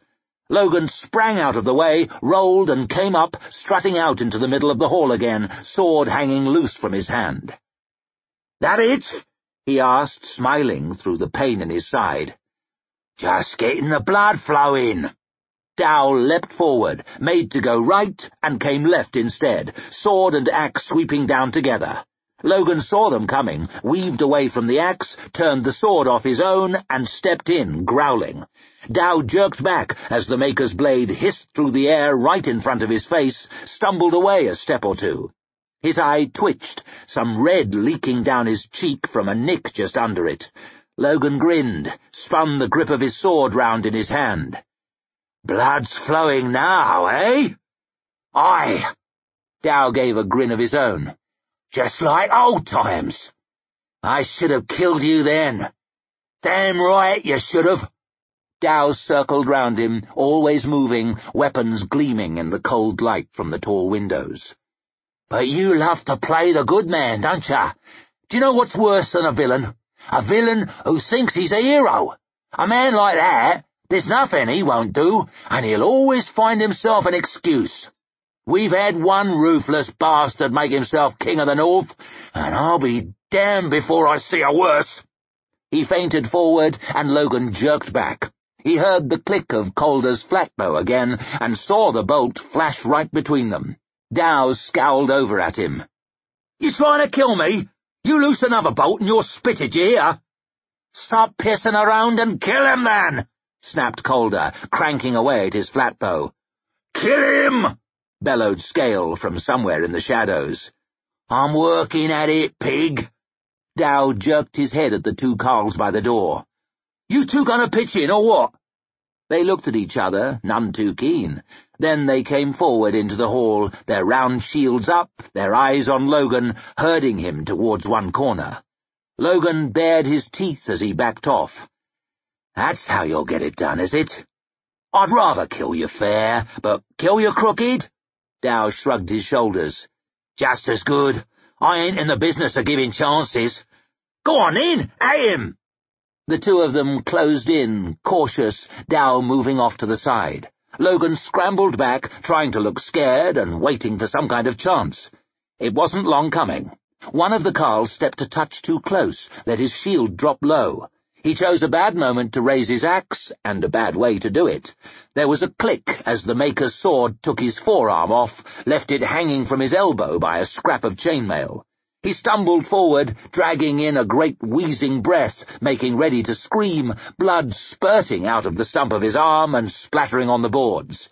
Logan chopped a great gash out of his helmet, and he dropped down on his knees. Gwah! he muttered, blood pouring down the side of his face. His eyes rolled up to the ceiling, and he flopped on his side. The other Carl jumped over his body, roaring at the top of his lungs. Logan caught his sword, their blades scraping together, then he barged into the man's shield with his shoulder, sent him sprawling on his arse. He gave a wail, the Carl, one boot sticking up. Logan swung the Maker's sword down and split that foot in half up to his ankle. Quick footsteps came up under the Carl's shriek. Logan spun, saw Black Dow charging at him, face crushed up into a killing grin. Die! he hissed. Logan lurched away, the blade just missing him on one side, the axe on the other. He tried to swing the Maker's sword, but Dow was too quick and too clever, shoved Logan back with his boot and sent him staggering. Die, bloody nine! Logan dodged, parried, stumbled, as Dow came on again, no pauses and no mercy. Steel glinted in the darkness, blades lashing, killing blows every one. Die, you evil fucker! Dow's sword chopped down, and Logan only just brought his own round in time to block it. The axe came out of nowhere, up from underneath, clattered into the crosspiece, and tore Logan's blade spinning from his numb hand. He wobbled back a couple of strides and stood heaving in air, sweat tickling at his neck. It was quite a scrape he was in. He'd been in some bad ones, all right, and lived to sing the songs, but it was hard to see how this could get much worse. Logen nodded towards the Maker's sword lying on the boards just next to Dow's boot. Don't suppose you fancy giving a man a fair chance and letting me have that blade, eh? Dow grinned wider than ever. What's my name? White Dow? Logen had a knife to hand, of course. He always did, and more than one. His eyes flickered from the notched blade of Dow's sword to the glinting edge of his axe and back. No amount of knives were going to be a match for those, not in Black Dow's hands. Then there was Calder's flatbow, still rattling away as he tried to load the bastard thing again. He wouldn't miss forever. The Carl with the split foot was dragging himself squealing towards the door, on his way to let some more men in and finish the job. If Logen stood and fought, he was a dead man, bloody nine or not. So it came to a choice between dying and a chance at living, and that's no choice at all. Once you know what has to be done, it's better to do it than to live with the fear of it. That's what Logen's father would have said. So he turned towards the tall windows, the tall, open windows with the bright white sunlight and the cold wind pouring through, and he ran at them. He heard men shouting behind, but he paid them no mind. He kept running, breath hissing, long strips of light wobbling closer. He was up the steps in a couple of bounds, flashed past Skarling's chair, faster and faster. His right foot clomped down on the hollow floorboards. His left foot slapped down on the stone windowsill. He sprang out into empty space with all the strength he had left, and for a moment he was free. Then he began to fall. Fast. The rough walls, then the steep cliff face flashed past, grey rock, green moss, patches of white snow, all tumbling around him. Logen turned over slowly in the air, limbs flailing pointlessly, too scared to scream. The rushing wind whipped at his eyes, tugged at his clothes, plucked the breath out of his mouth. He'd chosen this? Didn't seem like such a clever choice right then, as he plunged down towards the river. But then, say one thing for Logen Ninefingers, say that the water came up to meet him. It hit him in the side like a charging bull, punched the air out of his lungs, knocked the sense out of his head, sucked him in and down into the cold darkness.